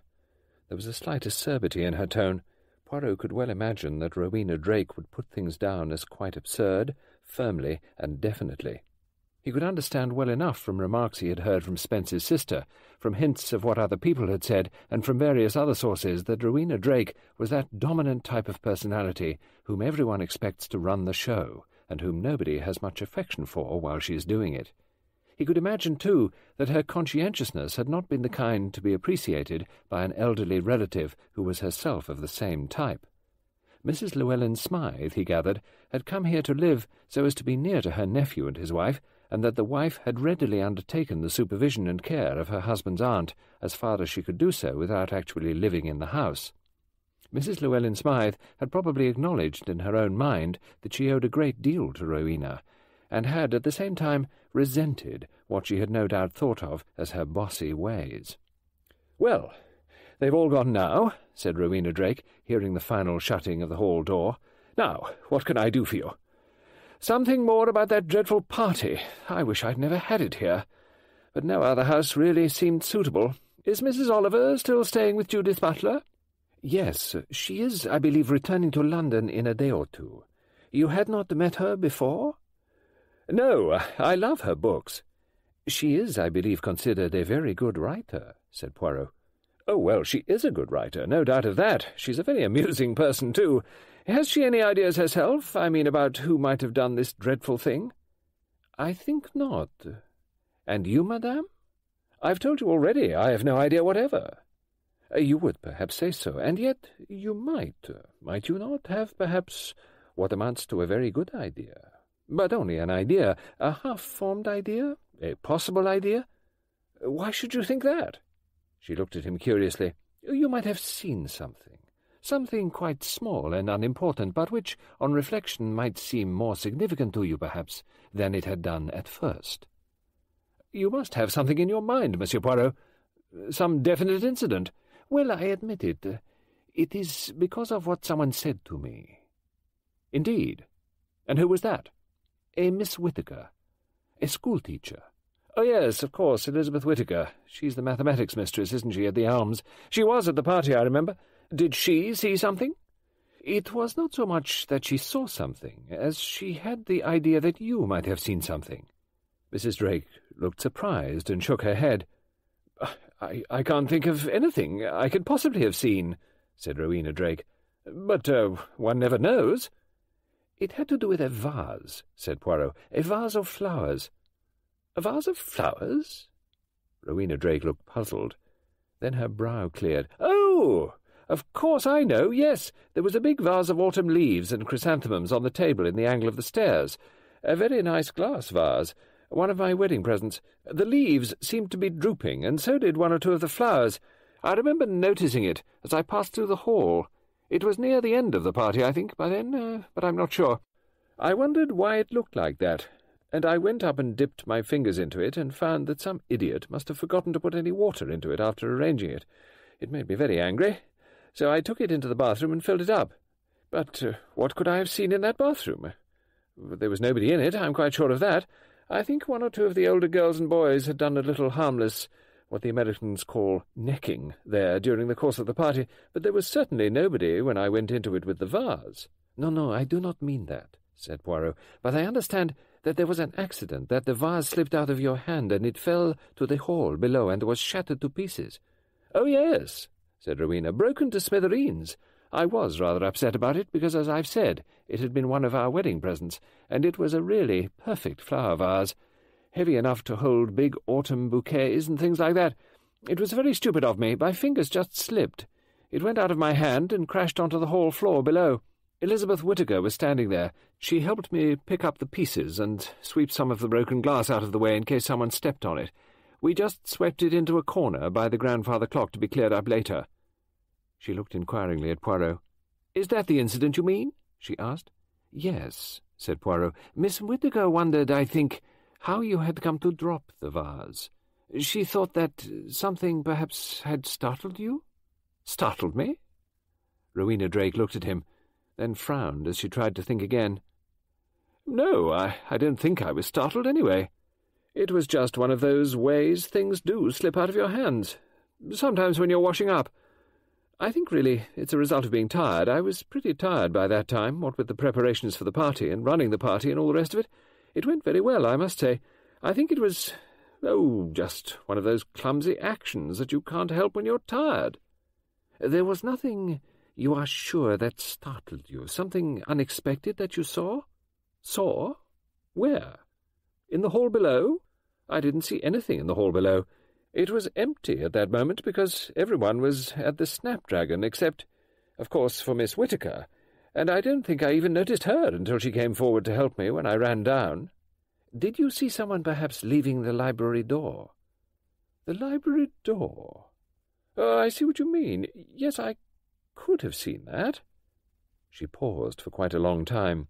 Then she looked at Poirot with a very straight, firm glance. I didn't see anyone leaving the library, she said. Nobody at all. He wondered.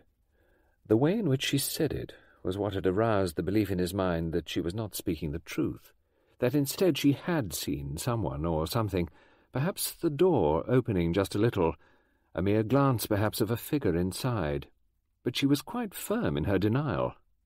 Why, he wondered, had she been so firm? Because the person she had seen was a person she did not want to believe for one moment had had anything to do with the crime committed on the other side of the door. Someone she cared about, or someone, which seemed more likely, he thought, someone whom she wished to protect. Someone, perhaps, who had not long passed beyond childhood someone whom she might feel was not truly conscious of the awful thing they had just done. He thought her a hard creature, but a person of integrity. He thought that she was like many women of the same type, women who were often magistrates, or who ran councils or charities, or interested themselves in what used to be called good works. Women who had an inordinate belief in extenuating circumstances, who were ready, strangely enough, to make excuses for the young criminal an adolescent boy, a mentally retarded girl, someone perhaps who had already been, what is the phrase, in care. If that had been the type of person she had seen coming out of the library, then he thought it possible that Rowena Drake's protective instinct might have come into play. It was not unknown in the present age for children to commit crimes, quite young children, children of seven, of nine, and so on, and it was often difficult to know how to dispose of these natural, it seemed, young criminals who came before the juvenile courts. Excuses had to be brought for them broken homes, negligent and unsuitable parents. But the people who spoke the most vehemently for them, the people who sought to bring forth every excuse for them, were usually the type of Rowena Drake, a stern and censorious woman, except in such cases. For himself, Poirot did not agree. He was a man who thought first always of justice. He was suspicious, had always been suspicious of mercy. Too much mercy, that is to say. Too much mercy, as he knew from former experience both in Belgium and in this country, often resulted in further crimes, which were fatal to innocent victims who need not have been victims if justice had been put first and mercy second. I see, said Poirot. I see. You don't think it's possible that Miss Whittaker might have seen someone go into the library? suggested Mrs. Drake. Poirot was interested. Ah, you think that might have been so? It seemed to me merely a possibility. She might have caught sight of someone going in through the library, say, perhaps five minutes or so earlier, and then, when I dropped the vase, it might have suggested to her that I could have caught a glimpse of the same person, that I might have seen who it was. Perhaps she doesn't like to say anything that might suggest, unfairly perhaps, some person whom she had perhaps only half glimpsed, not enough to be sure of. Some back view, perhaps, of a child or a young boy? You think, do you not, madame, that it was, shall we say, a child, a, boy or girl, a mere child, or a young adolescent? You think it was not any definite one of these, but shall we say you think that that is the most likely type to have committed the crime we are discussing? She considered the point thoughtfully, turning it over in her mind. Yes, she said at last, I suppose I do. I haven't thought it out. It seems to me that crimes are so often associated nowadays with the young, people who don't really know quite what they're doing, who want silly revenges, who have an instinct for destruction. Even the people who wreck telephone boxes or who slash the tires of cars do all sorts of things just to hurt people, just because they hate. Not anyone in particular, but the whole world. It's a sort of symptom of this age. So I suppose when one comes across something like a child drowned at a party for no reason, really, one does assume that it's someone who is not yet fully responsible for their actions. Don't you agree with me that, uh, that, well, that that is certainly the most likely possibility here? The police, I think, share your point of view, or did share it. Well, they should know. We have a very good class of policemen in this district. They've done well in several crimes, they are painstaking, and they never give up. I think probably they will solve this murder, though I don't think it will happen very quickly. These things seem to take a long time, a long time of patient gathering of evidence. The evidence in this case will not be very easy to gather, madame. No, I suppose it won't. When my husband was killed, he was a cripple, you know. He was crossing the road, and a car ran over him and knocked him down. They never found the person who was responsible. As you know, my husband, or perhaps you don't know, my husband was a polio victim. He was partially paralyzed as a result of polio six years ago. His condition had improved, but he was still crippled, and it would be difficult for him to get out of the way if a car bore down upon him quickly. I almost felt that I had been to blame, though he always insisted on going out without me, or without anyone with him, because he would have resented very much being in the care of a nurse, or a wife who took the part of a nurse, and he was always careful before crossing a road. Still, one does blame oneself when accidents happen. That came on top of the death of your aunt. Uh, no, no, she died not long afterwards. Everything seems to come at once, doesn't it? That is very true, said Hercule Poirot. He went on, The police were not able to trace the car that ran down your husband? It was a Grasshopper Mark Seven, I believe. Every third car you notice on the road is a Grasshopper Mark 7, or was then. It's the most popular car on the market, they tell me. They believe it was pinched from the marketplace in Medchester, a car park there. It belonged to a Mr. Waterhouse, an elderly seed merchant in Medchester. Mr. Waterhouse was a slow and careful driver. It was certainly not he who caused the accident. It was clearly one of those cases where irresponsible young men helped themselves to cars. Such careless, or should I say such callous young men should be treated, one sometimes feels, more severely than they are now. A long jail sentence, perhaps, merely to be fined, and the fine paid by indulgent relatives, makes little impression. Uh, one has to remember, said Rowena Drake, that there are young people at an age when it is vital that they should continue with their studies if they are to have the chance of doing well in life. The sacred cow of education, said Hercule Poirot. That is a phrase I have heard uttered, he added quickly, by people, well, I should say, people who ought to know, people who themselves hold academic posts of some seniority. They do not perhaps make enough allowances for youth, for a bad bringing up, broken homes. So you think they need something other than jail sentences? Proper remedial treatment, said Rowena Drake firmly. And that will make Another old-fashioned proverb, a silk purse out of a sow's ear. You do not believe in the maxim, the fate of every man have we bound about his neck? Mrs. Drake looked extremely doubtful and slightly displeased. An Islamic saying, I believe, said Poirot. Mrs. Drake looked unimpressed. I hope, she said, we do not take our ideas, or perhaps I should say our ideals, from the Middle East. One must accept facts, said Poirot, and a fact that is expressed by modern biologists, uh, Western biologists, he hastened to add, seems to suggest very strongly that the root of a person's actions lies in his genetic makeup. That a murderer of twenty-four was a murderer in potential at two or three or four years old, or, of course, a mathematician or a musical genius. We are not discussing murderers, said Mrs. Drake. My husband died as a result of an accident, an accident caused by a careless and badly adjusted personality. Whoever the boy or young man was, there is always the hope of eventual adjustment to a belief and acceptance that it is a duty to consider others, to be taught to feel an abhorrence if you have taken life unawares, simply out of what may be described as criminal carelessness, that was not really criminal in intent. You are quite sure, therefore, that it was not criminal in intent? I should doubt it very much, Mrs. Drake looked slightly surprised. I do not think that the police ever seriously considered that possibility. I certainly did not. It was an accident, a very tragic accident, which altered the pattern of many lives, including my own. You say we are not discussing murderers, said Poirot, but in the case of Joyce, that is just what we are discussing. There was no accident about that. Deliberate hands pushed that child's head down into water, holding her there till death occurred. Deliberate intent. I know. I know it's terrible. I don't like to think of it, to be reminded of it. She got up, moving about restlessly. Poirot pushed on relentlessly. We are still presented with a choice there. We still have to find the motive involved. It seems to me that such a crime must have been quite motiveless. You mean committed by someone mentally disturbed, to the extent of enjoying killing someone? Presumably killing someone young and immature. One does hear of such cases. What is the original cause of them is difficult to find out. Even psychiatrists do not agree. You refuse to accept a simpler explanation. She looked puzzled. Simpler?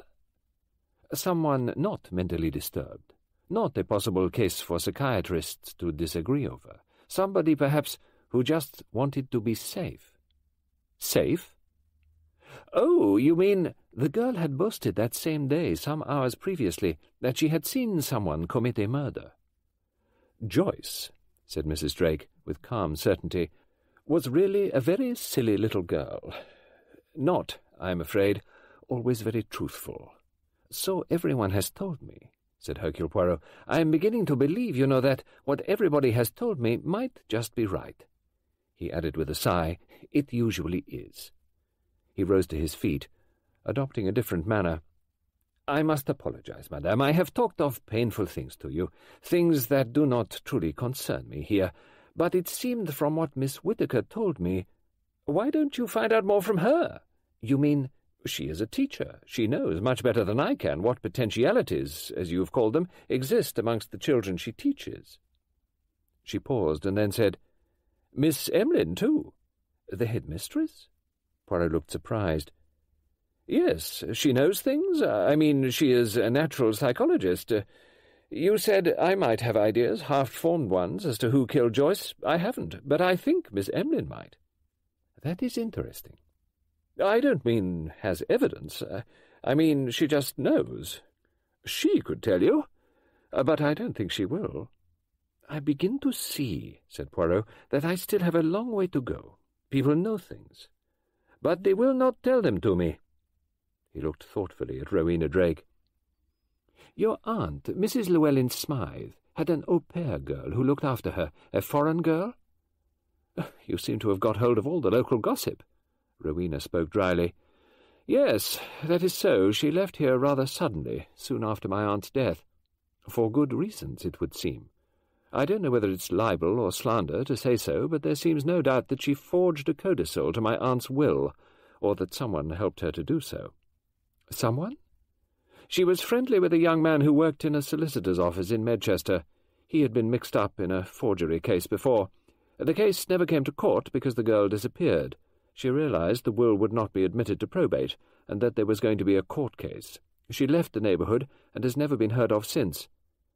She too came. I have heard from a broken home, said Poirot. Rowena Drake looked at him sharply, but he was smiling amiably. Thank you for all you have told me, madame, he said. When Poirot had left the house, he went for a short walk along a turning off the main road, which was labelled Helpsley Cemetery Road. The cemetery in question did not take him long to reach.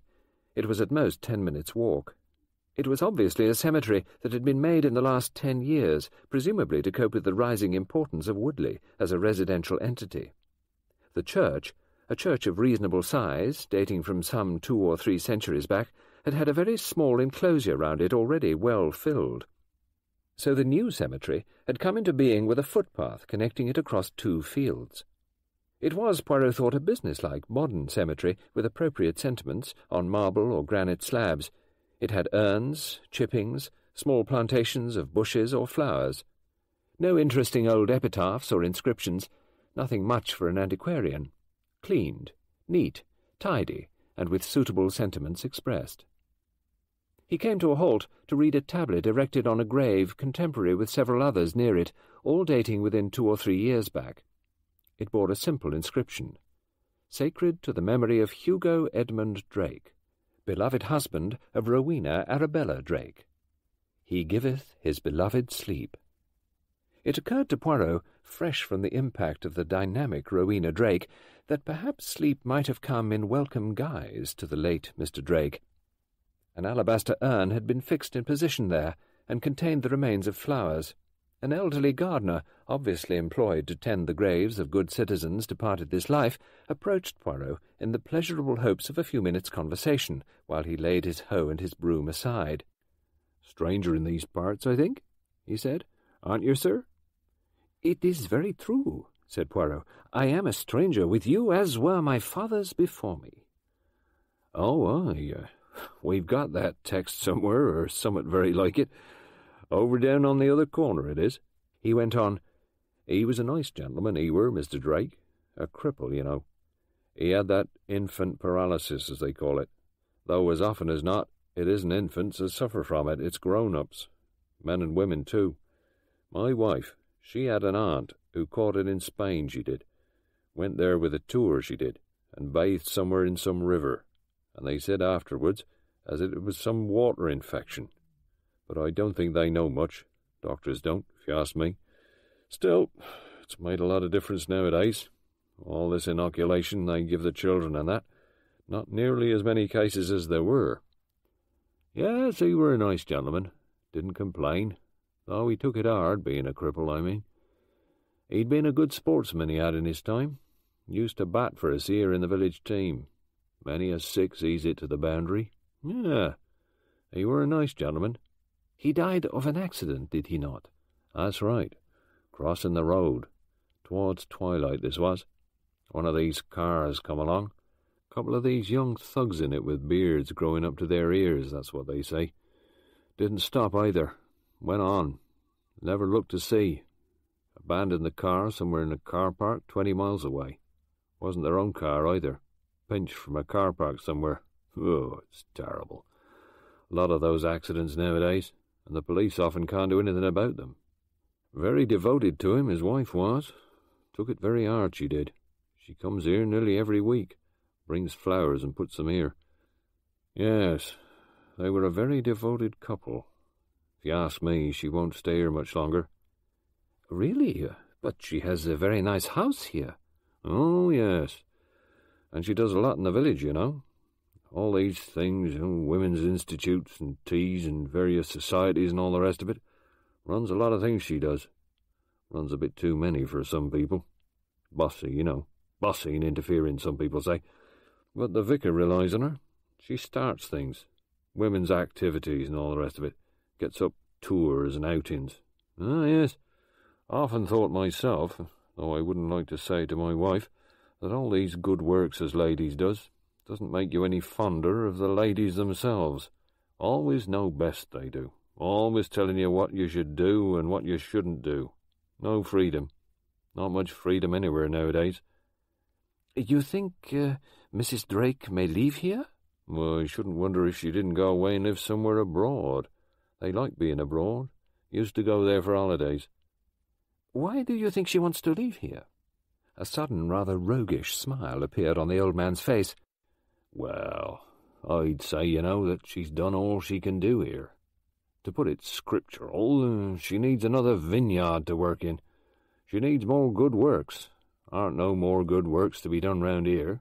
She's done all there is, and even more than there need be, so something, yes. She needs a new field in which to labour, suggested Poirot. You've hit it. Better settle somewhere else where she can put a lot of things right and bully a lot of other people.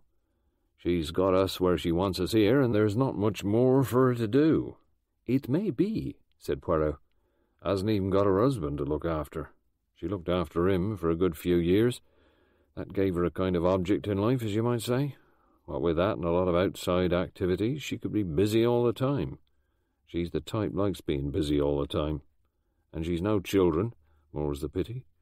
So it's my view that she'll start all over again somewhere else. You may have something there. Where would she go? Oh, I couldn't say as to that. One of these Riviera places, maybe. Or there's them as goes to Spain or Portugal or Greece. I've heard her speak of Greece. Islands. Mrs. Butler, she's been to Greece on one of them tours. Hellenic, they call 'em, which sounds more like fire and brimstone to me. Poirot smiled. The Isles of Greece, he murmured. Then he asked, Do you like her? Mrs. Drake?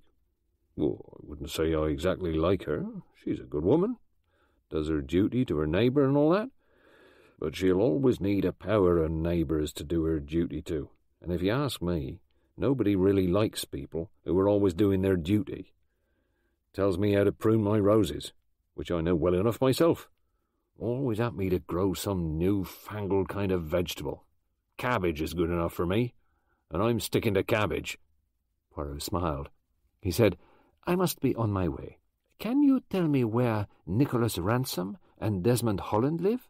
Past the church, third house on the left. They board with Mrs. Brand, going to Medchester Technical every day to study. They'll be home by now. He gave Poirot an interested glance. So, that's the way your mind's working, is it? There's some already as thinks the same. No, no, I think nothing as yet. But they were among those present. That is all. As he took leave and walked away, he mused, Among those present. I have come nearly to the end of my list. Two pairs of eyes looked at Poirot uneasily. I don't see what else we can tell you. We've both been interviewed by the police, Monsieur Poirot. Poirot looked from one boy to the other. They would not have described themselves as boys. Their manner was carefully adult, so much so that if one shut one's eyes, their conversation could have passed as that of elderly clubmen. Nicholas was eighteen. Desmond was sixteen. To oblige a friend, I make my inquiries of those present on a certain occasion, not the Halloween party itself, the preparations for that party. You were both active in these. Yes, we were.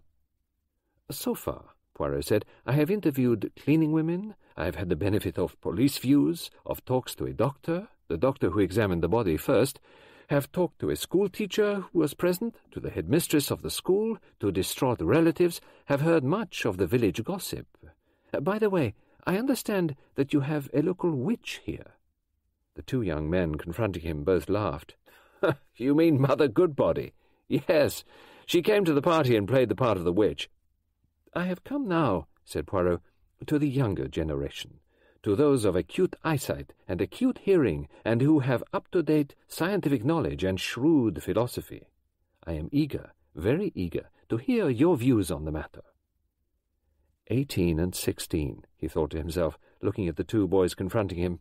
Youths to the police, boys to him adolescents to newspaper reporters. Call them what you will, products of today. Neither of them, he judged, at all stupid, even if they were not quite of the high mentality that he had suggested to them by way of a flattering sop to start the conversation. They had been at the party. They had also been there earlier in the day to do helpful offices for Mrs. Drake.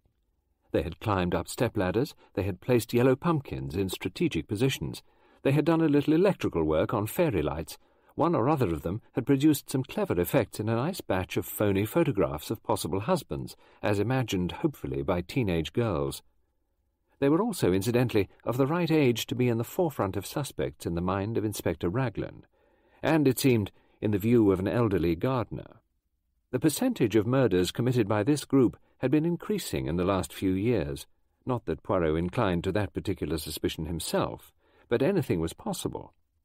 It was even possible that the killing which had occurred two or three years ago might have been committed by a boy, youth, or adolescent of fourteen or twelve years of age. Such cases had occurred in recent newspaper reports. Keeping all these possibilities in mind, he pushed them, as it were, behind a curtain for the moment, and concentrated instead on his own appraisement of these two their looks, their clothes, their manner, their voices, and so on and so forth, in the Hercule Poirot manner masked behind a foreign shield of flattering words and much increased foreign mannerisms, so that they themselves should feel agreeably contemptuous of him, though hiding that under politeness and good manners. For both of them had excellent manners. Nicholas, the eighteen-year-old, was good-looking, wearing sideburns, hair that grew fairly far down his neck, and a rather funereal outfit of black. Not as a mourning for the recent tragedy, but what was obviously his personal taste in modern clothes. The younger one was wearing a rose-coloured velvet coat, mauve trousers, and a kind of frilled shirting. They both obviously spent a good deal of money on their clothes, which were certainly not purchased locally, and were probably paid for by themselves and not by their parents or guardians. Desmond's hair was ginger-coloured, and there was a good deal of fluffy profusion about it. You were there in the morning or afternoon of the party, I understand, helping with the preparations for it. Early afternoon corrected Nicholas. What sort of preparations were you helping with? I have heard of preparation from several people, but I am not quite clear. They do not all agree. A good deal of lighting, for one thing. Getting up on steps for things that had to be put high up. I understand there were some very good photographic results, too. Desmond immediately dipped into his pocket and took out a folder from which he proudly brought certain cards. We faked up these beforehand, he said, Husbands for the girls, he explained. They're all alike, birds are. They all want something up to date. Not a bad assortment, are they? He handed a few specimens to Poirot, who looked with interest at a rather fuzzy reproduction of a ginger-bearded young man and another young man with an aureole of hair, a third one whose hair came to his knees almost, and there were a few assorted whiskers and other facial adornments. Made him pretty well all different. Wasn't bad, was it? You had models, I suppose? Oh, they're all ourselves. Just makeup, you know. Nick and I got 'em done. Some Nick took of me, and some I took of him. Just varied what you might call the hair motif. Very clever, said Poirot. We kept 'em a bit out of focus, you know, so that they look more like spirit pictures, as you might say. The other boy said, Mrs. Drake was very pleased with them. She congratulated us. They made her laugh, too. It was mostly electrical work we did at the house, you know, fitting up a light or two so that when the girls sat with the mirror, one or other of us could take up a position. You'd only to bob up over a screen, and the girl would see a face in the mirror with, mind you, the right kind of hair, beard or whiskers or something or other. Did they know it was you and your friend? Oh, I don't think so for a moment. Not at the party, they didn't. They knew we had been helping at the house with some things, but I don't think they recognized us in the mirrors. Weren't smart enough, I should say. Besides, we'd got sort of an instant make-up to change the image. First me, then Nicholas. The girls squeaked and shrieked. Damn funny. And the people who were there in the afternoon? I do not ask you to remember who was at the party. At the party, there must have been about thirty, I suppose, knocking about. In the afternoon, there was Mrs. Drake, of course, Mrs. Butler, one of the school teachers, um, Whittaker, I think her name is, Mrs. Flatterbutt or something like that. She's the organist's sister or wife. Dr. Ferguson's dispenser, Miss Lee, it's her afternoon off, and she came along and helped too. And some of the kids came to make themselves useful if they could. Not that I think they were very useful. The girls just hung about and giggled. Ah, yes. Do you remember what girls were there? Well, uh, the Reynolds were there. Poor old Joyce, of course, the one who got done in. And her sister Anne, frightful girl, puts no end of side on, thinks she's terribly clever, quite sure she's going to pass all her A-levels. And the small kid, Leopold, he's awful, said Desmond. He's a sneak. He eavesdrops, tells tales, real nasty bit of goods. And there was Beatrice Ardley and Cathy Grant, who is as dim as they make, and a couple of useful women, of course. Uh, cleaning women, I mean. And the authoress woman, the one who brought you down here. Any men? Oh, uh, the vicar looked in, if you count him. Nice old boy, rather dim.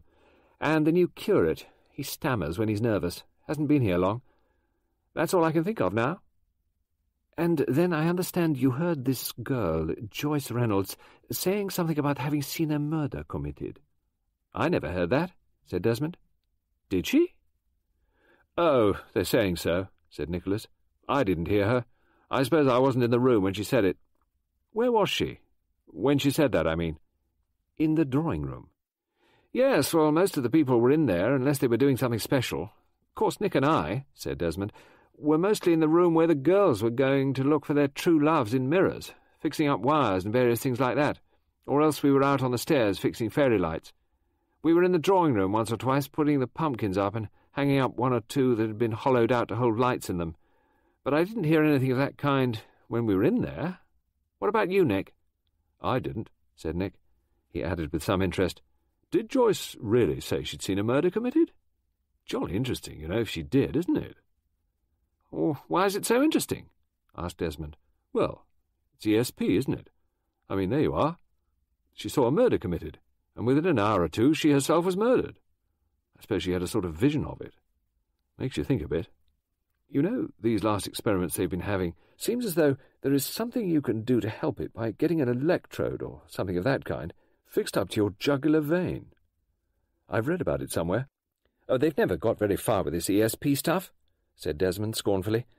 People sit in different rooms, looking at cards in a pack or words with squares and geometrical figures on them, but they never see the right things, or hardly ever.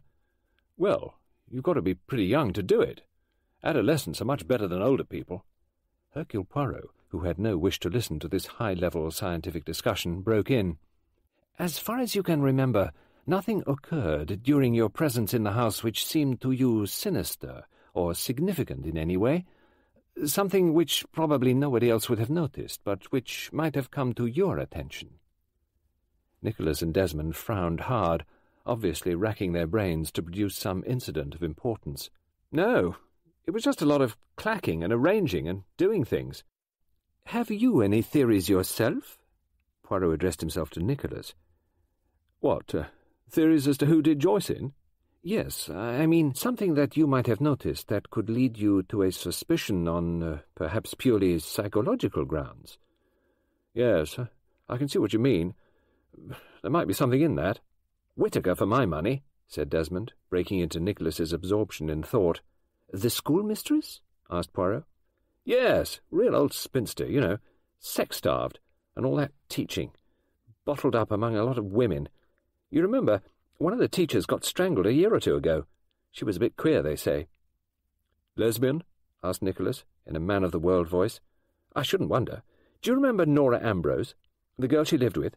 She wasn't a bad looker. She had a boyfriend or two, so they said, and the girl she lived with got mad with her about it. Someone said she was an unmarried mother. She was away for two terms with some illness and then came back. They'd say anything in this nest of gossip. Well, anyway, Whittaker was in the drawing room most of the morning. She probably heard what Joyce said. Might have put it into her head, mightn't it? Look here, said Nicholas. Supposing Whittaker. What age is she? Do you think forty odd? Getting on for fifty? Women do go a bit queer at that age. They both looked at Poirot with the air of contented dogs who have retrieved something useful which master has asked for. I bet Miss Emlyn knows if it is so. There's not much she doesn't know about what goes on in her school. Or wouldn't she say? Perhaps she feels she has to be loyal and shield her. Oh, I don't think she'd do that. If she thought Elizabeth Whittaker was going off her head, well then, I mean, a lot of the pupils at the school might get done in. What about the curate? said Desmond hopefully. He might be a bit off his nut. You know, original sin, perhaps, and all that. And the water, and the apples, and the things, and, and then... Look here. I've got a good idea now. Suppose he is a bit balmy. Not been here very long. Nobody knows much about him. Supposing it's the snapdragon put it into his head. Hellfire. All those flames going up. Then, you see, he took hold of Joyce and he said, Come along with me, and I'll show you something. And he took her to the apple room and he said, Kneel down. He said, This is baptism. And pushed her head in. See? It would all fit.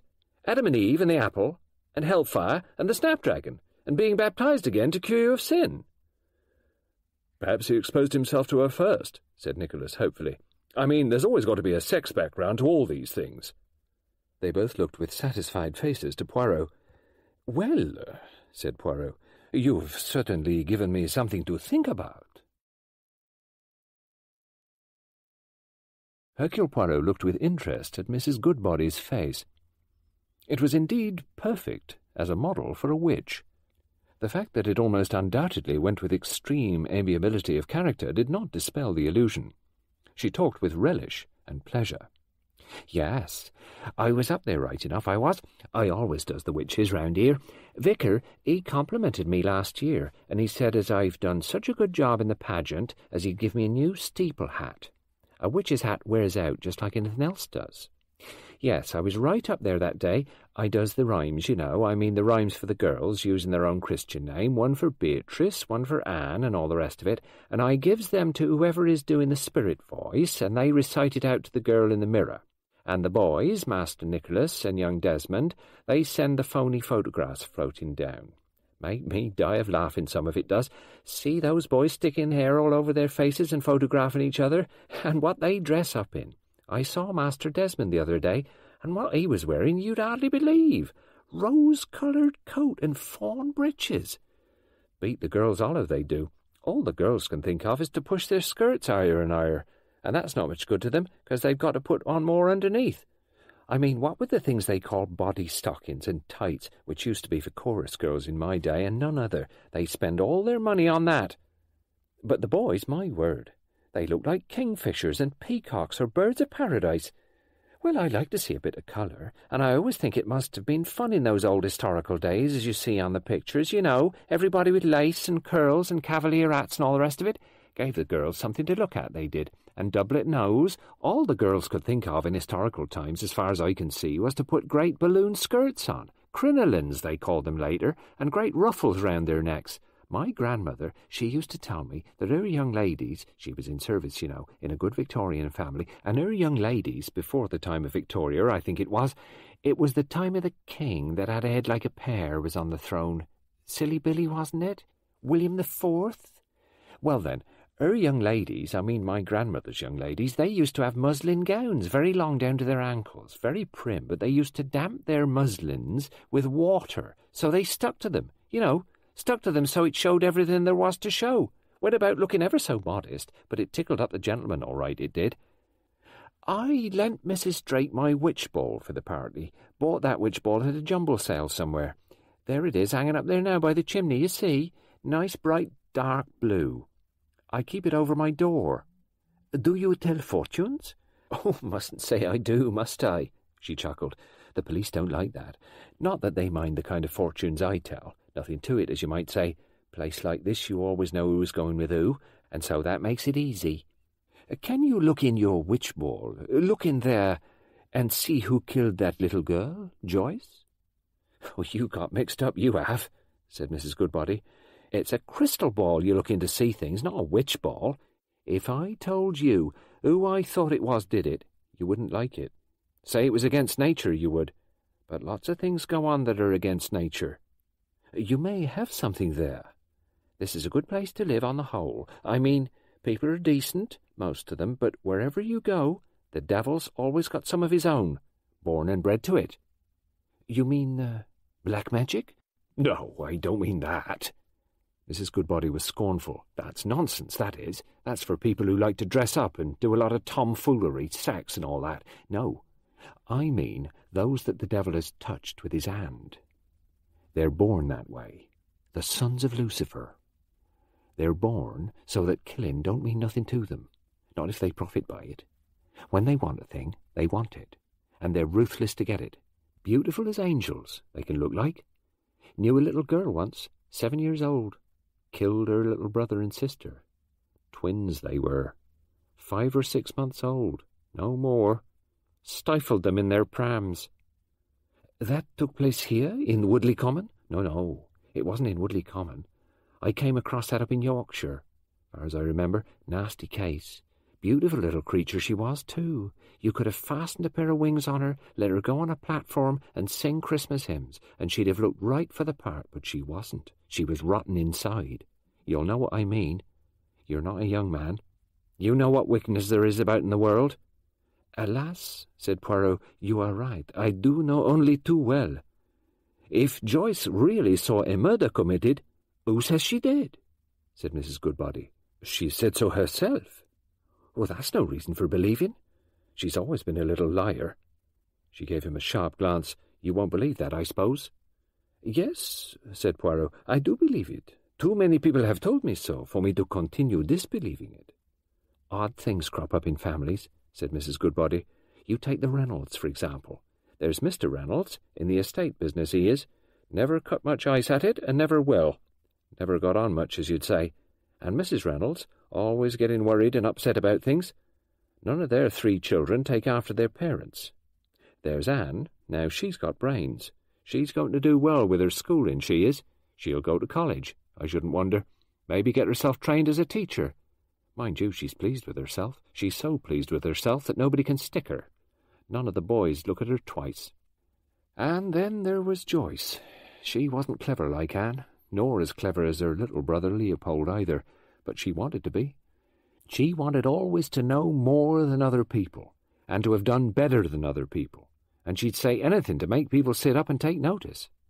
But don't you believe any single word she ever said was true, because nine times out of ten it wasn't. And the boy? Leopold? Well, he's only nine or ten, I think, but he's clever, all right. Clever with his fingers, and other ways, too. He wants to study things like physics. He's good at mathematics, too. Quite surprised about it, they were, in school. Yes, he's clever. He'll be one of these scientists, I expect. If you ask me, the things he does when he's a scientist and the things he'll think of, they'll be nasty, like atom bombs. He's one of the kind that studies and are ever so clever and think up something that'll destroy half the globe, and all us poor folk with it. You beware of Leopold. He plays tricks on people, you know, and eavesdrops, finds out all their secrets. Where he gets all his pocket money from, I'd like to know. It isn't from his mother or his father. They can't afford to give him much. He's got lots of money always, keeps it in a drawer under his socks. He buys things, quite a lot of expensive gadgets. Where does he get the money from? That's what I'd like to know. Finds people's secrets out, I'd say, and makes them pay him for holding his tongue. She paused for breath. Well, I can't help you, I'm afraid, in any way. You have helped me a great deal, said Poirot. What happened to the foreign girl, who is said to have run away? Didn't go far, in my opinion. Ding dong dell, pussy's in the well. That's what I've always thought, anyway. Excuse me, Mum. I wonder if I might speak to you a minute. Mrs. Oliver, who was standing on the veranda of her friend's house, looking out to see if there were any signs of Hercule Poirot approaching, he had notified her by telephone that he would be coming round to see her about now, looked round. A neatly attired woman of middle age was standing twisting her hands nervously in their neat cotton gloves. Yes? said Mrs. Oliver, adding an interrogation point by her intonation.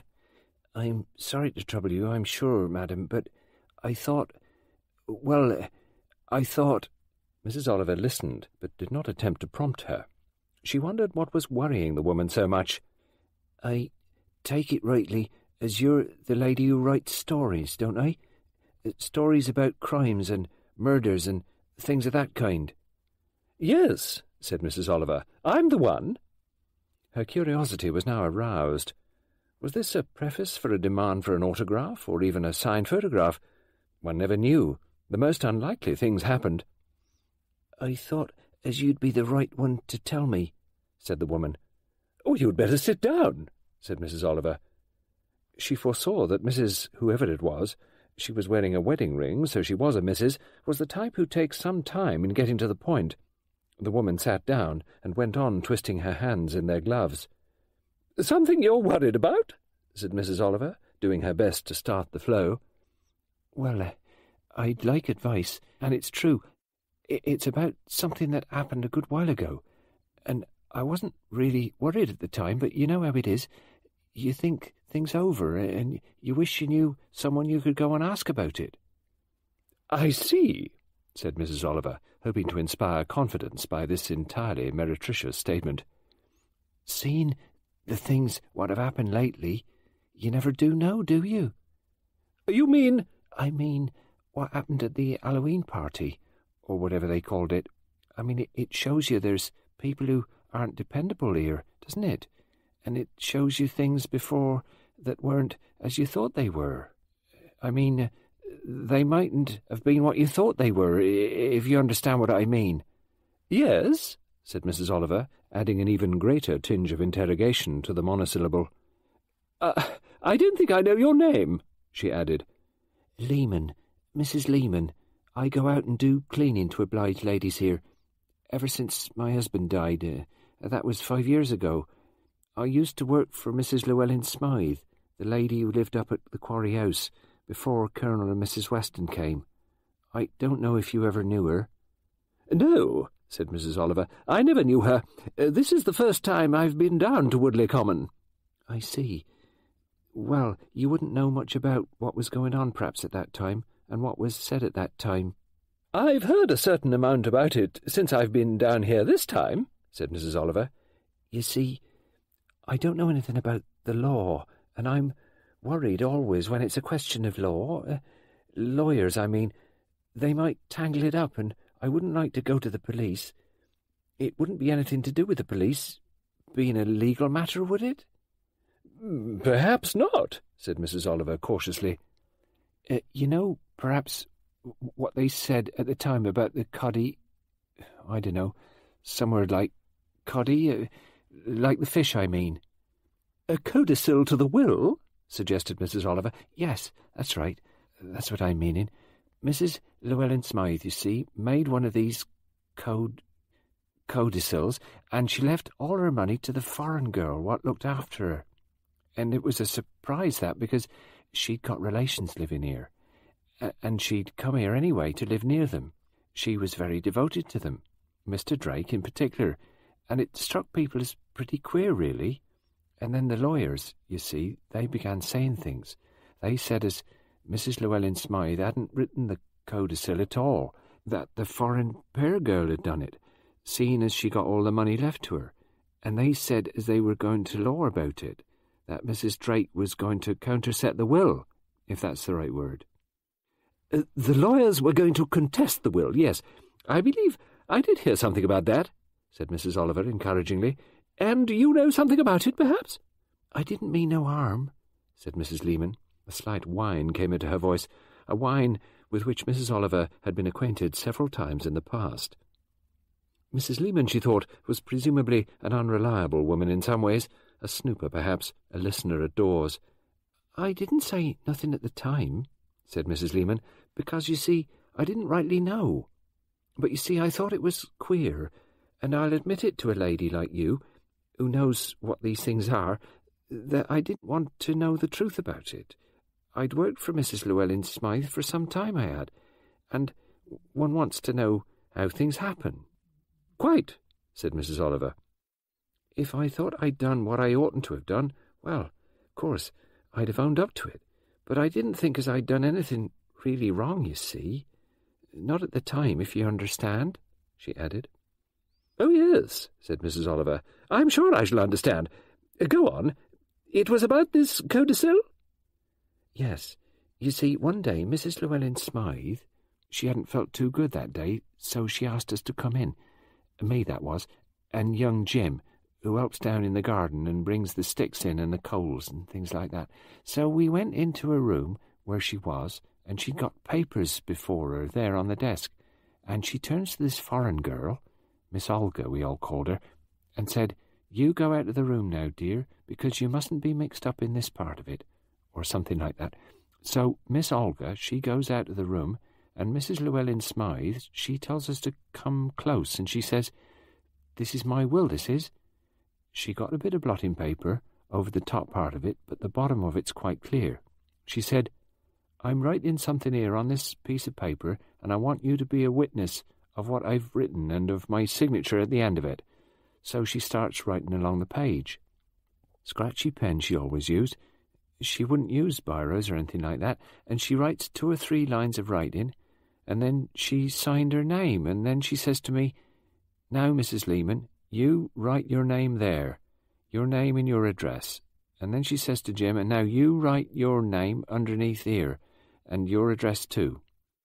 There, that'll do. Now, you've seen me write that, and you've seen my signature, and you've written your names, both of you, to say that's that.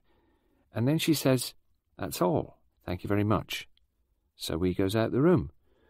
Well, I didn't think nothing more of it at the time, but I wondered a bit.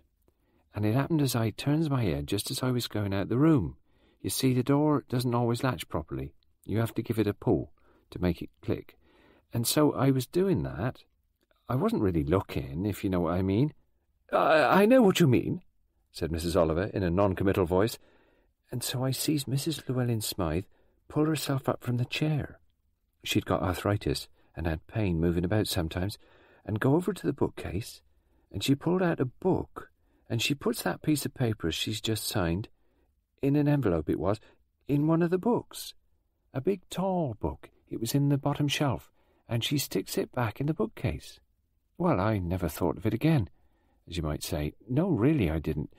But when all this fuss came up, well, of course, I felt, at least, I. She came to a stop.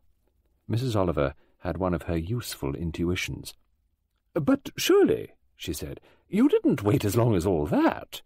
Well, uh, I'll tell you the truth. I, I, I will. Um, I'll admit, I was curious. After all, I mean, you want to know when you've signed anything, what you've signed, don't you? I mean, it's only human nature. Yes, said Mrs. Oliver. It's only human nature. Curiosity, she thought, was a highly component part in Mrs. Leaman's human nature. So I will admit that next day, when Mrs. Llewellyn Smythe had driven into Medchester and I was doing her bedroom as usual, a bed sitting room she had because she had to rest a lot, and I thinks, well, one ought really to know when you've signed a thing what it is you've signed. I mean, they always say with those hire purchase things you should read the small print. Or in this case, the handwriting, suggested Mrs. Oliver. So I thought, well, there's no harm. It's not as though I was taking anything. I, I mean to say, I'd had to sign my name there, and, and I thought I really ought to know what I'd signed. So I had a look along the bookshelves. They needed dusting anyway, and I found the one.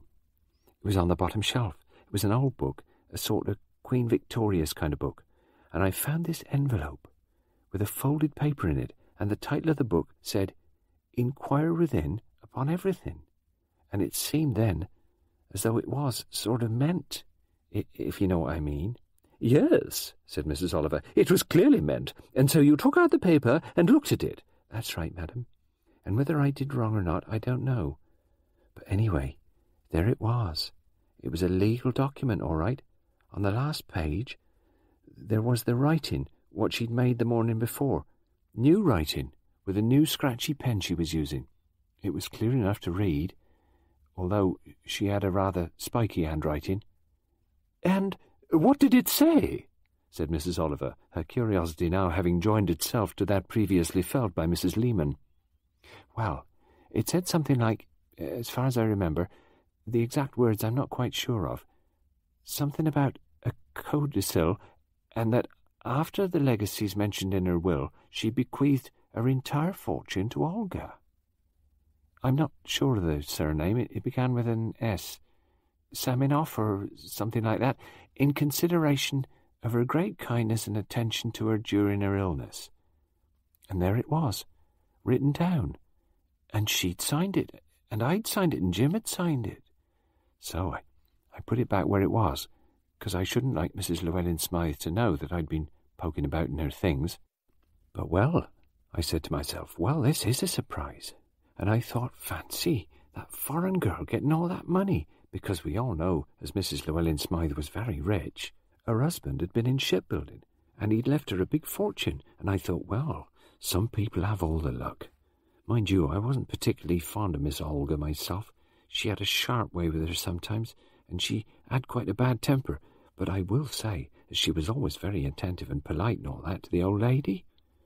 Looking out for herself all right she was, and she got away with it. And I thought, well, leaving all that money away from her own family. Then I thought, well, perhaps she's had a tiff with them, and likely as not that'll blow over. So maybe she'll tear this up and make another will, or codicil, after all.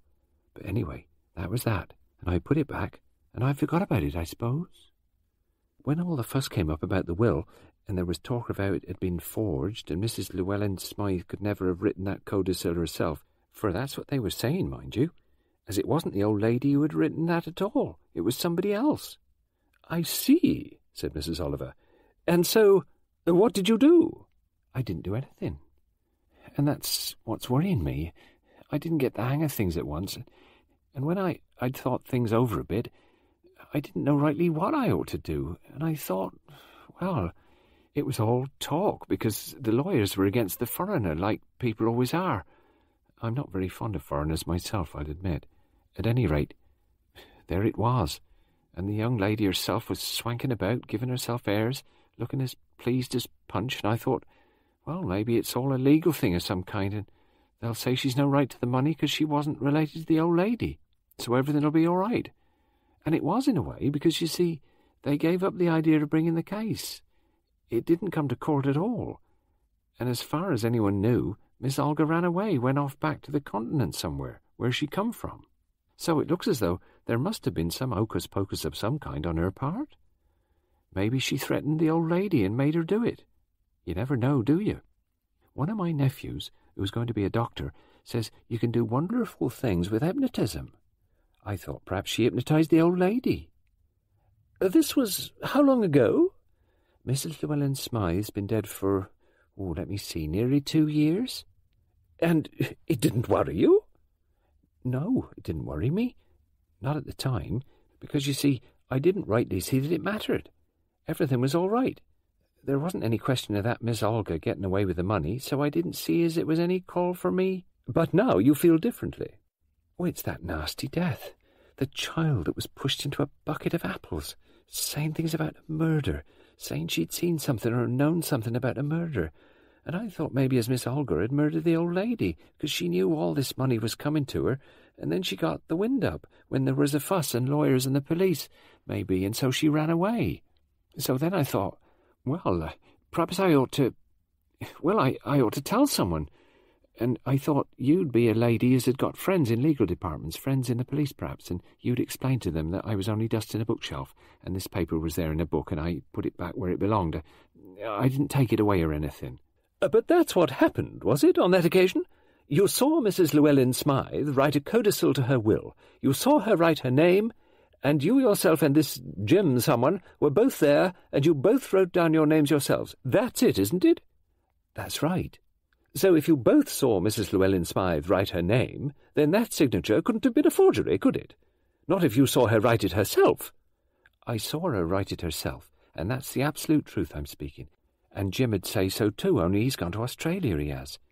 He went over a year ago, and I don't know his address or anything. He didn't come from these parts, anyway. And what do you want me to do? Well, I want you to tell me if there's anything I ought to say or, or do now. Nobody's asked me, mind you. Nobody ever asked me if I knew anything about a will. Your name is uh, Leaman? What Christian name? Harriet. Harriet Leaman. And Jim, uh, what was his last name? Well, no. Uh, what was it? Oh, Jenkins, that's right. James Jenkins. I'd be much obliged if you could help me, because it worries me, you see all this trouble coming along, and if that Miss Olga did it, murdered Mrs. Llewellyn Smythe, I mean, and young Joyce saw her do it, she was ever so cock-a-hoop about it all, Miss Olga was. I mean, about hearing from the lawyers as she'd come into a lot of money. But it was different when the police came round asking questions, and she went off very sudden, she did. Nobody asked me anything, they didn't. But now, I can't help wondering if I ought to have said something at the time. I think, said Mrs. Oliver, that you will probably have to tell this story of yours to whoever represented Mrs. Llewellyn Smythe as a lawyer. I'm sure a good lawyer will quite understand your feelings and your motive.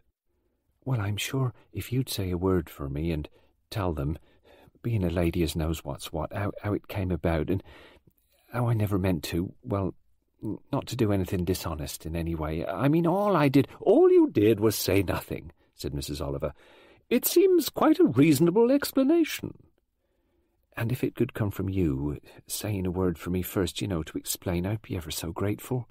I'll do what I can, said Mrs. Oliver. Her eyes strayed to the garden path, where she saw a neat figure approaching. Well, thanks ever so much. They said as you were a very nice lady, and I'm sure I'm much obliged to you. She rose to her feet, replaced the cotton gloves which she had twisted entirely off in her anguish, made a kind of half nod or bob, and trotted off. Mrs. Oliver waited until Poirot approached. "'Come here,' she said, "'and sit down. What's the matter with you? You look upset.'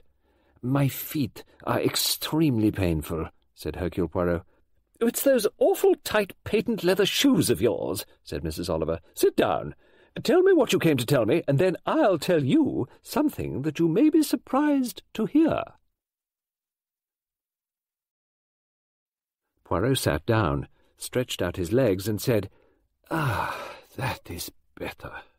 Take your shoes off, said Mrs. Oliver, and rest your feet. No, no, I, I could not do that. Poirot sounded shocked at the possibility. Well, we're old friends together, said Mrs. Oliver, and Judith wouldn't mind if she came out of the house. You know, if you'll excuse me saying so, you oughtn't to wear patent leather shoes in the country. Why don't you get yourself a nice pair of suede shoes? Or the things all the hippie-looking boys wear nowadays, you know, the sort of shoes that slip on. And you never have to clean them. Apparently they clean themselves by some extraordinary process or other. One of those labour-saving gimmicks. I would not care for that at all, said Poirot severely. No, indeed. The trouble with you is, said Mrs. Oliver, beginning to unwrap a package on the table, which she had obviously recently purchased, the trouble with you is that you insist on being smart. You mind more about your clothes and your moustaches, and how you look and what you wear, than comfort. Now, comfort is really the great thing. Once you've passed, say, fifty, comfort is the only thing that matters. Madame, chère madame, I do not know that I agree with you. Well, you'd better, said Mrs. Oliver. If not, you will suffer a great deal, and it will be worse year after year. Mrs. Oliver fished a gaily covered box from its paper bag. Removing the lid of this, she picked up a small portion of its contents and transferred it to her mouth. She then licked her fingers, wiped them on a handkerchief, and murmured rather indistinctly, Sticky. Do you no longer eat apples? I have always seen you with a bag of apples in your hand, or eating them, or on occasions the bag breaks and they tumble out onto the road. I told you, said Mrs. Oliver. I told you that I never want to see an apple again. No, I hate apples. I suppose I shall get over it some day and eat them again, but, well, uh, I don't like the associations of apples. And uh, what is it that you eat now? Poirot picked up the gaily coloured lid, decorated with a picture of a palm tree. Tunis dates, he read. Ah, dates now. That's right, said Mrs. Oliver. Dates. She took another date and put it in her mouth, removed a stone which she threw into a bush, and continued to munch. Dates, said Poirot. It is extraordinary. What's extraordinary about eating dates? People do. No, no, no, I, I did not mean that. Not eating them. It is extraordinary that you should say to me like that, dates. Why? Asked Mrs. Oliver. Because, said Poirot, again and again you indicate to me the path, the, how do you say, the chemin that I should take, or that I should already have taken. You show me the way that I should go. Dates. Till this moment, I did not realize how important dates were. Well, I can't see that dates have anything to do with what's happened here. I mean, there's no real time involved. The whole thing took place, what, uh, only five days ago. The event took place four days ago, yes, that is very true, but to everything that happens there has to be a past. A past which is by now incorporated in today, but which existed yesterday, or last month, or last year. The present is nearly always rooted in the past. A year, two years, perhaps even three years ago, a murder was committed. A child saw that murder. Because that child saw that murder on a certain date, now long gone by, that child died four days ago. Is that not so? Yes, that's so. At least, I suppose it is. It mightn't have been at all. It might be just some mentally disturbed nut who liked killing people and whose idea of playing with water is to push somebody's head under it and hold it there. It might have been described as a mental delinquent's bit of fun at a party. It was not that belief that brought you to me, madame. No, said Mrs. Oliver. No, it wasn't. I didn't like the feel of things. I still don't like the feel of things, and I agree with you. I think you are quite right. If one does not like the feel of things, one must learn why. I am trying very hard, though you may not think so, to learn why. By going around talking to people, finding out if they're nice or not, and then asking them questions. Exactly. And what have you learnt? Facts, said Poirot. Facts which will have in due course to be anchored in their place by dates, shall we say. Is that all? What else have you learnt? That nobody believes in the veracity of Joyce Reynolds. When she said she saw someone killed. But I heard her. Yes, she said it, but nobody believes it is true. The probability is, therefore, that it was not true, that she saw no such thing. It seems to me, said Mrs. Oliver, as though your facts were leading you backwards instead of remaining on the spot or going forward.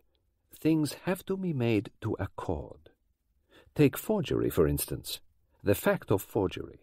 Everybody says that a foreign girl, the au pair girl, so endeared herself to an elderly and very rich widow that that rich widow left a will, or a codicil to a will, leaving all her money to this girl. Did the girl forge that will, or did somebody else forge it? Who else could have forged it? There was another forger in this village, someone, that is, who had once been accused of forgery, but had got off lightly, as a first offender, with extenuating circumstances. Is this a new character? One I know? No, you do not know him. He is dead. Oh. When did he die? About two years ago. The exact date I do not as yet know, but I shall have to know.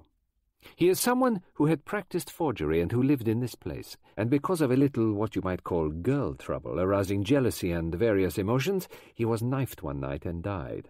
I have the idea, you see, that a lot of separated incidents might tie up more closely than anyone has thought. Possibly not all of them, but perhaps several of them.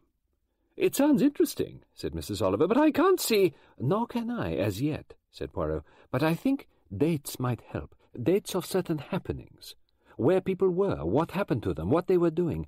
Everybody thinks that the foreign girl forged the will, and probably, said Poirot, everybody was right. She was the one to gain by it, was she not? Wait. Wait! Wait for what? said Mrs. Oliver. An idea that passed through my head, said Poirot. Mrs. Oliver sighed and took another date. You return to London, madame, or are you making a long stay here? Day after tomorrow said Mrs. Oliver. I can't stay any longer. I've got a good many things cropping up. Tell me now. In your flat, your house, I cannot remember which it is now. You have moved so many times lately. There is a room there to have guests? I never admit that there is, said Mrs. Oliver. If you ever admit that you've got a free guest room in London, you've asked for it. All your friends, not only your friends, your acquaintances, or indeed your acquaintances' third cousins, sometimes write you letters and say, Would you mind just putting them up for a night? Well, I do mind. What with sheets and laundry, pillowcases, and wanting early morning tea, and very often expecting meals served to them, people come. So I don't let on that I've got an available spare room. My friends come and stay with me, the people I really want to see, but the others, no, I'm not helpful.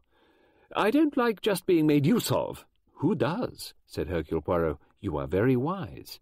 And anyway, what's this all about? You could put up one or two guests if need arose. I could, said Mrs. Oliver. Who do you want me to put up?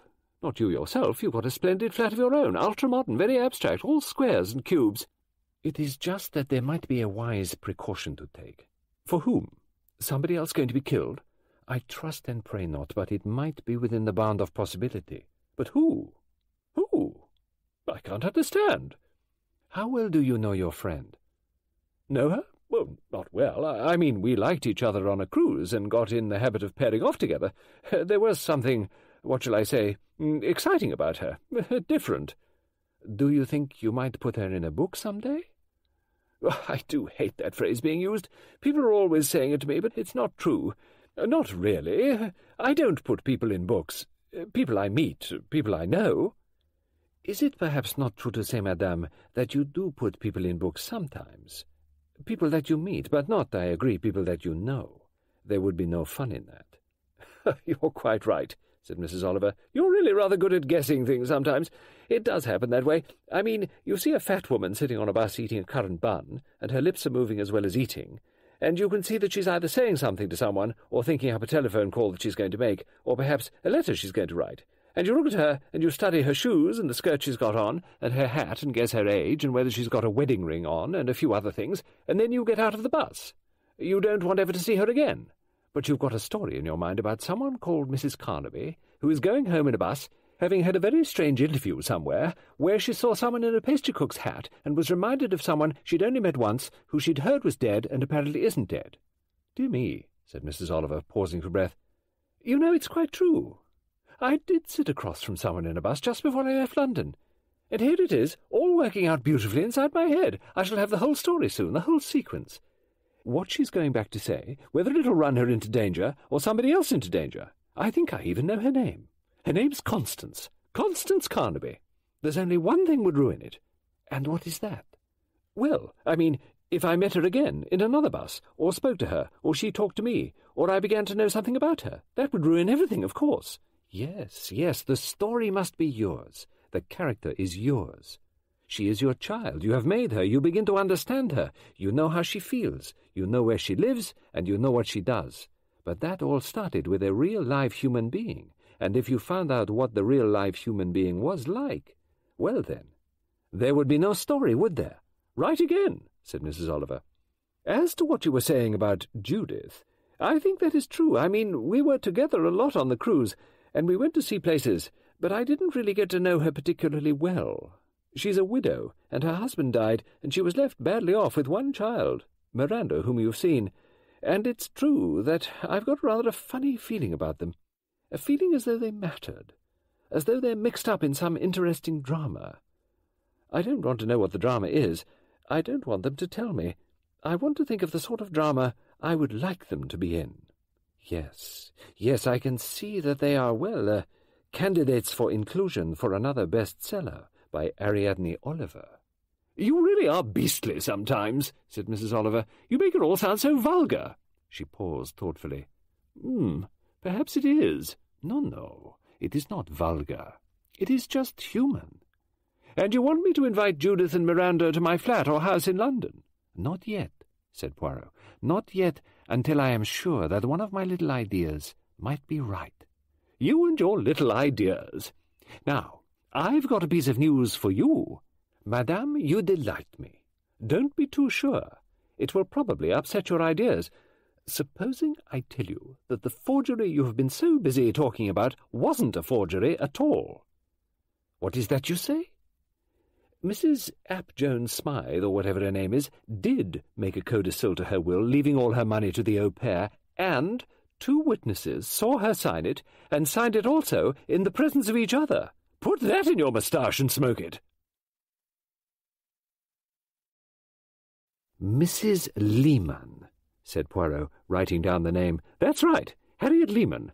And the other witness seems to have been a James Jenkins, last heard of going to Australia, and Miss Olga Seminoff seems to have been last heard of returning to Czechoslovakia or wherever she came from. Everybody seems to have gone somewhere else.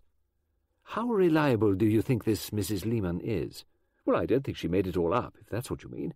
I think she signed something, that she was curious about it, and that she took the first opportunity she had of finding out what she'd signed.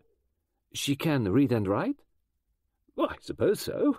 But I agree that people aren't very good sometimes at reading old ladies' handwriting, which is very spiky and very hard to read. If there were any rumours flying about later, about this will or codicil, she might have thought that that was what she'd read in this rather undecipherable handwriting. A genuine document, said Poirot. But there was also a forged codicil. Who says so? Lawyers. Perhaps it wasn't forged at all. Lawyers are very particular about these matters. They were prepared to come into court with expert witnesses. Oh, well, said Mrs. Oliver, then it's easy to see what must have happened, isn't it? What is easy? What happened? Well, of course. The next day, or a few days later, or even as much as a week later, Mrs. Llewellyn Smythe either had a bit of a tiff with her devoted au pair attendant, or she had a delicious reconciliation with her nephew, Hugo, or her niece, Rowena, and she tore up the will, or scratched out the codicil, or something like that, or burnt the whole thing. And after that? Well, after that, I suppose Mrs. Llewellyn Smythe dies, and the girl seizes her chance and writes a new codicil in roughly the same terms, in as near to Mrs. Llewellyn Smythe's handwriting as she can, and the two witnessing signatures as near as she can. She probably knows Mrs. Leaman's writing quite well. It would be on national health cards or something like that, and she produces it, thinking that someone will agree to having witnessed the will, and that all would be well. But her forgery isn't good enough, and so trouble starts. Will you permit me, chère madame, to use your telephone? I will permit you to use Judith Butler's telephone, yes. Where is your friend? Oh, she's gone to get her hair done, and Miranda's gone for a walk. Uh, go on, it's in the room through the window there. Poirot went in and returned about ten minutes later. Well, what have you been doing? I rang up Mr. Fullerton, the solicitor. I will now tell you something. The codicil, the forged codicil that was produced for probate, was not witnessed by Harriet Leaman. It was witnessed by a Mary Doherty, deceased, who had been in service with Mrs. Llewellyn Smythe but had recently died. The other witness was the James Jenkins, who, as your friend Mrs. Leaman has told you, departed for Australia. So, there was a forged codicil, said Mrs. Oliver, and there seems to have been a real codicil as well. Look here, Poirot, isn't this all getting a little too complicated? It is getting incredibly complicated, said Hercule Poirot. There is, if I may mention it, too much forgery about. Well, perhaps the real one is still in the library at Quarry House, within the pages of Inquire Within upon Everything. I understand all the effects of the house were sold up at Mrs. Llewellyn Smythe's death except for a few pieces of family furniture and some family pictures. What we need, said Mrs. Oliver, is something like Inquire Within Here Now. It's a lovely title, isn't it? I remember my grandmother had one. You could, you know, inquire within about everything, too. Legal information, cooking recipes, how to take ink stains out of linen, how to make homemade face powder that would not damage the complexion. Oh, and lots more. Yes, wouldn't you like to have a book like that now? Doubtless, said Hercule Poirot, it would give the recipe for the treatment of tired feet. Plenty of them, I should think. But why don't you wear proper country shoes? Madame, I like to look soigné in my appearance. Well, then you'll have to go on wearing things that are painful and grin and bear it, said Mrs. Oliver. All the same, I don't understand anything now. W was that Leaman woman telling me a pack of lies just now? It is always possible. Did someone tell her to tell a pack of lies? That, too, is possible. Did someone pay her to tell me a pack of lies? Continue, said Poirot. Continue. You are doing very nicely. I suppose, said Mrs. Oliver thoughtfully, that Mrs. Llewellyn Smythe, like many other rich women, enjoyed making wills. Uh, I expect she made a good many of them during her life. You know, benefiting one person and then another, changing about. The Drakes were well off anyway. I expect she always left them at least a handsome legacy, but I wondered if she ever left anyone else, as much as she appears, according to Mrs. Leaman, and according to the forged will as well, to have left to that girl Olga. I'd like to know a bit more about that girl, I must say. She certainly seems a very successful disappearess. I hope to know more about her shortly, said Hercule Poirot. How? Information that I shall receive shortly. I know you've been asking for information down here. And Not only here. I have an agent in London who obtains information for me both abroad and in this country. I should have some news possibly soon from Herzegovina. Will you find out if she ever arrived back there?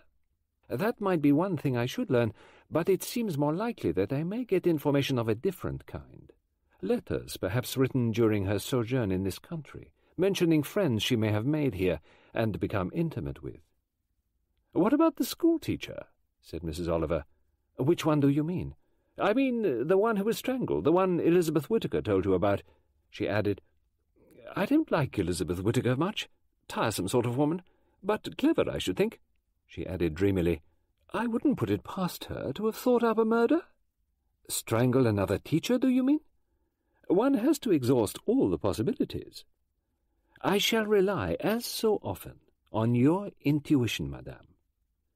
Mrs. Oliver ate another date, thoughtfully. When he left Mrs. Butler's house, Poirot took the same way as had been shown him by Miranda. The aperture in the hedge, it seemed to him, had been slightly enlarged since last time. Somebody, perhaps with slightly more bulk than Miranda, had used it also. he ascended the path in the quarry, noticing once more the beauty of the scene. A lovely spot, and yet in some way Poirot felt, as he had felt before, that it could be a haunted spot.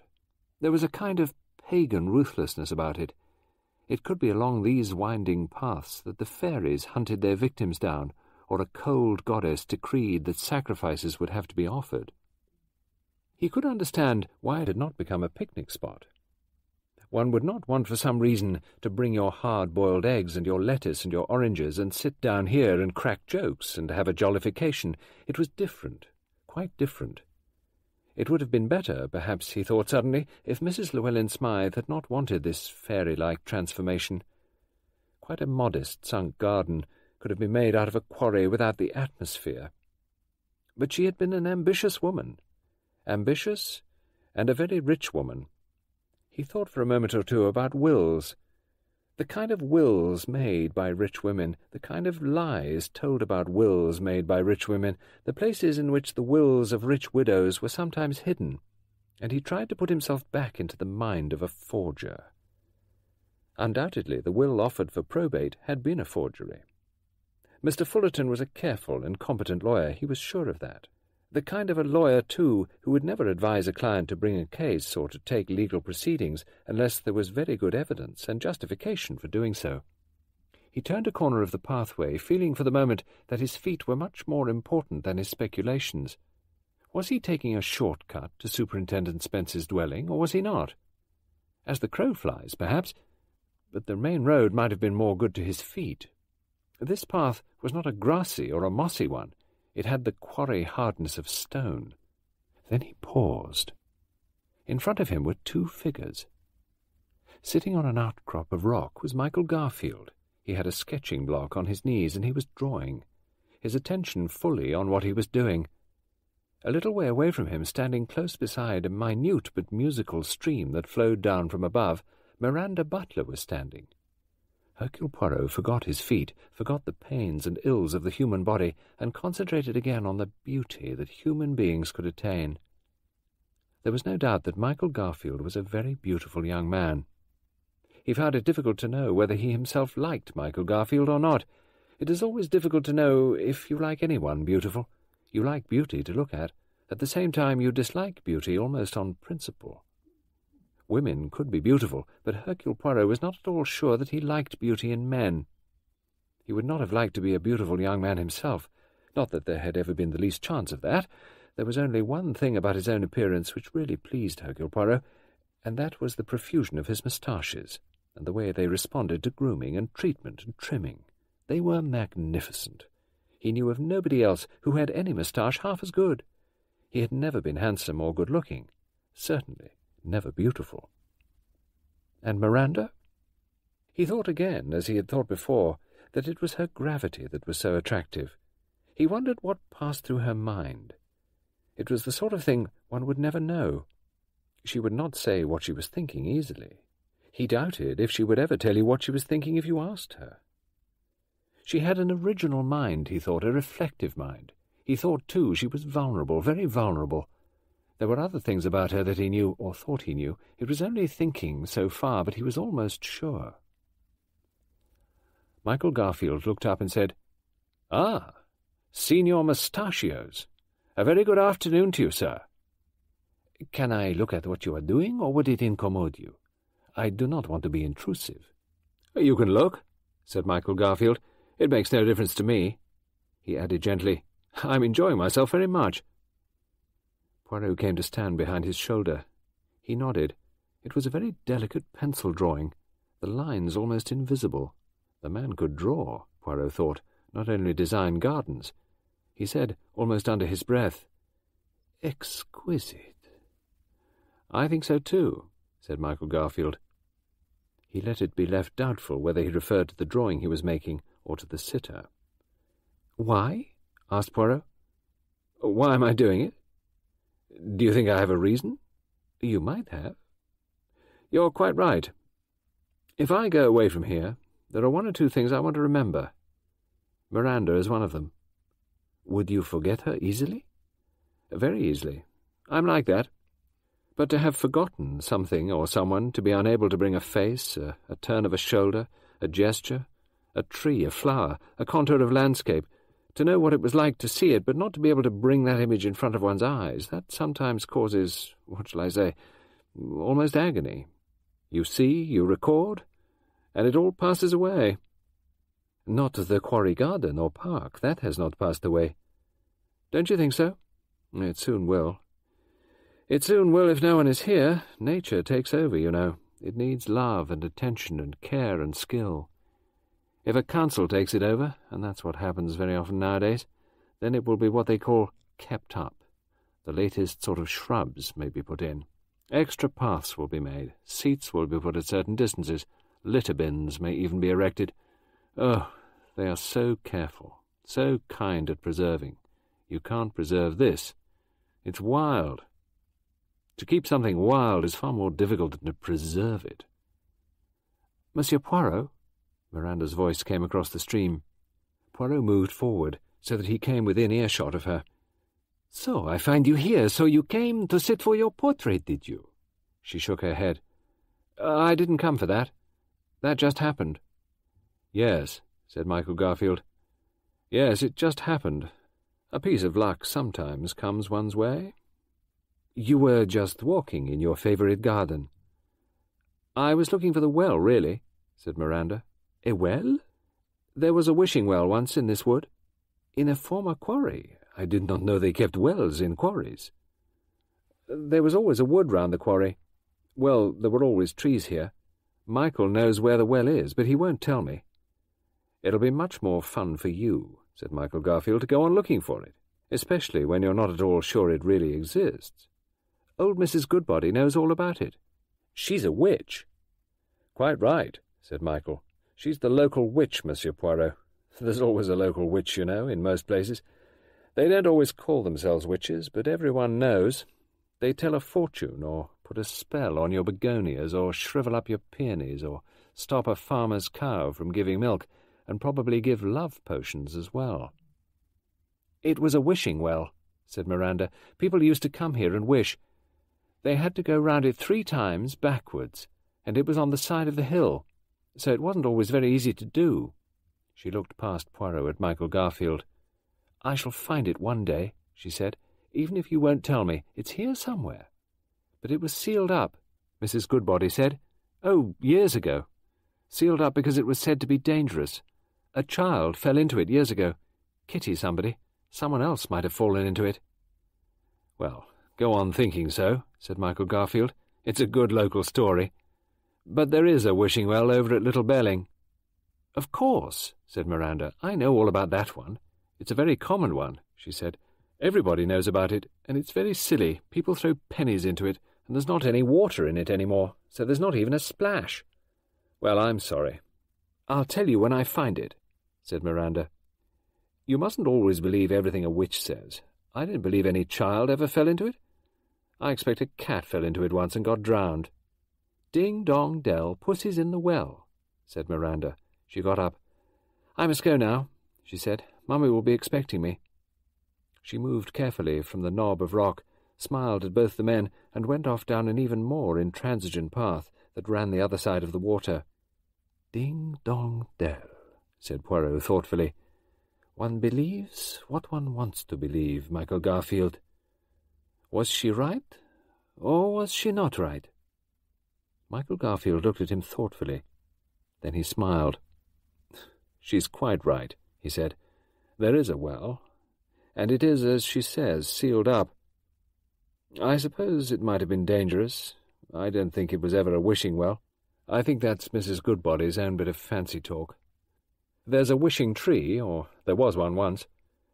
A beech tree halfway up the hillside that I believe people did go round three times backwards and wished. What's happened to that? Don't they go round it any more? No, I believe it was struck by lightning about six years ago. Split in two. So that pretty story's gone west. Have you told Miranda about that? No, I thought I'd rather leave her with her well. A blasted beech wouldn't be much fun for her, would it? I must go on my way, said Poirot. Going back to your police friend? Yes. You look tired. I am tired, said Hercule Poirot. I am extremely tired.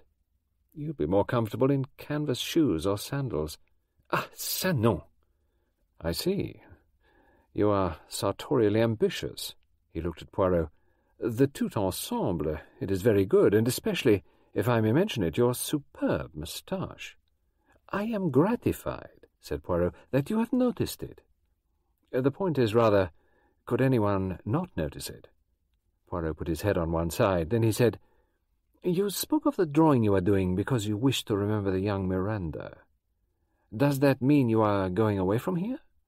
I have thought of it, yes. Yet you are, it seems to me, bien placé ici. Oh, yes, eminently so. I have a house to live in, a house small, but designed by myself, and I have my work. But that is less satisfactory than it used to be, so restlessness is coming over me. Why is your work less satisfactory? Because people wish me to do the most atrocious things. People who want to improve their gardens. People who bought some land and they're building a house and want the garden designed. Are you not doing her garden for Mrs. Drake? Oh, she wants me to, yes. I made suggestions for it, and she seemed to agree with them. I don't think, though, he added thoughtfully, that I can really trust her. You mean that she would not let you have what you wanted? I mean that she would certainly have what she wanted herself, and that though she is attracted by the ideas I've set out, she would suddenly demand something quite different, something utilitarian, expensive and showy, perhaps. She would bully me, I think. She would insist on her ideas being carried out. I would not agree, and we should quarrel. So on the whole, it is better I leave here before I quarrel and not only with Mrs. Drake, but many other neighbours. I'm quite well known. I don't need to stay in one spot. I could go and find some other corner of England, or it could be some corner of Normandy or Brittany. Somewhere where you can improve or help nature. Somewhere where you can experiment, or you can put strange things where they have never grown before, where neither sun will blister nor frost destroy. Some good stretch of barren land where you can have the fun of playing at being Adam all over again. Have you always been so restless? I never stayed anywhere very long. You have been to Greece? Yes, I should like to go to Greece again. Yes, you have something there. A garden on a Greek hillside. There may be cypresses there, not much else. A barren rock. But if you wished, what could there not be? A garden for gods to walk. Yes. You're quite a mind reader, aren't you, Mr. Poirot? I wish I were. There are so many things I would like to know and do not know. You're talking now of something quite prosaic, are you not? Unfortunately so. Arson, murder, and sudden death? More or less. I do not know that I was considering arson. Tell me, Mr. Garfield, you have been here some considerable time. Did you know a young man called Leslie Ferrier? Yes, I remember him. He was in a Medchester solicitor's office, wasn't he? Fullerton, Harrison, and Ledbetter. Junior clerk, something of that kind. Good-looking chap. He came to a sudden end, did he not? Yes, got himself knifed one evening. Woman trouble, I gather. Everyone seems to think that the police know quite well who did it, but they can't get the evidence they want. He was more or less tied up with a woman called Sandra, can't remember her name for the moment. Sandra somebody? Yes. Her husband kept the local pub. She and young Leslie were running an affair. Then Leslie took up with another girl. Or that was the story. And Sandra did not like it? No, she did not like it at all. Mind you, he was a great one for the girls. There were two or three that he went around with. Were they all English girls? Why do you ask that, I wonder? No, I don't think he confined himself to English girls, so long as they could speak enough English to understand more or less what he said to them, and he could understand what they said to him. There are doubtless from time to time foreign girls in this neighbourhood. Well, of course there are. Is there any neighbourhood where there aren't? Oh, Au pair girls. They're a part of daily life. Ugly ones, pretty ones, honest ones, dishonest ones. Ones that do some good to distracted mothers, and some who are no use at all, and some who walk out of the house like the girl Olga did. As you say, like the girl Olga did. Was Leslie a friend of Olga's? Oh, that's the way your mind is running. Yes, he was. I don't think Mrs. Llewellyn Smythe knew much about it. Olga was rather careful, I think. She spoke gravely of someone she hoped to marry some day in her own country. I don't know whether that was true or whether she made it up. Young Leslie was an attractive young man, as I said. I don't know what he saw in Olga. She wasn't very beautiful. Still, he considered a minute or two, she had a kind of intensity about her. A young Englishman might have found that attractive, I think. Anyway, Leslie did all right, and his other girlfriends weren't pleased. That is very interesting, said Poirot. I thought you might give me information that I wanted. Michael Garfield looked at him curiously. Why? What's all this about? Where does Leslie come in? Why this raking up of the past? Well, there are things one wants to know. One wants to know how things came into being. I am even looking farther back still. Before the time that those two, Olga Seminoff and Leslie Ferrier, met secretly without Mrs. Llewellyn Smythe knowing about it. Well, I'm not sure about that. That's only my... well, it's only my idea. I did come across them fairly frequently, but Olga never confided in me. As for Leslie Ferrier, I hardly knew him. I want to go back behind that. He had, I gather, certain disadvantages in his past. I believe so. Yes, well, anyway, it's been said here locally Mr. Fullerton took him on and hoped to make an honest man of him. He's a good chap, old Fullerton. His offence had been, I believe, forgery. Yes.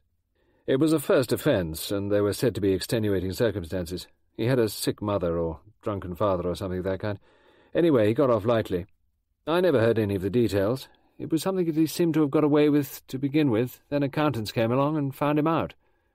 I'm very vague. It's only hearsay. Forgery. Yes, that was the charge, forgery. And when Mrs. Llewellyn Smythe died, and her will was to be admitted to probate, it was found the will was forged. Yes, I see the way your mind's working. You're fitting those two things as having a connection with each other. A man who was up to a point successful in forging. A man who became friends with the girl. A girl who, if a will had been accepted when submitted to probate, would have inherited the larger part of a vast fortune. Yes, yes, that's the way it goes. And this girl and the man who had committed forgery were great friends. He had given up his own girl, and he tied up with the foreign girl instead. What you're suggesting is that the forged will was forged by Leslie Ferrier. There seems a likelihood of it, does there not? Olga was supposed to have been able to copy Mrs. Llewellyn Smythe's handwriting fairly well, but it seemed to me always that that was rather a doubtful point.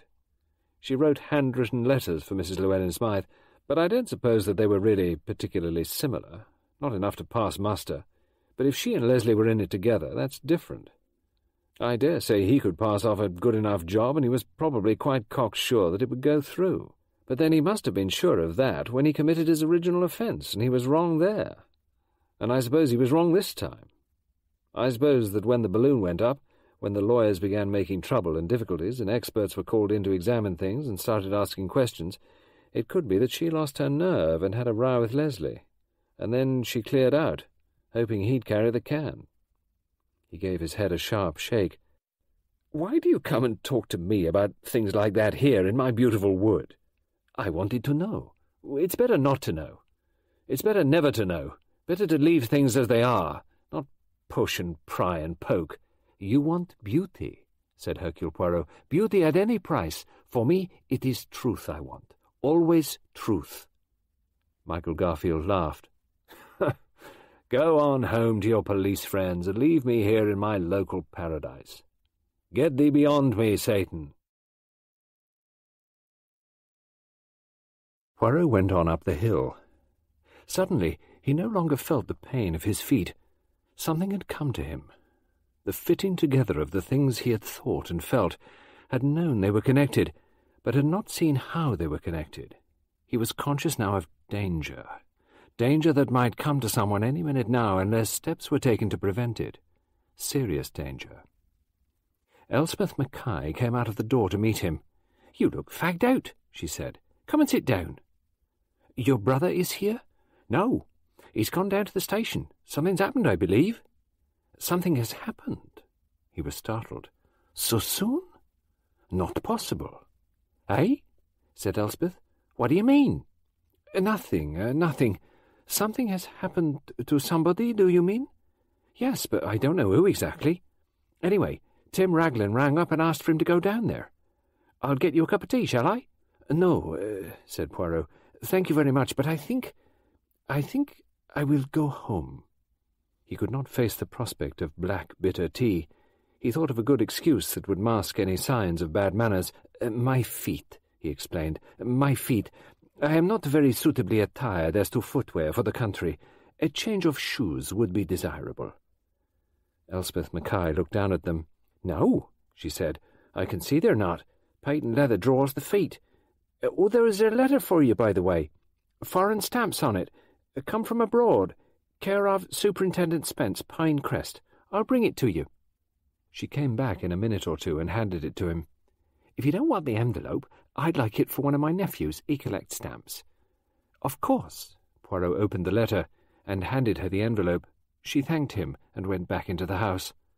Poirot unfolded the sheet and read. Mr. Goby's foreign service was run with the same competence that he showed in his English one. He spared no expense and got his results quickly. True, the results did not amount to much. Poirot had not thought that they would. Olga Seminoff had not returned to her home town. She had had no family still living. She had had a friend, an elderly woman with whom she had corresponded intermittently, giving news of her life in England. She had been on good terms with her employer, who had been occasionally exacting, but had also been generous. The last letters received from Olga had been dated about a year and a half ago. In them there had been mention of a young man. There were hints that they were considering marriage, but the young man whose name she did not mention had, she said, his way to make, so nothing could be settled as yet. In her last letter she spoke happily of their prospects being good. When no more letters came, the elderly friend assumed that Olga had married her Englishman and changed her address. Such things happened frequently when girls went to England. If they were happily married, they often never wrote again. She had not worried. It fitted, Poirot thought. Leslie had spoken of marriage, but might not have meant it. Mrs. Llewellyn Smythe had been spoken of as generous. Leslie had been given money by someone. Olga, perhaps. Money originally given her by her employers, to induce him to do forgery on her behalf. Elspeth Mackay came out onto the terrace again. Poirot consulted her as to his surmises about a partnership between Olga and Leslie. She considered a moment. Then the oracle spoke. Kept very quiet about it, if so. Never any rumours about those two. There usually isn't a place like this if there's anything in it. Young Ferrier was tied up to a married woman. He might have warned the girl not to say anything about him to her employer. Likely enough, Mrs. Smythe would probably know that Leslie Ferrier was a bad character, and would warn the girl to have nothing to do with him. Poirot folded up the letter and put it into his pocket. I wish you'd let me get you a pot of tea. No, no, no, no, no. I must go back to my guest house and change my shoes. Uh, you do not know when your brother will be back? I've no idea. They didn't say what they wanted him for. Poirot walked along the road to his guest house. It was only a few hundred yards, as he walked up to the front door, it was opened, and his landlady, a cheerful lady of thirty odd, came out to him. There's a lady here to see you, she said. Been waiting some time. I told her I didn't know where you'd gone exactly or when you'd be back, but she said she'd wait. She added, It's Mrs. Drake. She's in a state, I'd say. She's usually so calm about everything. But really, I think she's had a shock of some kind. She's in the sitting room. Shall I bring you in some tea and something? No, said Poirot. I think it will be better not. I will hear first what she has to say. He opened the door and went into the sitting room. Rowena Drake had been standing by the window. It was not the window overlooking the front path, so she had not seen his approach. She turned abruptly as she heard the sound of the door. Monsieur Poirot, at last! It seemed so long! I am sorry, madame. I have been in the quarry wood, and also talking to my friend Mrs. Oliver, and then I have been talking to two boys, to Nicholas and Desmond. Nicholas and Desmond? Oh, yes, I know. I wonder... Oh, one thinks of all sorts of things. You are upset, said Poirot gently. It was not a thing he thought he would ever see. Rowena Drake upset. No longer mistress of events, no longer arranging everything and enforcing her decisions on others. You've heard, haven't you? she asked. Oh, well, perhaps you haven't. What should I have heard? Something dreadful. He's. He's dead. Somebody killed him. Who is dead, madame? Then you haven't really heard. And he's only a child, too, and I thought, oh, what a fool I've been. I should have told you. I should have told you when you asked me. It makes me feel terrible, terribly guilty for thinking I knew best and thinking. But I did mean it for the best. Monsieur Poirot, indeed I did. Sit down, madame, sit down. Calm yourself and tell me. There is a child dead? Another child? Her brother, said Mrs. Drake. Leopold. Leopold Reynolds? Yes. They found his body on one of the field paths. He must have been coming back from school and gone out of his way to play in the brook near here. Somebody held him down in the brook, held his head under water. The same kind of thing as they did to the child Joyce. Yes, yes, I can see it must be it must be madness of some kind, and one doesn't know who. That's what's so awful. One hasn't the least idea. And I thought I knew. I, I really thought. I suppose. Yes. It was a very wicked thing. You must tell me, madame. Yes, I, I want to tell you. I came here to tell you. Because you see, you came to me after you talked to Elizabeth Whittaker after she'd told you that something had startled me, that I'd seen something, something in the hall of the house, my house, I said that I hadn't seen anything and that nothing had startled me because, you see, I, I thought... She stopped. What did you see? I ought to have told you then. I saw the door of the library open, open rather carefully, and then he came out. At least, he didn't come right out. He just stood in the doorway and then pulled the door quickly back and went back inside. Who was this? Leopold. Leopold, the child that's been killed now. And you see, I thought, oh, what a mistake, what an awful mistake. If I'd told you, perhaps, perhaps you'd have got at what was behind it. You thought, Poirot said, you thought that Leopold had killed his sister? Is that what you thought? Yes, that's what I thought. Not then, of course, because I didn't know she was dead. But he had a queer look on his face. He's always been a queer child. In a way, you're a little afraid of him because you feel he's not not quite right. Very clever and a high IQ, but all the same, not all there. And I thought, why is Leopold coming out of there instead of being at the Snapdragon? And I thought, what's he been doing? He looks so queer. And then, well, then I didn't think of it again after that, but I suppose the way he looked upset me. That's why I dropped the vase.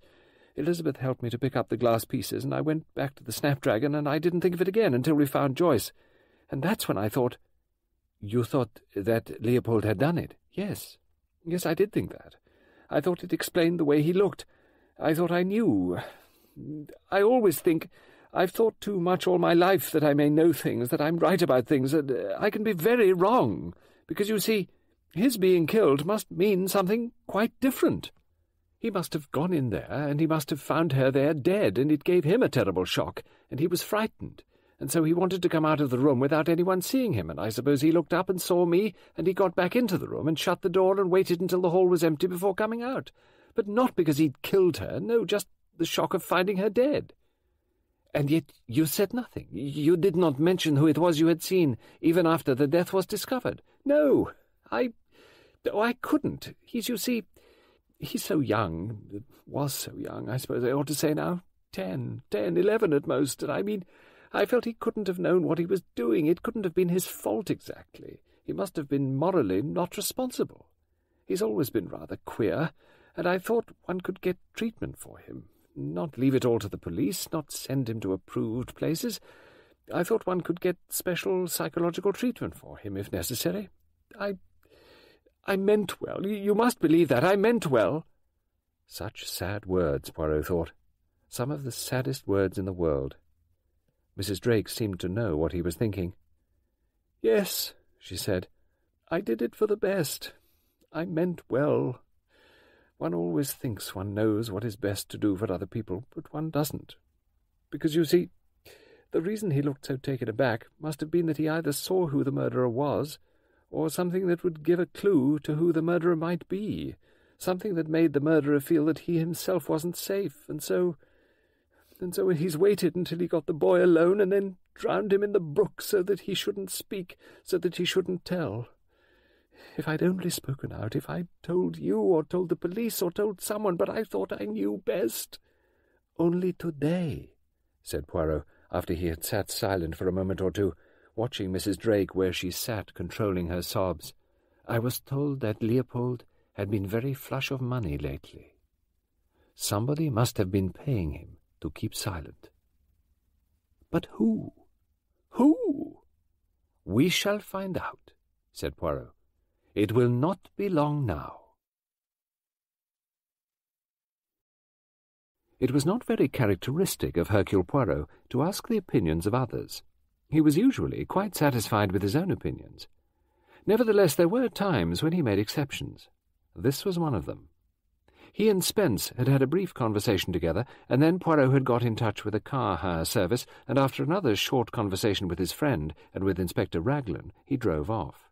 He had arranged with the car to drive him back to London, but he had made one halt on the way there. He drove to the Elms. He told the driver of the car that he would not be long, a quarter of an hour at most, and then he sought audience with Miss Emlyn. I am sorry to disturb you at this hour. It is no doubt the hour of your supper or dinner. Well, I do you at least the compliment, Monsieur Poirot, to think that you would not disturb me at either supper or dinner, unless you have a valid reason for doing so. You are very kind. To be frank, I want your advice. Indeed. Miss Emlyn looked slightly surprised. She looked more than surprised. She looked sceptical. That does not seem very characteristic of you, Monsieur Poirot. Are you not usually satisfied with your own opinions? Yes, I am satisfied with my own opinions, but it would give me solace and support if someone whose opinion I respected agreed with them. She did not speak, merely looked at him inquiringly. I know the killer of Joyce Reynolds, he said. It is my belief that you know it also. I have not said so, said Miss Emlyn. No, you have not said so. And that might lead me to believe that it is on your part an opinion only. A hunch? inquired Miss Emlyn, and her tone was colder than ever. I would prefer not to use that word. I would prefer to say that you had a definite opinion. Very well, then. I will admit that I have a definite opinion. That does not mean that I shall repeat to you what my opinion is. What I should like to do, mademoiselle, is to write down four words on a piece of paper. I will ask you if you agree with the four words I have written. Miss Emlyn rose. She crossed the room to her desk, took a piece of writing paper, and came across to Poirot with it. You interest me, she said. Four words. Poirot had taken a pen from his pocket. He wrote on the paper, folded it, and handed it to her. She took it, straightened out the paper, and held it in her hand, looking at it. Well? said Poirot. As to two of the words on that paper, I agree, yes. The other two, that is more difficult. I have no evidence, and indeed, the ideas had not entered my head. But in the case of the first two words, you have definite evidence? I consider so, yes. Water, said Poirot thoughtfully. As soon as you heard that, you knew. As soon as I heard that, I knew. You are sure, and I am sure. And now, said Poirot, a boy has been drowned in a brook. You have heard that? Yes, someone rang me up on the telephone and told me. Joyce's brother. How was he concerned? He wanted money, said Poirot. He got it. And so, at a suitable opportunity, he was drowned in a brook. His voice did not change. It had, if anything, not a softened, but a harsher note. The person who told me, he said, was riddled with compassion, upset emotionally. But I am not like that. He was young, this second child who died, but his death was not an accident.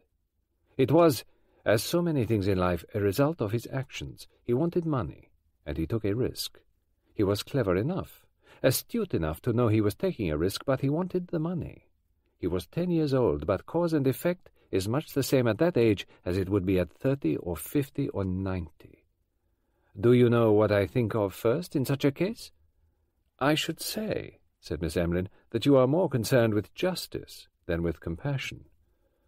Compassion, said Poirot, on my part would do nothing to help Leopold.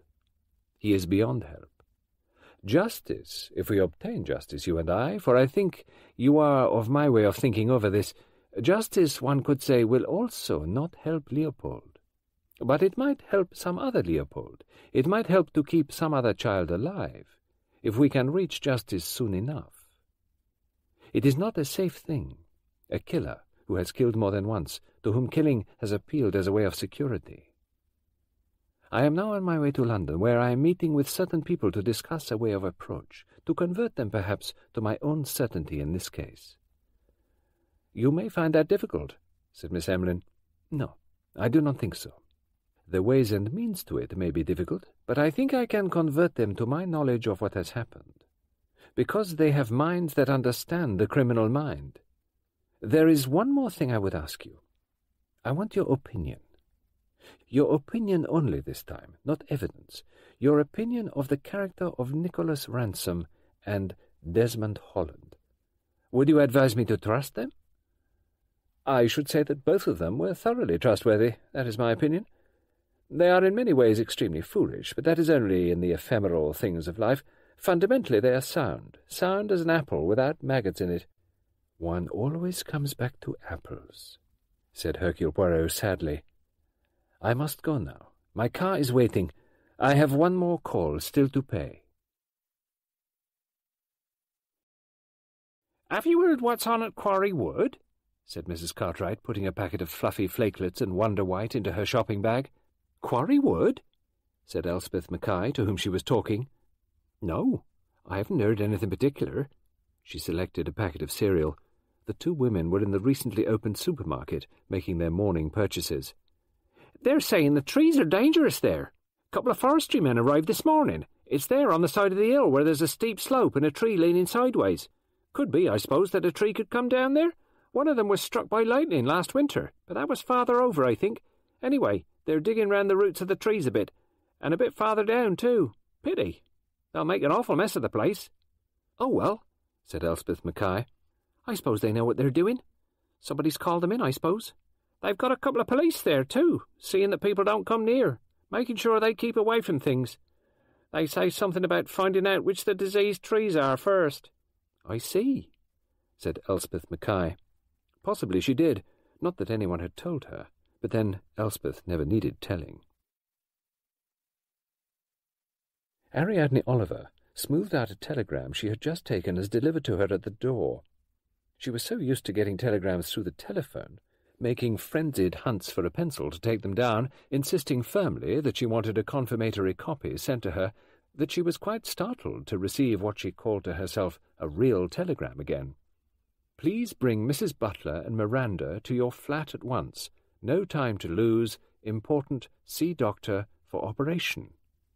She went into the kitchen where Judith Butler was making quince jelly.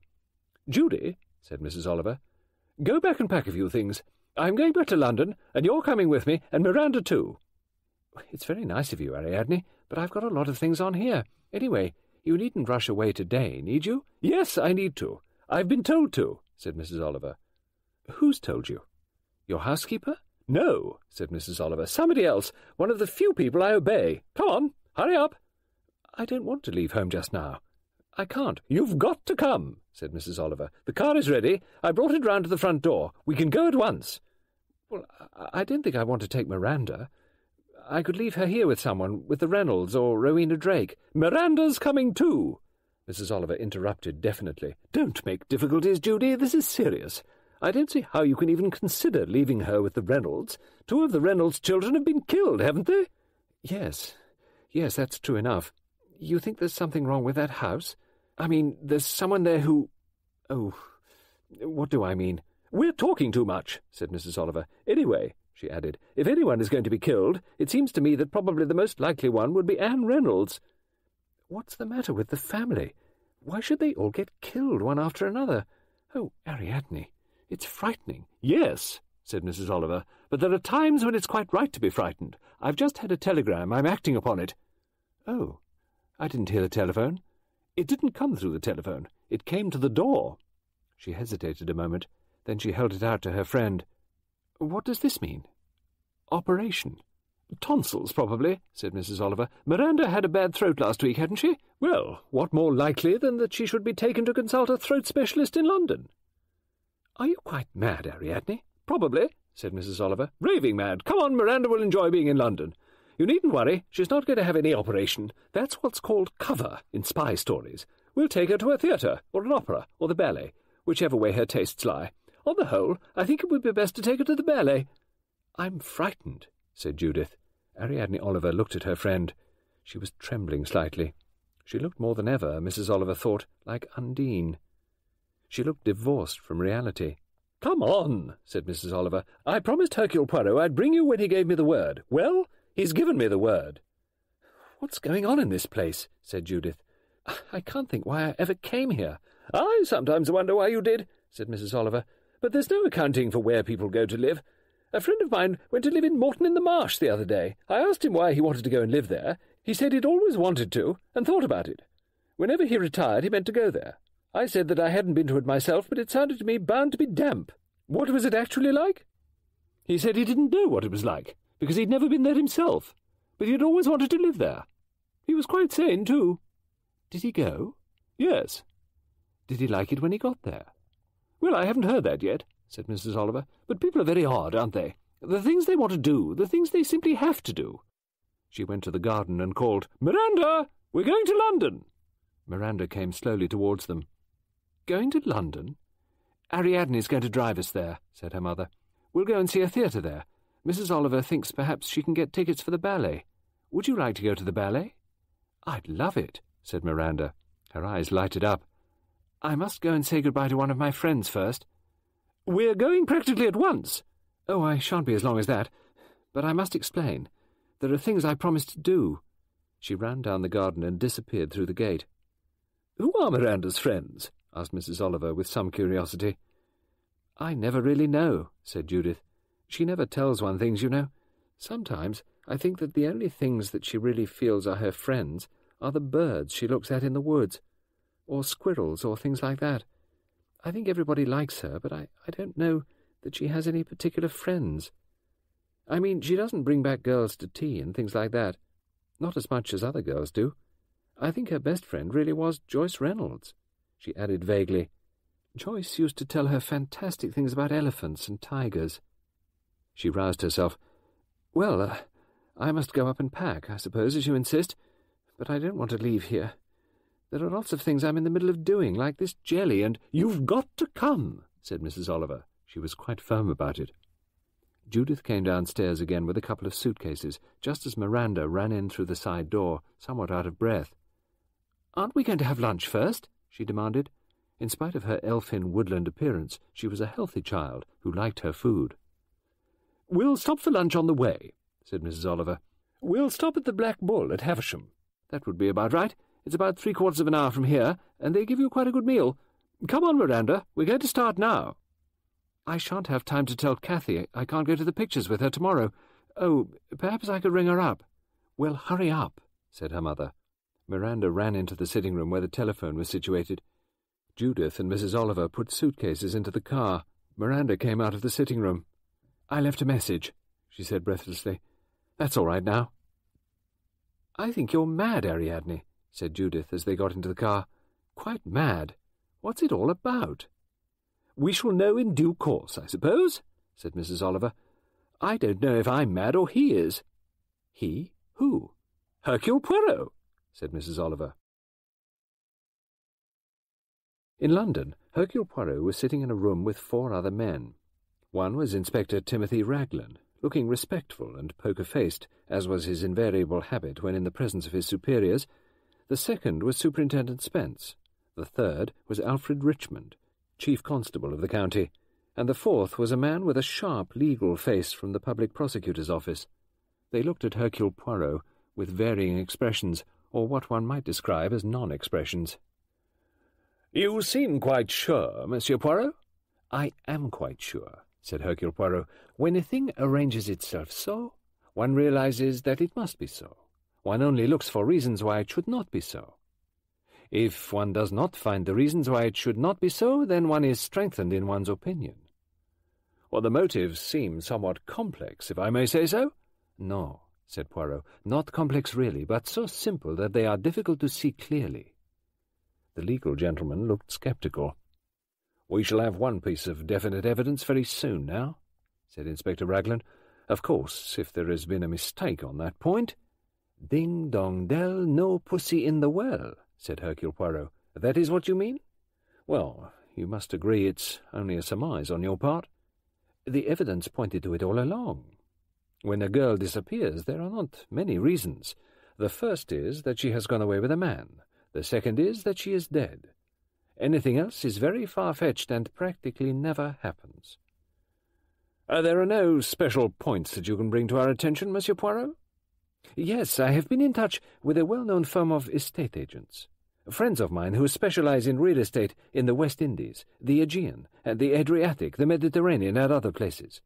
They specialize in sunshine, and their clients are usually wealthy.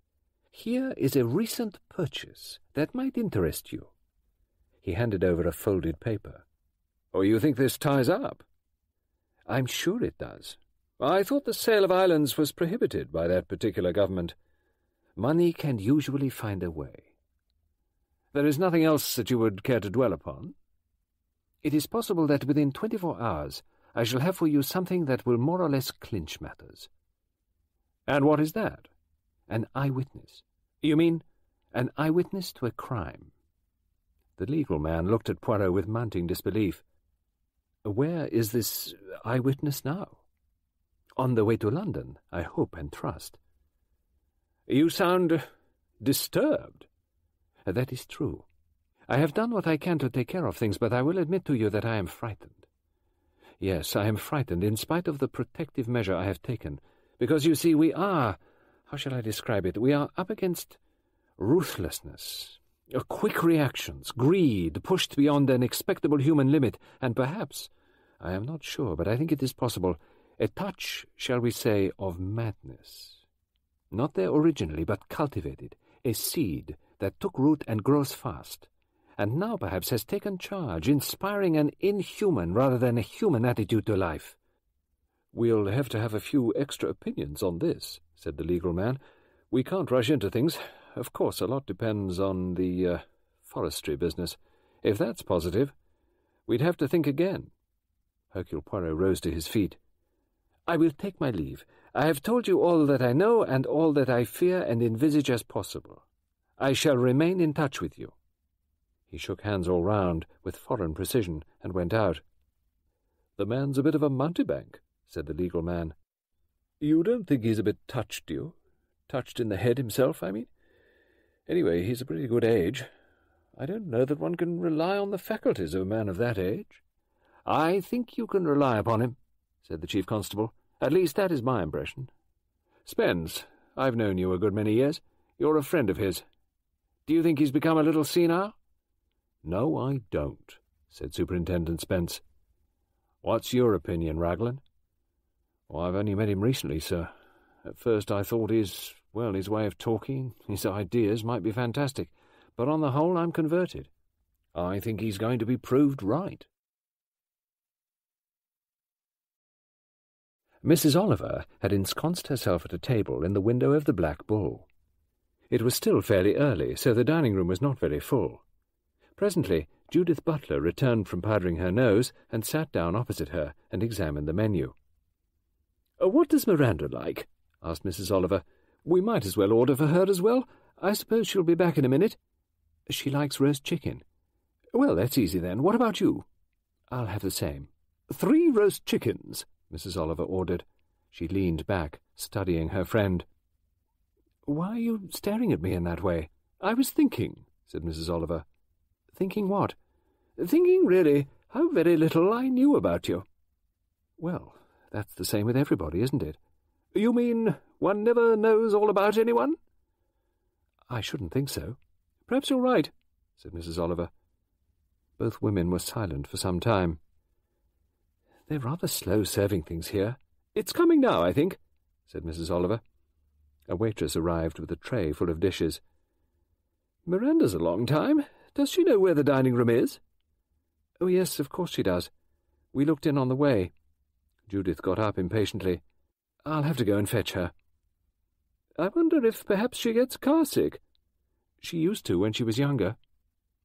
She returned some four or five minutes later. She's not in the ladies, she said. There's a door outside it into the garden. Perhaps she went out that way to look at a bird or something. She's like that. No time to look at birds today, said Mrs. Oliver.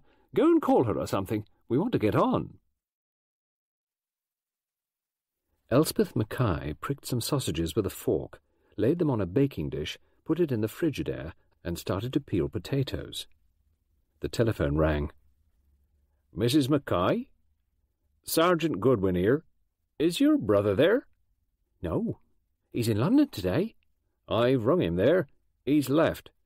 When he gets back, tell him we've had a positive result. Oh, you mean you found a body in the well? Oh, not much use clamming up about it. The word's got round already. Who is it? The au pair girl? Seems like it. Poor girl, said Elspeth. Did she throw herself in, or, or what? It wasn't suicide. She was knifed. It was murder, all right. After her mother had left the ladies' room, Miranda waited for a minute or two. Then she opened the door, cautiously peered out, opened the side door to the garden, which was close at hand, and ran down the garden path that led round to the backyard of what had once been a coaching inn and was now a garage.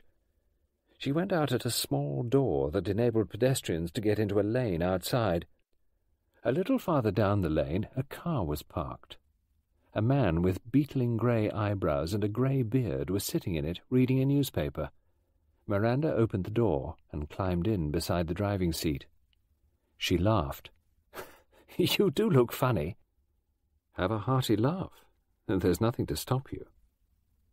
The car started, went down the lane, turned right, turned left, turned right again, and came out on a secondary road.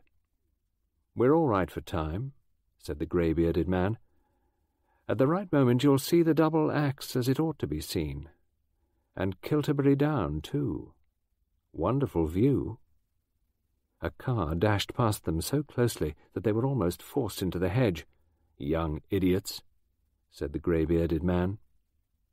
One of the young men had long hair reaching over his shoulders and large, owlish spectacles. The other one affected a more Spanish appearance with sideburns.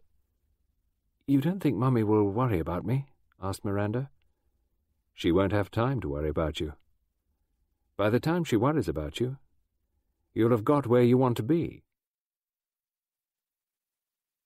In London, Hercule Poirot picked up the telephone. Mrs. Oliver's voice came over. We've lost Miranda. What do you mean, lost her? We had lunch at the Black Bull.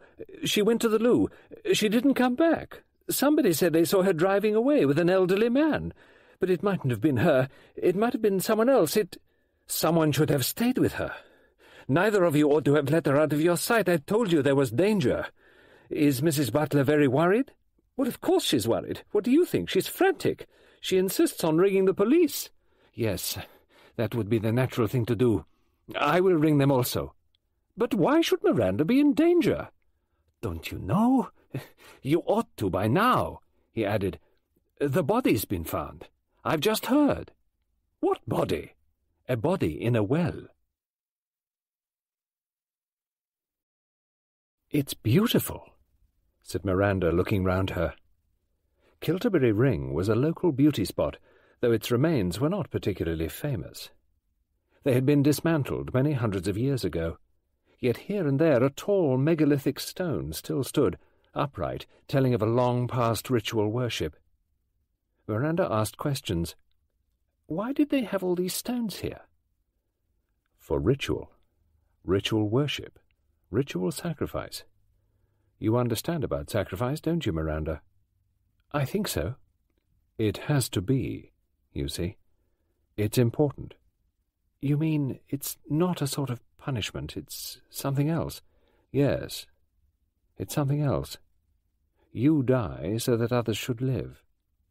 You die so that beauty should live, should come into being. That's the important thing. I thought perhaps... Yes, Miranda? I thought perhaps you ought to die because what you've done has killed someone else. What put that into your head? I was thinking of Joyce. If I hadn't told her about something, she wouldn't have died, would she? Perhaps not. I've felt worried since Joyce died. I needn't have told her, need I? I told her because I wanted to have something worthwhile telling her. She'd been to India, and she kept talking about it, about the tigers and about the elephants, and their gold hangings and decorations and their trappings. And I think, too, suddenly I wanted somebody else to know, because, you see, I hadn't really thought about it before, she added. Was... was that a sacrifice, too? In a way. Miranda remained contemplative. Then she said, Isn't it time yet? The sun is not quite right yet. Another five minutes, perhaps, and then it will fall directly on the stone. Again they sat silent beside the car.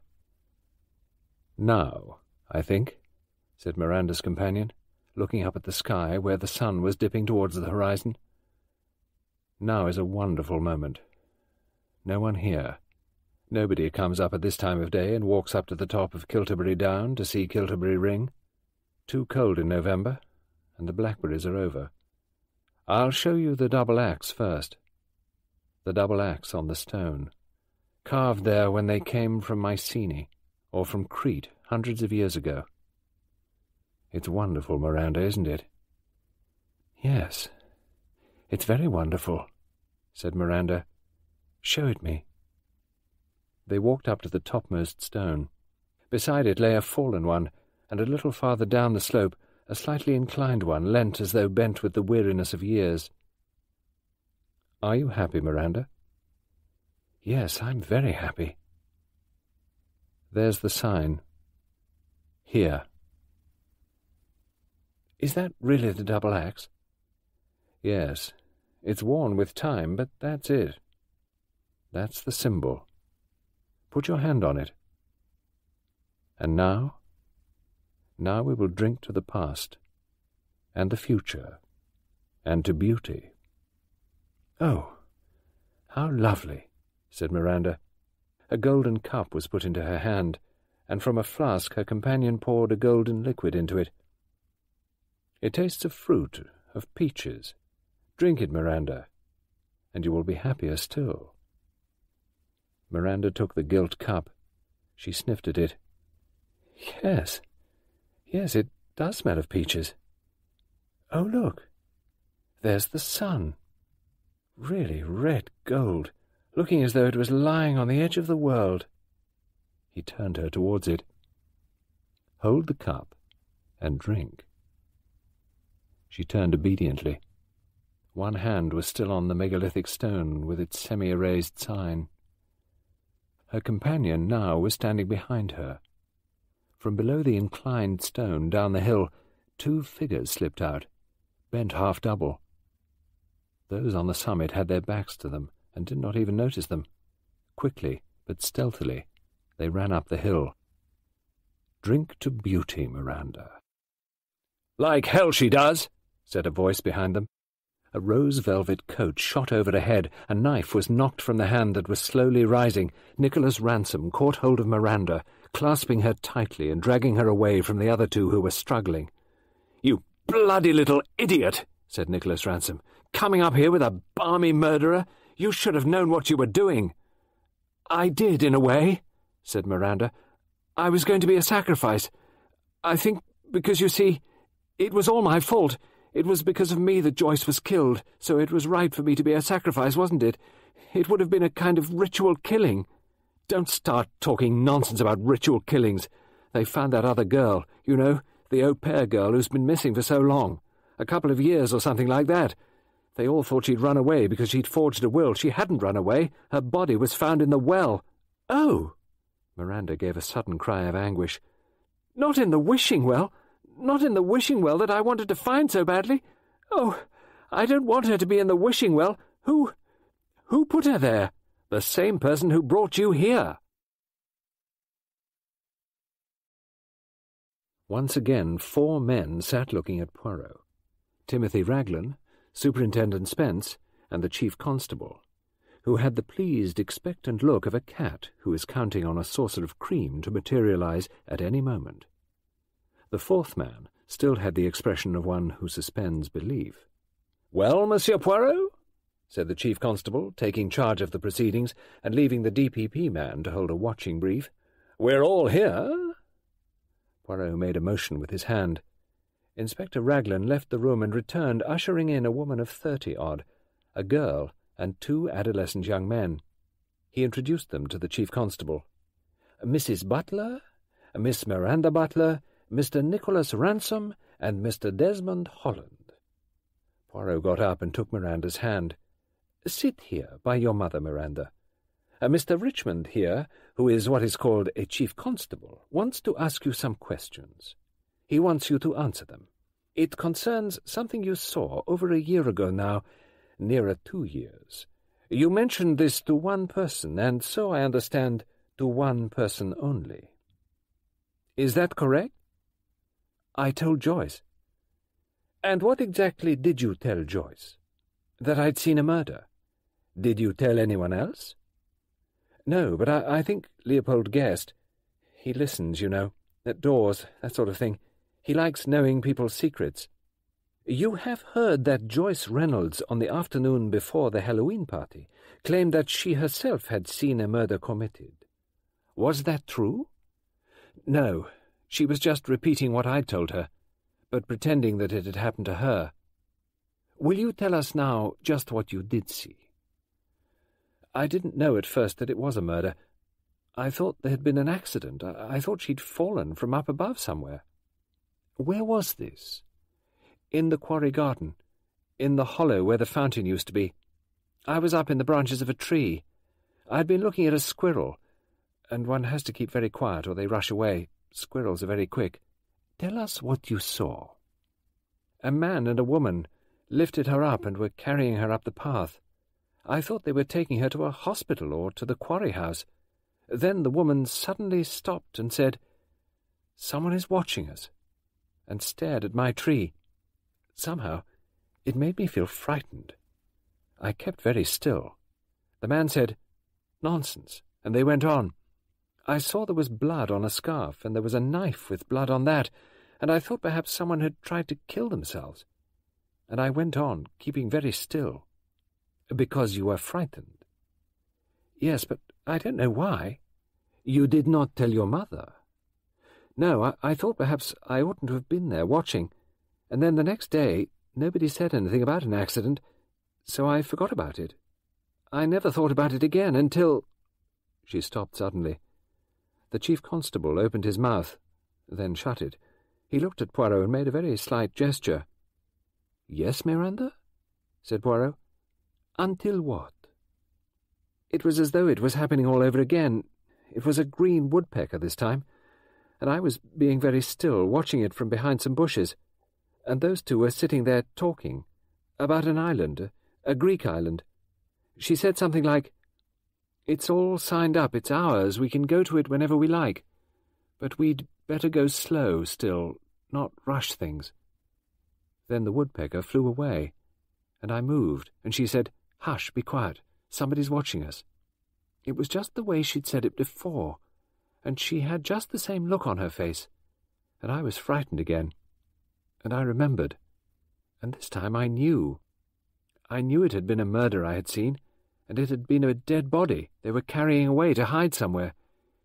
You see, I wasn't a child any more.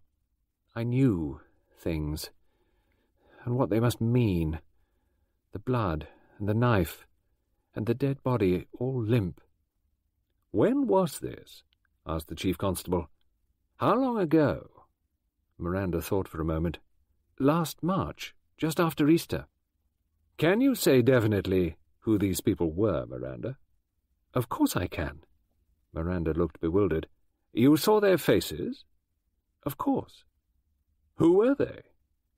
Mrs. Drake and Michael.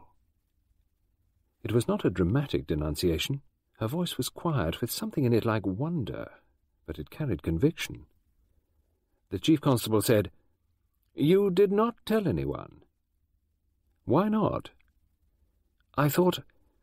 I thought it might have been a sacrifice. Who told you that? Michael told me. He said sacrifices were necessary. Poirot said gently, You loved Michael? Oh, yes said Miranda. I loved him very much.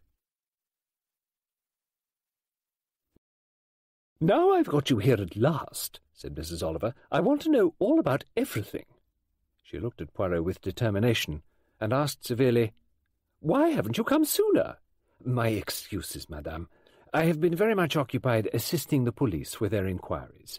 Well, it's criminals who do that. What on earth made you think of Rowena Drake being mixed up in a murder? Nobody else would have dreamed of it. It was simple. As soon as I got the vital clue. What do you call the vital clue? Water. I wanted someone who was at the party, and who was wet, and who shouldn't have been wet. Whoever killed Joyce Reynolds would necessarily have got wet. You hold down a vigorous child with its head in a full bucket of water, and there will be struggling and splashing, and you are bound to be wet. So something has got to happen to provide an innocent explanation of how you got wet. When everyone crowded into the dining room for the snapdragon, Mrs. Drake took Joyce with her to the library. If your hostess asks you to come with her, naturally you go and certainly Joyce had no suspicion of Mrs. Drake. All Miranda had told her was that she had once seen a murder committed, and so Joyce was killed, and her murderer was fairly well soaked with water. There must be a reason for that, and she set about creating a reason. She had to get a witness as to how she got wet. She waited on the landing with an enormous vase of flowers filled with water, in due course, Miss Whittaker came out from the snapdragon room. It was hot in there. Mrs. Drake pretended to start nervously and let the vase go, taking care that it flooded her person as it crashed down to the hall below. She ran down the stairs, and she and Miss Whittaker picked up the pieces and the flowers, while Mrs. Drake complained at the loss of her beautiful vase she managed to give Miss Whittaker the impression that she had seen something or someone coming out of the room where a murder had been committed. Miss Whittaker took the statement at its face value. But when she mentioned it to Miss Emlyn, Miss Emlyn realized the really interesting thing about it, and so she urged Miss Whittaker to tell me the story. And so, said Poirot, twirling his moustaches, I, too, knew who the murderer of Joyce was. And all the time, Joyce had never seen any murder committed at all. Mrs. Drake did not know that, but she had always suspected that someone had been there in the quarry wood when she and Michael Garfield had killed Olga Seminoff, and might have seen it happen. When did you know it had been Miranda and not Joyce? As soon as common sense forced me to accept the universal verdict that Joyce was a liar. Then Miranda was clearly indicated. She was frequently in the quarry wood, observing birds and squirrels. Joyce was, as Miranda told me, her best friend. She said, We tell each other everything. Miranda was not at the party, so the compulsive liar Joyce could use the story her friend had told her of having once seen a murder committed, probably in order to impress you, madame, the well-known crime writer. Oh, that's right. Blame it all on me. No, no. Rowena Drake, mused Mrs. Oliver. I still can't believe it of her. She had all the qualities necessary. I have always wondered, he added, exactly what sort of woman Lady Macbeth was. What would she be like if you met her in real life? Well, I think I have met her. And Michael Garfield. They seem such an unlikely pair. Interesting. Lady Macbeth and Narcissus. An unusual combination. Lady Macbeth, Mrs. Oliver murmured thoughtfully. She was a handsome woman, efficient and competent, a born administrator. An unexpectedly good actress. You should have heard her lamenting over the death of the little boy Leopold and weeping large sobs into a dry handkerchief. Disgusting! You remember I asked you who, in your opinion, were the not nice people. Was Michael Garfield in love with her? I doubt if Michael Garfield has ever loved anyone but himself. He wanted money, a lot of money. Perhaps he believed at first he could influence Mrs. Llewellyn Smythe to dote upon him to the extent of making a will in his favour, but Mrs. Llewellyn Smythe was not that kind of woman. What about the forgery? I still don't understand that. What was the point of it all? It was confusing at first. Too much forgery, one might say.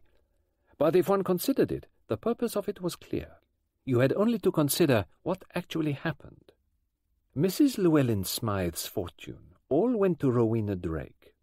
The codicil produced was so obviously forged that any lawyer would spot it.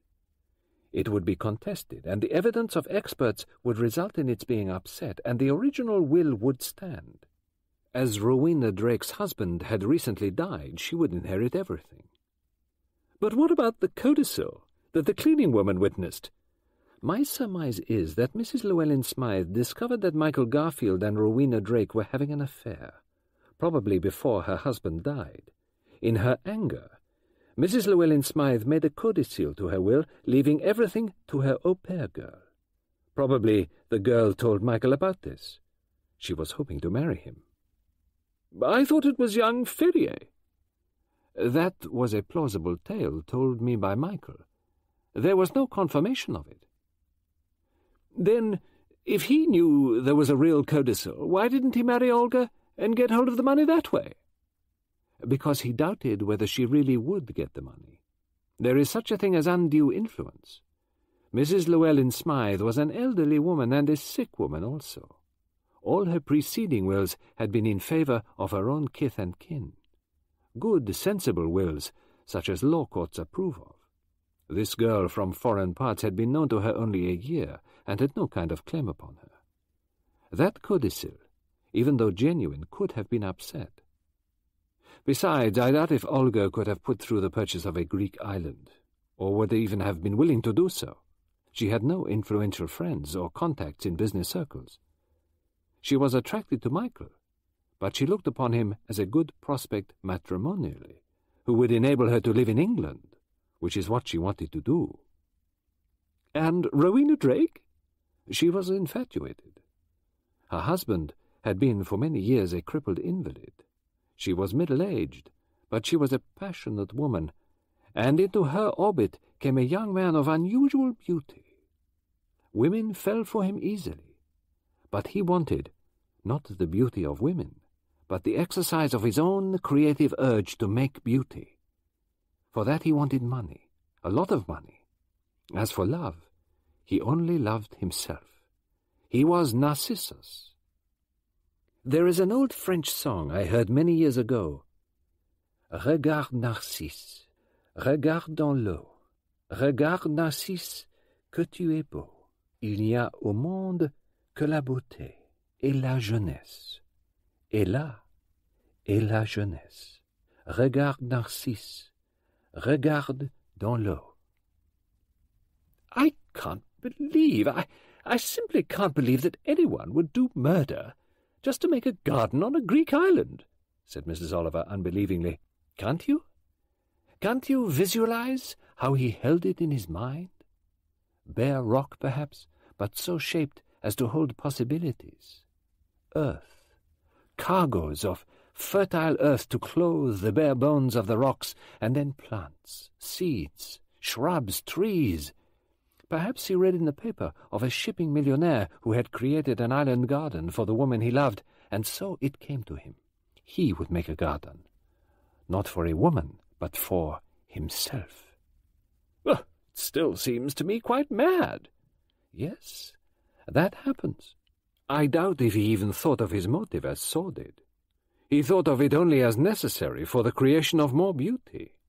He'd gone mad on creation the beauty of the quarry wood, the beauty of other gardens he'd laid out and made, and now he envisaged even more, a whole island of beauty. And there was Rowena Drake, infatuated with him. What did she mean to him but the source of money with which he could create beauty? Yes, he had become mad, perhaps. Whom the gods destroy, they first drive mad. He really wanted this island so much even with Rowena Drake tied round his neck as well, bossing him the whole time? Accidents can happen. I think one might possibly have happened to Mrs. Drake in due course. One more murder? Yes. It started simply. Olga had to be removed because she knew about the codicil, and she was also to be the scapegoat, branded as a forger. Mrs. Llewellyn Smythe had hidden the original document, so I think that young Ferrier was given money to produce a similar forged document. So obviously forged that it would arouse suspicion at once. That sealed his death warrant. Leslie Ferrier, I soon decided, had had no arrangement or love affair with Olga. That was a suggestion made to me by Michael Garfield. But I think it was Michael who paid money to Leslie. It was Michael Garfield who was laying siege to the au pair girl's affections, warning her to keep quiet about this and not tell her employer, speaking of possible marriage in the future, but at the same time marking her down cold-bloodedly as the victim whom he and Rowena Drake would need if the money was to come to them. It was not necessary for Olga Seminoff to be accused of forgery or prosecuted. She needed only to be suspected of it. The forgery appeared to benefit her. It could have been done by her very easily. There was evidence to the effect that she did copy her employer's handwriting, and if she was suddenly to disappear, it would be assumed that she had been not only a forger, but quite possibly might have assisted her employer to die suddenly. So, on a suitable occasion, Olga Seminoff died. Leslie Ferrier was killed in what is purported to have been a gang knifing, or a knifing by a jealous woman. But the knife that was found in the well corresponds very closely with the knife wounds that he suffered. I knew that Olga's body must be hidden somewhere in this neighborhood, but I had no idea where, until I heard Miranda one day inquiring about a wishing well, urging Michael Garfield to take her there, and he was refusing. Shortly afterwards, when I was talking to Mrs. Goodbody, I said I wondered where that girl had disappeared to, and she said, Ding dong dell, pussy's in the well. And then I was quite sure the girl's body was in the wishing well. I discovered it was in the wood, in the quarry wood, on an incline not far from Michael Garfield's cottage, and I thought that Miranda could have seen either the actual murder or the disposal of the body later. Mrs. Drake and Michael feared that someone had been a witness, but they had no idea who it was, and as nothing happened, they were lulled into security. They made their plans. They were in no hurry, but they set things in motion. She talked about buying land abroad, gave people the idea she wanted to get away from Woodleigh Common. Too many sad associations, referring always to her grief over her husband's death. Everything was nicely in train. And then came the shock of Halloween and Joyce's sudden assertion of having witnessed a murder. So now, Rowena knew, or thought she knew, who it had been in the wood that day. So she acted quickly. But there was more to come. Young Leopold asked for money. There were things he wanted to buy, he said. What he guessed or knew is uncertain, but he was Joyce's brother, and so they probably thought he knew far more than he really did, and so he too died. You suspected her because of the water clue, said Mrs. Oliver. How did you come to suspect Michael Garfield? He fitted, said Poirot simply. And then, the last time I spoke to Michael Garfield, I was sure. He said to me, laughing, Get thee beyond me, Satan. Go and join your police friends. And I knew then, quite certainly, it was the other way round. I said to myself, I am leaving you behind me, Satan. A Satan so young and beautiful as Lucifer can appear to mortals. There was another woman in the room. Until now she had not spoken, but now she stirred in her chair. Lucifer, she said. Yes, I see now. He was always that. He was very beautiful, said Poirot, and he loved beauty. The beauty that he made with his brain and his imagination and his hands. To it he would sacrifice everything. In his own way, I think, he loved the child Miranda but he was ready to sacrifice her to save himself. He planned her death very carefully. He made of it a ritual, and as one might put it, indoctrinated her with the idea she was to let him know if she were leaving Woodleigh Common. He instructed her to meet him at the inn where you and Mrs. Oliver lunched. She was to have been found on Kilterbury Ring, there by the sign of the double axe, with a golden goblet by her side a ritual sacrifice. Mad, said Judith Butler.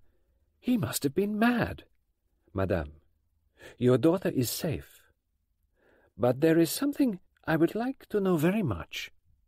I think you deserve to know anything I can tell you, Monsieur Poirot. She is your daughter. Was she also Michael Garfield's daughter? Judith was silent for a moment, and then she said, Yes. But she does not know that. No. She has no idea. Meeting him here was a pure coincidence. I knew him when I was a young girl. I fell wildly in love with him, and then... And then I got afraid. Afraid? Yes, I don't know why. Not of anything he would do, or, or that sort of thing, just afraid of his nature, his gentleness, but behind it a coldness and a ruthlessness.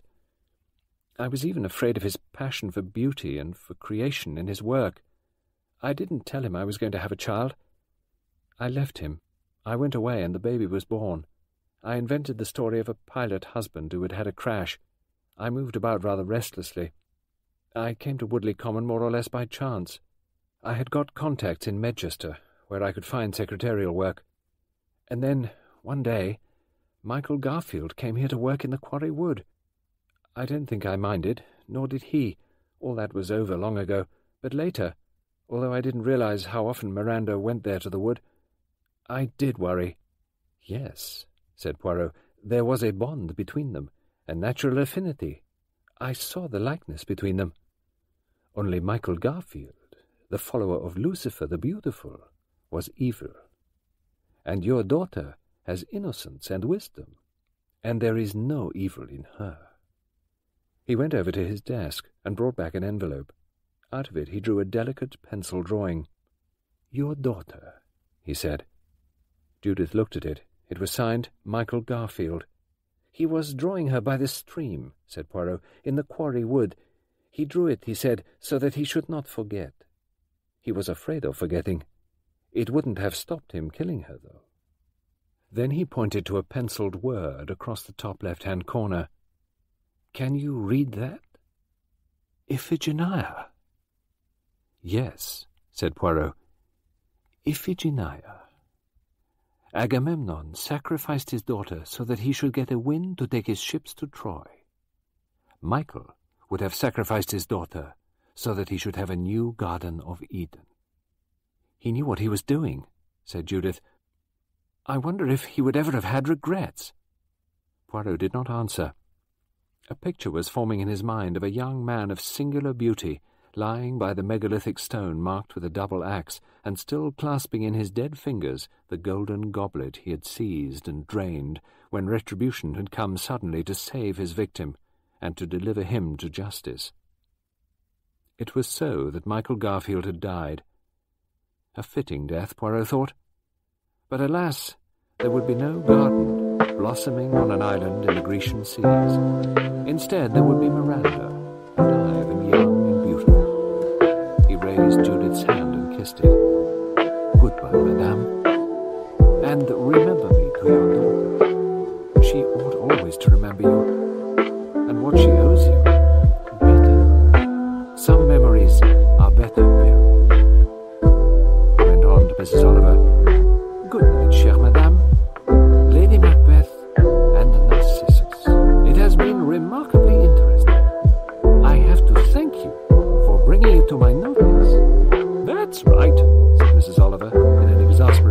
Blame it all on me as usual. We hope you have enjoyed Halloween Party by Agatha Christie, performed by Hugh Fraser. Halloween Party text copyright 1969 Agatha Christie Limited. Production copyright 2002 Harper Collins Publishers Limited. All rights reserved. Thank you for listening.